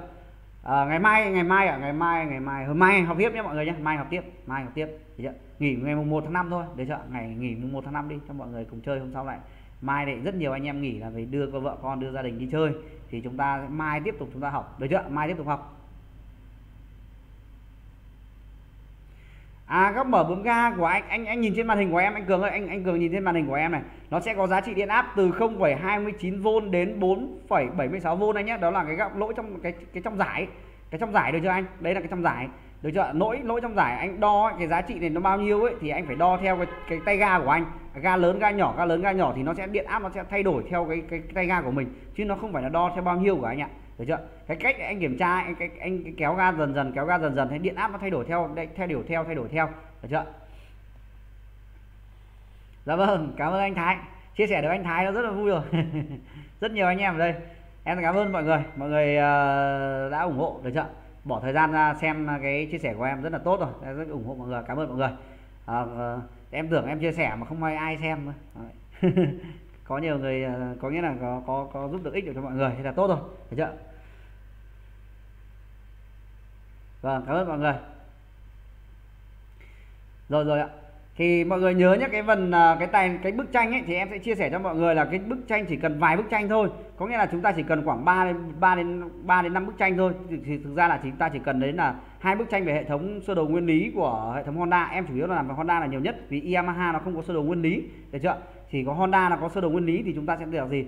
Chúng ta sẽ cần có hai bức tranh thôi. Hai bức tranh tức là một bức tranh của sơ đồ uh, lít 110 và một bức tranh nữa là của lít 125 để chúng ta làm những cái việc uh, làm những cái việc như là chúng ta kiểm tra đề ACG của những cái dòng xe 125 à, ờ, sử dụng hệ thống ACG và tiếp theo là những cái bức tranh mà chúng ta làm đó là hệ thống sơ đồ nguyên lý của hệ thống Smart Key. ABS đó là những cái bức tranh chúng ta cần nên nên làm nên có. Và đến bây giờ là có Smart Key thì chúng ta nên nên có vào được chưa? Ờ, đúng rồi cái cảm biến TP ấy, mà trong à, SH nhập là lỗi cực kỳ nhiều nhé mà thay thay cảm biến TP là vẫn rất là nhiều, nhiều tiền được chưa? anh em nào mà hay sửa SH như anh Thái SH là anh thấy được là cái cảm biến TP lỗi cực kỳ nhiều nhưng mà của turbo thì không thể không thể nào mà nói là thay cả cái turbo được nên là bắt buộc phải sửa thôi. Sửa thì bắt buộc gần như là chúng ta phải lấy một cái con à, cảm biến turbo có nghĩa là hy sinh một con khác để cho vào đây thôi được chưa rồi ok anh cường nhá anh cường thấy được ok chưa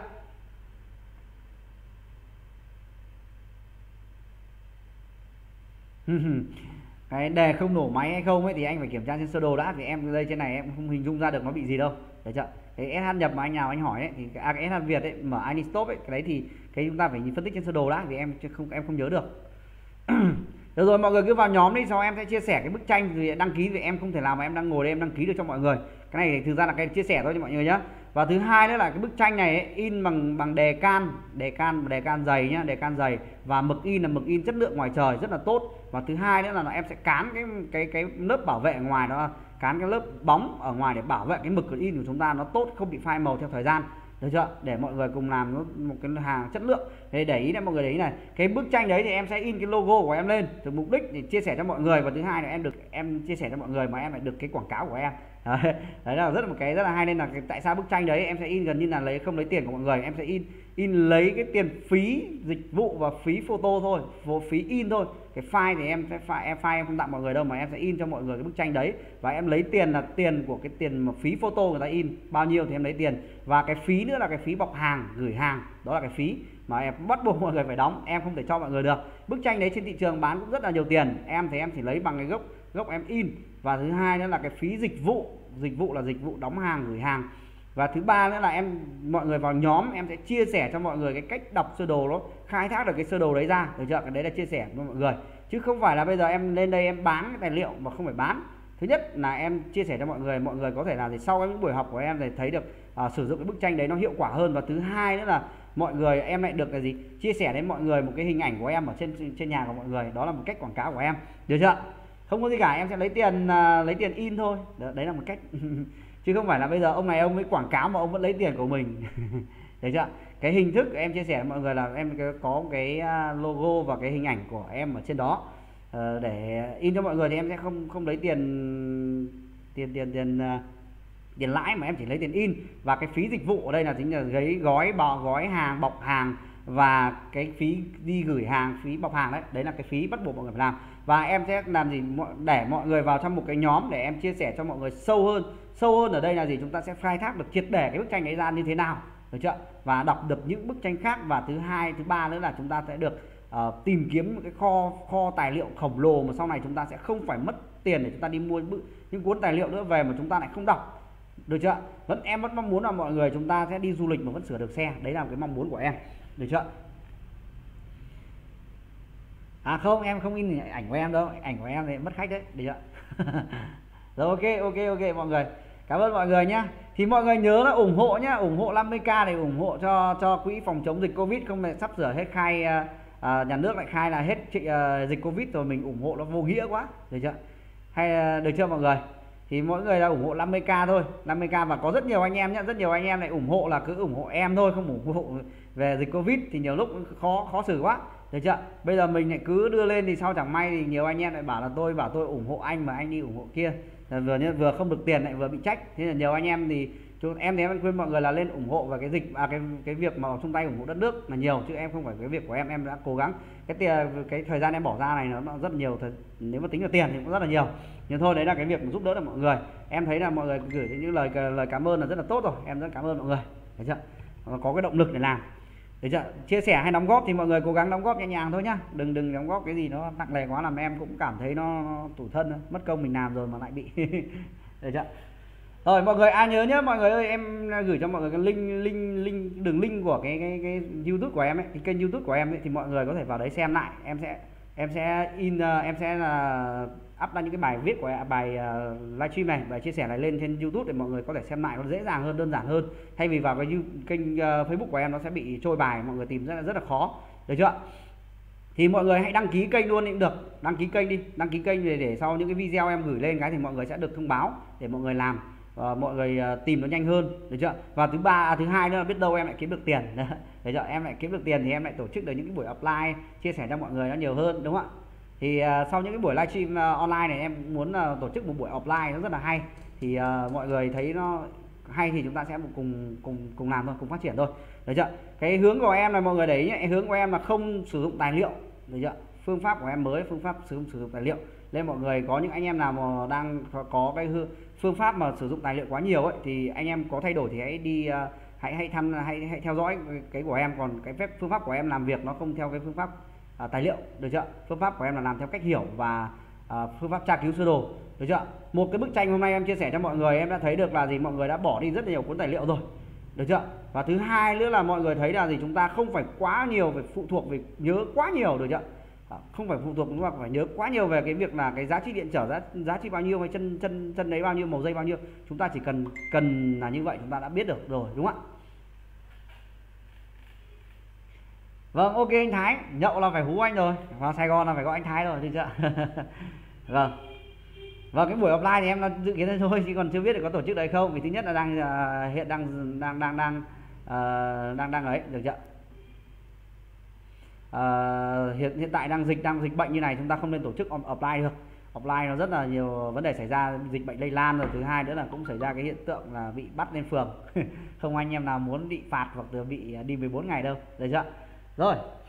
Cảm ơn mọi người. Mọi người hãy chia sẻ cho nhiều anh em chúng ta chưa biết đến cái khóa học này thì cố gắng là là, là em muốn chia sẻ được đến nhiều người nhất để chúng ta nhiều anh em chúng ta chưa có cơ hội được đi học chưa có điều kiện đi học để chúng ta được tiếp cận cái cái việc em chia sẻ cho mọi người. Nó không phải là cái gì đúng nhất hay là không phải cái gì cao siêu nhất mà chính là cái cơ bản nhất để chia sẻ đến mọi người thôi. Giúp được cái công việc của mọi người là là là tốt rồi còn anh em nào mà thấy nó chưa đúng với cách mọi người làm ấy thì mọi người có thể làm theo phương pháp cũ. Cái phương pháp mới của em thì để mọi người phải thay đổi sang nó thì nó hơi hơi khó để mọi người phải thay đổi một cái bước mới. Được chưa? Ừ vâng. Thì đấy là một cách mà em muốn chia sẻ mọi người đấy. Tức là gì? Nó sẽ cái đầu tiên nó sẽ khó khó để mọi người uh, chuyển được mình sang một cái phương pháp mới này rất là khó vì thay đổi vì nó lại phải là tư duy và cái phương pháp này nó suy luận trong đầu ấy nó là nó nó hơi trừu tượng. Nên nhiều anh em chúng ta thích làm theo kiểu trực tiếp. Nhiều anh em thì như hôm hôm trước có anh nào anh bảo là phải làm thực tế thì ra thực tế là lý thuyết thì các anh có lý thuyết thì các anh đã làm được thực tế. Nó bất kể một chiếc xe nào đến với chúng ta chúng ta đều làm được. Được chưa? Vâng cảm ơn mọi người. À, đều làm được hết nhé mọi người xe chúng ta phải là một người ờ, cái xe nào đến chúng ta cũng đều làm được. Khó thì mất nhiều thời gian. Được chưa? Chúng ta phải cố tình là tại sao em chia sẻ những cái khóa học của em hay những nhiều nhiều anh em học viên của em là gì ấy? Em phải gì? Khuyên mọi người phải cố làm bằng được nghĩ phải suy nghĩ trong đầu phải cố phải cố phải làm bằng được phải suy luận tại sao nó bị tại sao nó phải như thế nào điều kiện nó phải như thế nào để nó có như vậy. Thì phải cố phải làm bằng được còn không làm được ấy, thì bắt đầu lúc nào hoặc là gấp quá thì mới gọi điện cho em để em hỗ trợ. Được chưa? Chứ đừng đừng đừng đừng đừng nhiều anh em cứ phải động một tí là bắt đầu gọi điện động một tí gọi điện. Lúc đó mọi người là gì? ỉ lại ỉ lại là gì? À có chỗ này để chúng ta à, gọi điện để chỗ này ta hỏi rồi. Mọi người đừng suy nghĩ vậy phải tự mình làm được lúc đó tự mình làm chủ được. Biết đâu lúc đấy em mọi người đang cần gấp mà em lại không trả lời được vì em đang rất là bận hoặc là em đang không cầm điện thoại hoặc em đang đi đâu đấy có việc em không không thể trả lời được mọi người. Thì lúc đó mọi người lại bị phụ thuộc nên mọi người phải chủ động trong công việc của mình. Đó là một cái mà em muốn chia sẻ cho mọi người. Tất cả các ban bệnh đến với mình đều sử dụng được hết đều xử lý được hết cho khi nếu chúng ta hiểu nguyên lý của ta của nó được chưa? Đừng đừng đừng phụ thuộc vào cái ban bệnh ban bệnh là chúng ta xem thực tế để chúng ta làm việc để chúng ta thấy nó rút ngắn cái thời gian của làm mình thôi rất rất nhiều rất nhiều anh em chúng ta đã, trên mạng chia sẻ cho chúng ta rất cách làm việc rất là hay thì chúng ta sẽ khi chúng ta khi chúng ta hiểu nguyên lý rồi chúng ta nhìn thấy các anh ấy làm ấy chúng ta thấy được nó, nó cái đấy là cái chúng ta học được chưa đấy là cái chúng ta nhìn nhận một cái cách chúng ta làm trực tiếp còn em thì em chỉ nói cho mọi người là cái cái đơn giản thôi cái nguyên lý nó hoạt động của nó thôi còn anh em nào bảo nó trả thực tế hay gì không ấy thì đấy là cái việc của các anh nghĩ thôi em thì em làm thường xuyên với như vậy thôi. Em cũng chưa ít rất ít ít khi em rất ít khi mà em phải đo. Em thì em phân tích trên sơ đồ hoặc nói chuyện qua cái bạn kỹ thuật ở, ở xưởng của em. Các bạn ấy tự làm thôi. Em ít khi em phải làm lắm. Bạn em chỉ chia sẻ và em đọc. Bạn ấy ít tuổi bạn ấy chỉ làm được vài ba năm thôi. Và bạn ấy đi vào vào nghề bằng em dạy bạn hướng dẫn bạn ấy làm điện tử. Và bây giờ em bạn ấy chuyển chuyên làm điện tử là nhiều hơn. Được chưa? Nên là đừng nghĩ là mình uh, có cái cái, cái cái cái kinh nghiệm lâu năm của mình mà đã đã là, là, là tốt đúng không ạ? Chúng ta phải có phương pháp làm thì nó thấy cái phương pháp nào nó hiệu quả thì ta làm thôi được chưa? Phương pháp nào làm hiệu quả ta làm thôi tội gì chúng ta phải làm như vậy. Vâng anh có thể xem lại thôi. Hôm nào cũng thấy anh bận được chưa? Cái kênh youtube thì uh, em sẽ chia sẻ nhé thì hôm, mọi người hãy chia sẻ cái cái cái tang, cái đường link của của của điều anh em mà chúng ta thấy nó chưa được tiếp cận thì chúng ta hãy cố gắng hỗ trợ nhau. Cái góc nghề nghiệp của chúng ta cũng rất là vất vả. Thế nên là mọi người hãy cố gắng là là là là là chia sẻ cùng nhau. Vì đến thời điểm như bây giờ là xe thay đổi hoàn toàn rồi. Rất nhiều anh em chúng ta làm sai, làm lỗi, phải đền, nó rất là khổ, rất là cực, được chưa? Hoặc là rất mất nhiều thời gian. Hoặc rất nhiều anh em chúng ta lại phải là gì? Phải mua rất nhiều linh kiện ờ, phụ kiện ờ, ờ, hay là phụ tùng về để chúng ta thử đây là sau cái khóa học này em tại sao em nói là không phải thay thế loại trừ là như vậy? Chúng ta cái con em nhớ mọi người để nhớ nhé cái con biến trở mà em đang chia sẻ trên màn hình ấy thì sau này mọi người cứ mua con biến trở này về hoặc xin nó về cũng được. Chúng ta sẽ làm rất nhiều việc để giả lập cảm biến. Thì thực ra trên à, trên học lý thuyết này em chỉ chia sẻ được lý thuyết thôi. Còn thực tế thì nó mọi người sẽ nếu mà thực hành ấy học trực tiếp của chỗ em ấy trung tâm em ấy, thì em sẽ hướng dẫn mọi người cách thực hành. Thì thực hành mọi người sẽ làm được nó rất là dễ. Được chưa rất đơn giản thôi bằng phương pháp tra cứu sơ đồ. Được chưa rồi thì tiếp theo những cái, ờ, cái cái việc mà chúng ta ờ, làm nữa để làm chúng ta làm việc ấy, thì em thường hay phân tích trên máy chẩn đoán nhiều hơn. Nên là nhiều anh em mà gọi điện cho em ấy mà bảo ờ, là chưa có máy chẩn đoán này nhiều lúc em rất là khó hỗ trợ. Thứ nhất là vì anh chưa có máy chẩn đoán thứ hai là anh không biết cách đọc sơ đồ nên là rất khó để chia sẻ. Bây giờ em hướng dẫn anh đọc ừ, anh đo chân A thì anh lại đo thành chân B. Thì giờ anh không biết chân nó ở chân đâu và góc như thế nào rất là khó. Được chưa? nên mọi người có cố gắng có một cái kiến thức để thì chia sẻ cho nhau thì nó rất là dễ. Rồi cảm ơn mọi người. Mọi người có câu hỏi gì trong cái buổi ngày hôm nay không ạ? Buổi ngày mai có hữu ích không ạ? Bắt đầu vào cảm biến nhé một cảm biến mọi người không phải nhớ nhé, được chưa một cảm biến mọi người không phải nhớ. Về sau những buổi sau mọi người sẽ thấy là nhiều cảm biến nữa. Mọi người cùng không phải nhớ cái gì cả. Nhưng mọi người phải có công cụ. Được chưa còn không thì chúng ta làm rất là rất là khó. Giống như em vẫn nói rồi chúng ta làm việc nó giống như thầy lang hoặc là bác sĩ hoặc là giống như là thầy bói xem voi ấy. Thầy bói xem voi ấy, thì mù thì chỉ nhìn sờ được cái chân thì biết cái chân thôi. Sờ được cái tay thì biết cái tay thôi. Sờ cái tai biết cái tai thôi. Được chưa thì nó cũng như vậy. Chúng ta nếu chúng ta không có máy chẩn đoán thì chúng ta phải đo từng chân từng chân một nó rất là à, đo một chân một thì chúng ta chỉ hiểu được cái chân đấy thôi. Còn cảm biến nó là một giải trạng thái. Nó rất là nhiều nhiều nhiều cái việc mà chúng ta làm. Được chưa? Rất là nhiều cái việc mà chúng ta đo nó nó rất là khó phân tích. Nên tại sao em muốn mọi người có cái máy chẩn đoán? Ít nhất là có một cái máy chẩn đoán. À, hãng nào cũng được dòng nào cũng được biết là chúng ta phải có máy chẩn đoán. Thì hiện hiện tại trên trên thị trường Việt Nam chúng ta bây giờ có mấy mấy dòng máy chẩn đoán thôi. Em thấy đều ok thôi quan trọng là cái mức giá mình đầu tư là gì thôi. Để chọn mà giá đầu tư của mình là là bao nhiêu tiền thôi được chưa? Còn có máy chẩn đoán là đều làm được. Vâng mọi người uh, cho một like đi thì chúng ta cũng nghỉ thôi muộn rồi mai mọi người cũng, cũng làm việc được chưa? Vâng à, thì mọi người hãy cố gắng chia sẻ chia sẻ thật nhiều vào nhé chia sẻ thật nhiều. Và ngày mai thì mọi người cố gắng ủng hộ nhé ủng hộ thì mọi người nhớ nhắn tin cho em một cái cú pháp đi nhé cú pháp là gì? Họ tên của mình là dấu cách địa chỉ ít nhất là quận huyện và tỉnh nhé để em còn biết. Vì chín rồi vâng ok hôm nào cũng phải ăn mì thôi. Thì mọi người để ý nhé cho em là nhắn tin theo cái cú pháp để em tìm nó nó nó nhanh hơn đơn giản hơn. Nhiều anh em nhắn tin không ấy không cần ghi về ủng hộ covid đâu em biết rồi. Được chưa? Mọi người chỉ cần ghi là họ tên của mình này địa chỉ quận huyện và tỉnh thôi để em sẽ biết để em để em lên danh sách. Không thì sau nhiều anh em là không có em tìm rất là khó. Được chưa? Vì bây giờ hiện tại bây giờ rất nhiều những buổi livestream gần đây thì em lại rất nhiều người comment. Rất, rất là nhiều nhiều anh em mà em chưa trả lời được trong ờ, phần tin nhắn hay chưa trả lời được trong bình luận ấy, thì mọi người cố gắng thông cảm cho em vì vì vì vì à, quá nhiều người. Em em không không không trả lời được. Được chưa? Thế là là, là, là rất là khó. Nên là anh em nào mà chưa được em chưa trả lời được ấy, thì mọi người thông cảm nhé được chưa? Thì cố gắng. Em em cố gắng để trả lời được mọi người nhiều nhất thôi vì em cũng có công việc của em chứ không phải là ngồi trên này để ngồi một ngày nào cũng hỗ trợ cho mọi người thì thì, thì em chẳng biết lấy gì mà ăn. Được chưa? em vẫn một ngày bình thường ngày em vẫn phải làm việc em vẫn phải làm việc bình thường nên là có những anh em nào gọi điện thì em vẫn hỗ trợ nhưng mà có nhiều lúc mà em không nghe được ấy, thì mọi người cố gắng là gì thông cảm được chưa?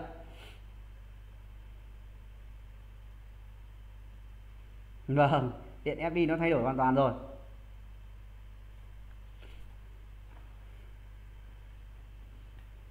Điện FB thay đổi hoàn toàn nha mọi người nhớ nhé nhớ uh, không trả lời được thì mọi người cố gắng à, là thông cảm nhé vì bây giờ ban ngày em cũng phải làm việc buổi tối em lại bớt thời gian để gần gia đình thì em lại phải làm à, lên lên trên này chia, chia sẻ mọi người thôi. Thế mọi người cố gắng.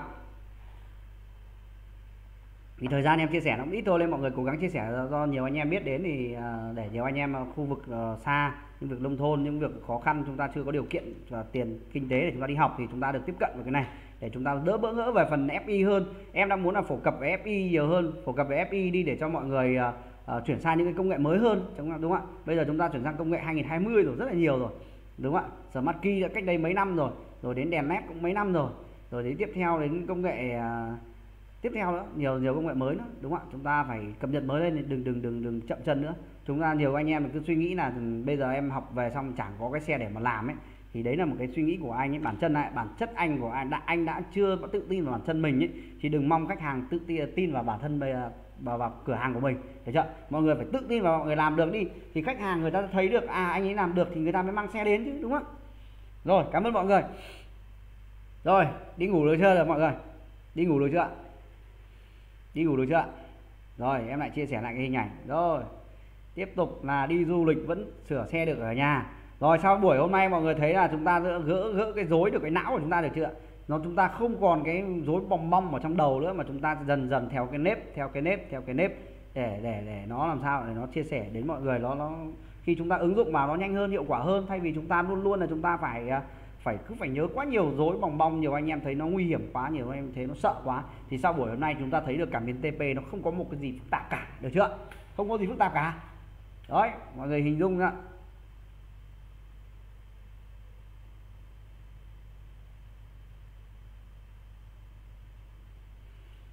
à em ít tuổi thôi.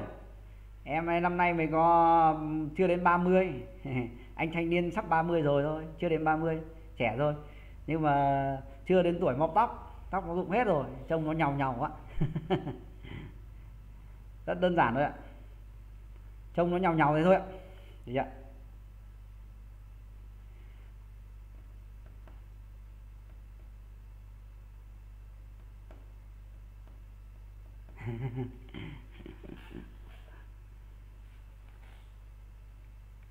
vâng. Anh chính bản thân anh hoảng lên khách hàng tại sao người ta không tin tưởng đưa vào anh ấy?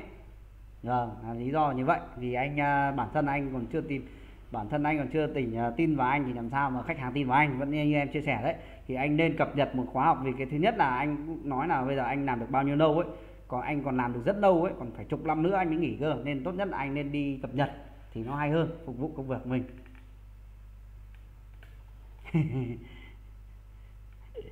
ít tuổi thôi ạ, ít tuổi thôi đấy mọi người thấy không cái bức ảnh đằng sau của em em muốn chia sẻ ý mà em muốn chia sẻ đến mọi người thứ nhất là gì chúng ta gỡ được cái lão của chúng ta là gì chúng ta không phải nhớ nữa chúng ta theo làm một cái phương pháp khác được chưa à, phương pháp khác về thì chúng ta làm việc nó đơn giản hơn nhiều và thứ hai nữa là chúng ta có phương pháp mà chúng ta không cần thiết phải chúng ta phải ở cửa hàng mà chúng ta vẫn làm được xe đó là một cái phương pháp mà em muốn chia sẻ với mọi người tức là gì chúng ta có thể đi du lịch chúng ta còn đi ra ngoài cửa hàng chúng ta đi uống cà phê chúng ta đi chia sẻ đi giao lưu chúng ta tìm kiếm khách hàng chúng ta vẫn có thể sửa xe được ở nhà bằng cách là chúng ta sử dụng chiếc điện thoại, tra cứu các phần mềm, tra cứu tài liệu, được chưa? Rồi gọi cuộc gọi video để chúng ta nhìn được chiếc máy chẩn đoán để phân tích cho anh em thợ ở nhà chúng anh em thợ chỉ việc làm thôi, đúng không? Ạ đấy là cách mà em muốn chia sẻ đến mọi người một cách nó đơn giản nhất và nhanh nhất để mọi người làm, chứ không phải trực tiếp lúc nào lúc nào chúng ta phải chăm chăm ở cửa hàng, đúng không ạ? Chăm chăm ở cửa hàng là làm gì đâu? Đâu phải là như vậy, chúng ta có thể đi giao lưu để chúng ta tìm kiếm khách hàng về cho cửa hàng, đúng không ạ? Rất nhiều cách mà. Đâu phải là cứ phải ở cửa hàng đã là tốt đấy ạ chúng ta có thể rất nhiều thứ để em muốn nói là mọi người có thể điều khiển được từ xa mà. Công nghệ cho chúng ta là như vậy giống như mọi người đang làm đấy mọi người đang xem có thể chả cần ngồi ở nhà nằm ở giường vẫn xem được online tức là vẫn được đi học. Đấy là một cái đấy là một cái công nghệ nó giúp ích cho chúng ta rất là nhiều. Được chưa? Rồi vẫn còn 250 anh em đang theo dõi. Cảm ơn mọi người. À, mọi người nay cái chúc nhau ngủ ngon gái rằng tiếp tục nhỉ. Dạ vâng khi mọi người có kiến thức cơ bản rồi thì chúng ta sẽ sẽ sẽ có một cái à, phương pháp làm việc nó nhanh hơn. Có thể em sẽ điều chỉnh lại cái cái, cái thời gian à, đào tạo nó sẽ phù hợp hơn. Nếu anh em là chúng ta là tham gia được cái khóa học này từ đầu đến cuối ấy, thì chúng ta sẽ học trực tiếp thì nó dễ hơn nhiều so với chúng ta là học từ đầu. Học từ đầu rất nhiều anh em bỡ ngỡ vì chúng ta đang chuyển phải chuyển đổi.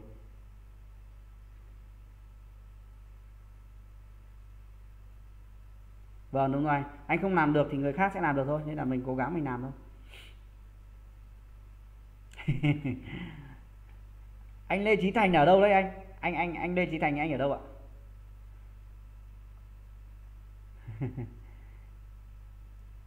À, kia là lên trên đi của à, học phí nó chỉ mấy triệu thôi nhá rất đơn giản thôi. Mọi người quan trọng là là học chứ không có phí để chưa vâng em ở gia lâm hà nội em ở gia lâm hà nội nhá. Gia lâm hà nội cầu đuống gia lâm hà nội được chưa cầu đuống gia lâm hà nội mọi người sẽ hình dung ra dễ hình dung à? Được chưa? Uh, sẽ có sau những sau những buổi sau ấy thì em sẽ muốn chia sẻ đến mọi người là cái khóa học trực tiếp dễ hơn. Có những cái khóa học cao uh, công nghệ mới hơn ví dụ công nghệ smart key thì trong khoảng 2 ngày thôi chúng ta học trong hai ngày công nghệ smart key nó đơn giản lắm. Công nghệ smart key cực kỳ đơn giản. Cái mọi người đang xem ở trên nhiều anh em chia sẻ thì ra mọi người chỉ cần công cụ là mọi người làm được thôi không có gì cả. À, em ở gia lâm hà nội em ở gia lâm hà nội. Được chưa? Ừ, Quảng Trị xa quá em tưởng gần đây. Hôm nào thấy anh hôm nào thấy anh comment anh Chí Thành ạ đây Chí Thành đây Chí Thành. Cái những cái công nghệ như về công nghệ công nghệ Smart Key và công nghệ à, ABS và rồi công nghệ của đèn led đều rất là công nghệ ngắn ngày. Thấy chưa? Công nghệ ngắn ngày. Vâng khóa học có thể em sẽ tổ chức được khóa học trực tiếp. Thì em thấy là em thấy uh, em suy nghĩ là nhiều lúc là em nghĩ là bây giờ mọi người cũng phải cập nhật hết công nghệ FI rồi nhưng mà thấy là rất là nhiều người vẫn chưa được tiếp cận đến công nghệ FI em muốn là bây giờ mọi người phải thay đổi đi vì công nghệ mới nhất rồi. Bây giờ ví dụ như là nhiều anh em chúng ta chỉ việc đấu với công tắc tắt đèn thôi mà chúng ta phải đèn tiền cái e xem đấy. Có một anh nào đấy hôm nay không thấy xuất hiện hay sao ấy là phải đèn cả cái e xem rất là nhiều tiền. Đấy đó là chúng ta cái mà chúng ta không hiểu biết là chúng ta sẽ bị mất đèn tiền được chưa?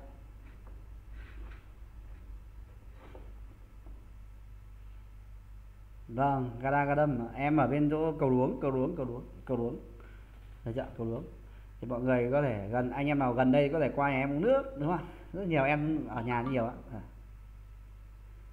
À, dạ thời gian thì thì nó tùy thôi. Em thì em nếu học ban ngày thì nó khác. Em đang chủ yếu dạy buổi tối là nhiều hơn.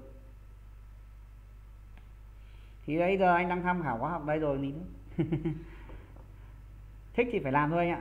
Về làm nó mới phát triển ra nhiều thứ đó rất nhiều anh em bảo là bây giờ em không làm được, không không không không không học được FI không làm được ấy, thì bây giờ anh cứ đi học đi. Xong về tự nhiên xe FI anh toàn làm xe FI thôi. Xe FI lại toàn đến với anh thôi. Và thứ hai nữa, anh lại thích sửa xe FI hơn, vì sửa xe FI hơn nó dễ hơn. Em thấy là giờ sửa xe FI nó dễ hơn nhiều so với sửa xe cơ ngày xưa.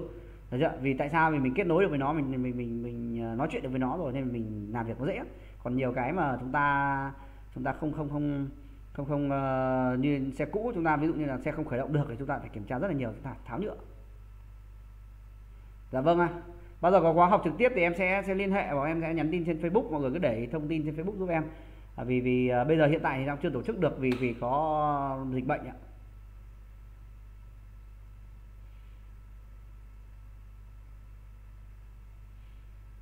Vâng thì mọi người không có thì mọi người vẫn đọc qua tài liệu vẫn được thôi nhưng mà tài liệu thì sẽ mọi mọi, mọi người bị dối đi. Mọi người sẽ bị uh, bị bị uh, bị dối vì vì cái cái phương pháp là để mọi người phải đọc thông số quá nhiều. Vì phương pháp của em tại sao em, em trong nói khóa học của em không có tài liệu ấy. nhiều anh em học em rồi thì biết rất nhiều khóa học, à, khóa học của em là không có tài liệu. Tại vì sao không có tài liệu ấy? vì cái phương pháp của chúng ta là làm việc ở trong những cái, cái tranh sơ đồ vừa rồi em chia sẻ cho mọi người những buổi vừa qua ấy, nó có hết trong đấy rồi. Được chưa? Còn cái tài liệu chúng ta cần đấy thì chúng ta tìm trên cái phần app nó có hết rồi chả phải tìm gì à nên tại sao em muốn là khóa học của em không sử dụng tài liệu là lý do là như vậy? Được chưa? Có em chia sẻ trên youtube mọi người ạ. Chia sẻ trên youtube có hết nhé em chia sẻ trên youtube mọi người xem nó nó dễ hơn. Được chưa? Và mọi người hãy đăng ký vào đấy để sau khi em đã up cái cái bài mới lên hay như kênh video mới lên thì mọi người sẽ nhìn thấy à, sẽ được thông báo cho mọi người đấy. Vâng em sẽ trả lời cái tiền và cái phần khóa học sau nhé thì mọi người nhớ ủng hộ nhé ủng hộ ủng hộ ủng hộ. Ủng hộ thì à, 50k nhá, 50k 50k thì phải theo cú pháp là gì? Chúng ta nhắn tin là họ tên địa chỉ của chúng ta thì có là quận huyện và thành phố để em chỉ cần hai cái thấy thôi. Anh em nào mà ghi địa chỉ cả cái chi tiết càng tốt. Còn không cần thiết chúng ta phải ghi là là gì? Chúng ta không cần ghi là là là là là, um, là gì nhỉ? Không cần ghi là là ủng hộ đâu. Em em biết em biết cái cú pháp này rồi. Em chỉ cần quan tâm tên để em lưu lại danh sách để sau khi em đi ủng hộ về đến đến các cái bộ ban ngành là ban ngành ấy, thì thì nó à, thì thì có tên của mọi người nó dễ hơn. Phải chưa? hiện tại đã, đã có rất nhiều anh em ủng hộ rồi. Rất nhiều anh em ủng hộ rồi thì em sẽ cố gắng vài buổi nữa thì sẽ liên hệ bên bên bên ờ, tổ chức để chúng ta đi, đi ủng hộ được chưa Vâng cái nhóm ấy thì mọi người để ý này nhóm này em sẽ công khai ở bài ở trên bài viết của em rồi. Mọi người cứ lên cái cái cái trang cá nhân của em ấy vào sẽ có một cái bài viết liên quan đến cái vào nhóm thì mọi người cứ tham gia vào đấy. Thì em sẽ trả lời cái kết bạn rồi à, kết bạn à, cái cái cái phần tham gia vào nhóm được chưa thì em sẽ không không có thời gian đâu được chưa vâng thôi nghỉ thôi nghỉ thôi nghỉ thôi. Vẫn còn hai anh em xem nên là cũng ờ, muốn chia sẻ với mọi người. Rồi mọi người chào nhau một cái đi thì chúng ta nghỉ ngày buổi hôm nay kết thúc buổi hôm nay. Thì uh, tiếp tục ngày mai chúng ta lại gặp nhau. Ôi 10 giờ 44 rồi. Ờ. ờ. ờ thôi nghỉ thôi mọi người. Em tưởng sớm. Đã gần gần hai gần 23 giờ rồi gần đêm rồi. Vẫn còn 200 anh em vẫn đang ngồi đây. Vâng rồi rồi, tiếp tục mọi người, chúc mọi người ngủ ngon nhé chúng ta sẽ kết thúc livestream ở đây. Được chưa thì ngày mai, hẹn ngày mọi người gặp mai. Anh em nào ủng hộ thì vẫn cứ nhắn tin cho em nhá. Nhắn tin ủng hộ theo cú pháp như vậy. Và có những anh em nào mà em chưa trả lời được tin nhắn hay inbox thì mọi người cố gắng thông cảm. Được chưa cố gắng thông cảm vì vì vì vì quá nhiều người nhắn tin em không trả lời được hết. Được chưa rồi, anh em nào mà cần hỗ trợ, nhiều lúc em cũng cần yêu cầu rất là nhiều vì còn liên quan đến đó được chưa rồi, chào mọi người ờ, chào mọi người nhá. Mọi người uh, comment gái chúc nhau ngủ ngon gái nào là để chúng ta uh, đi ngủ thôi. Ngày mai gặp nhau tiếp. Rồi chuyển khoản mọi người nhá. Rồi chào mọi người. Em sẽ kết thúc livestream ở đây nhá. Chào mọi người chào mọi người. Kết thúc livestream ở đây.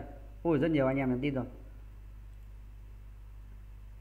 Ôi nhiều bạn nhiều bạn em trả lời tin nhắn sau nhá để em em em em em, em kết kết bạn đã nhá được chưa? Em em tắt rồi chúc mọi người ngủ ngon.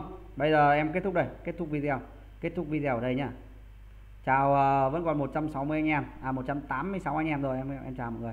Chúc mọi người ngủ ngon hẹn gặp mọi người vào 20 giờ tối ngày mai. Hãy chia sẻ cái bình ờ, livestream này đi nhá. Rồi ạ cảm ơn mọi người. Em tắt đây.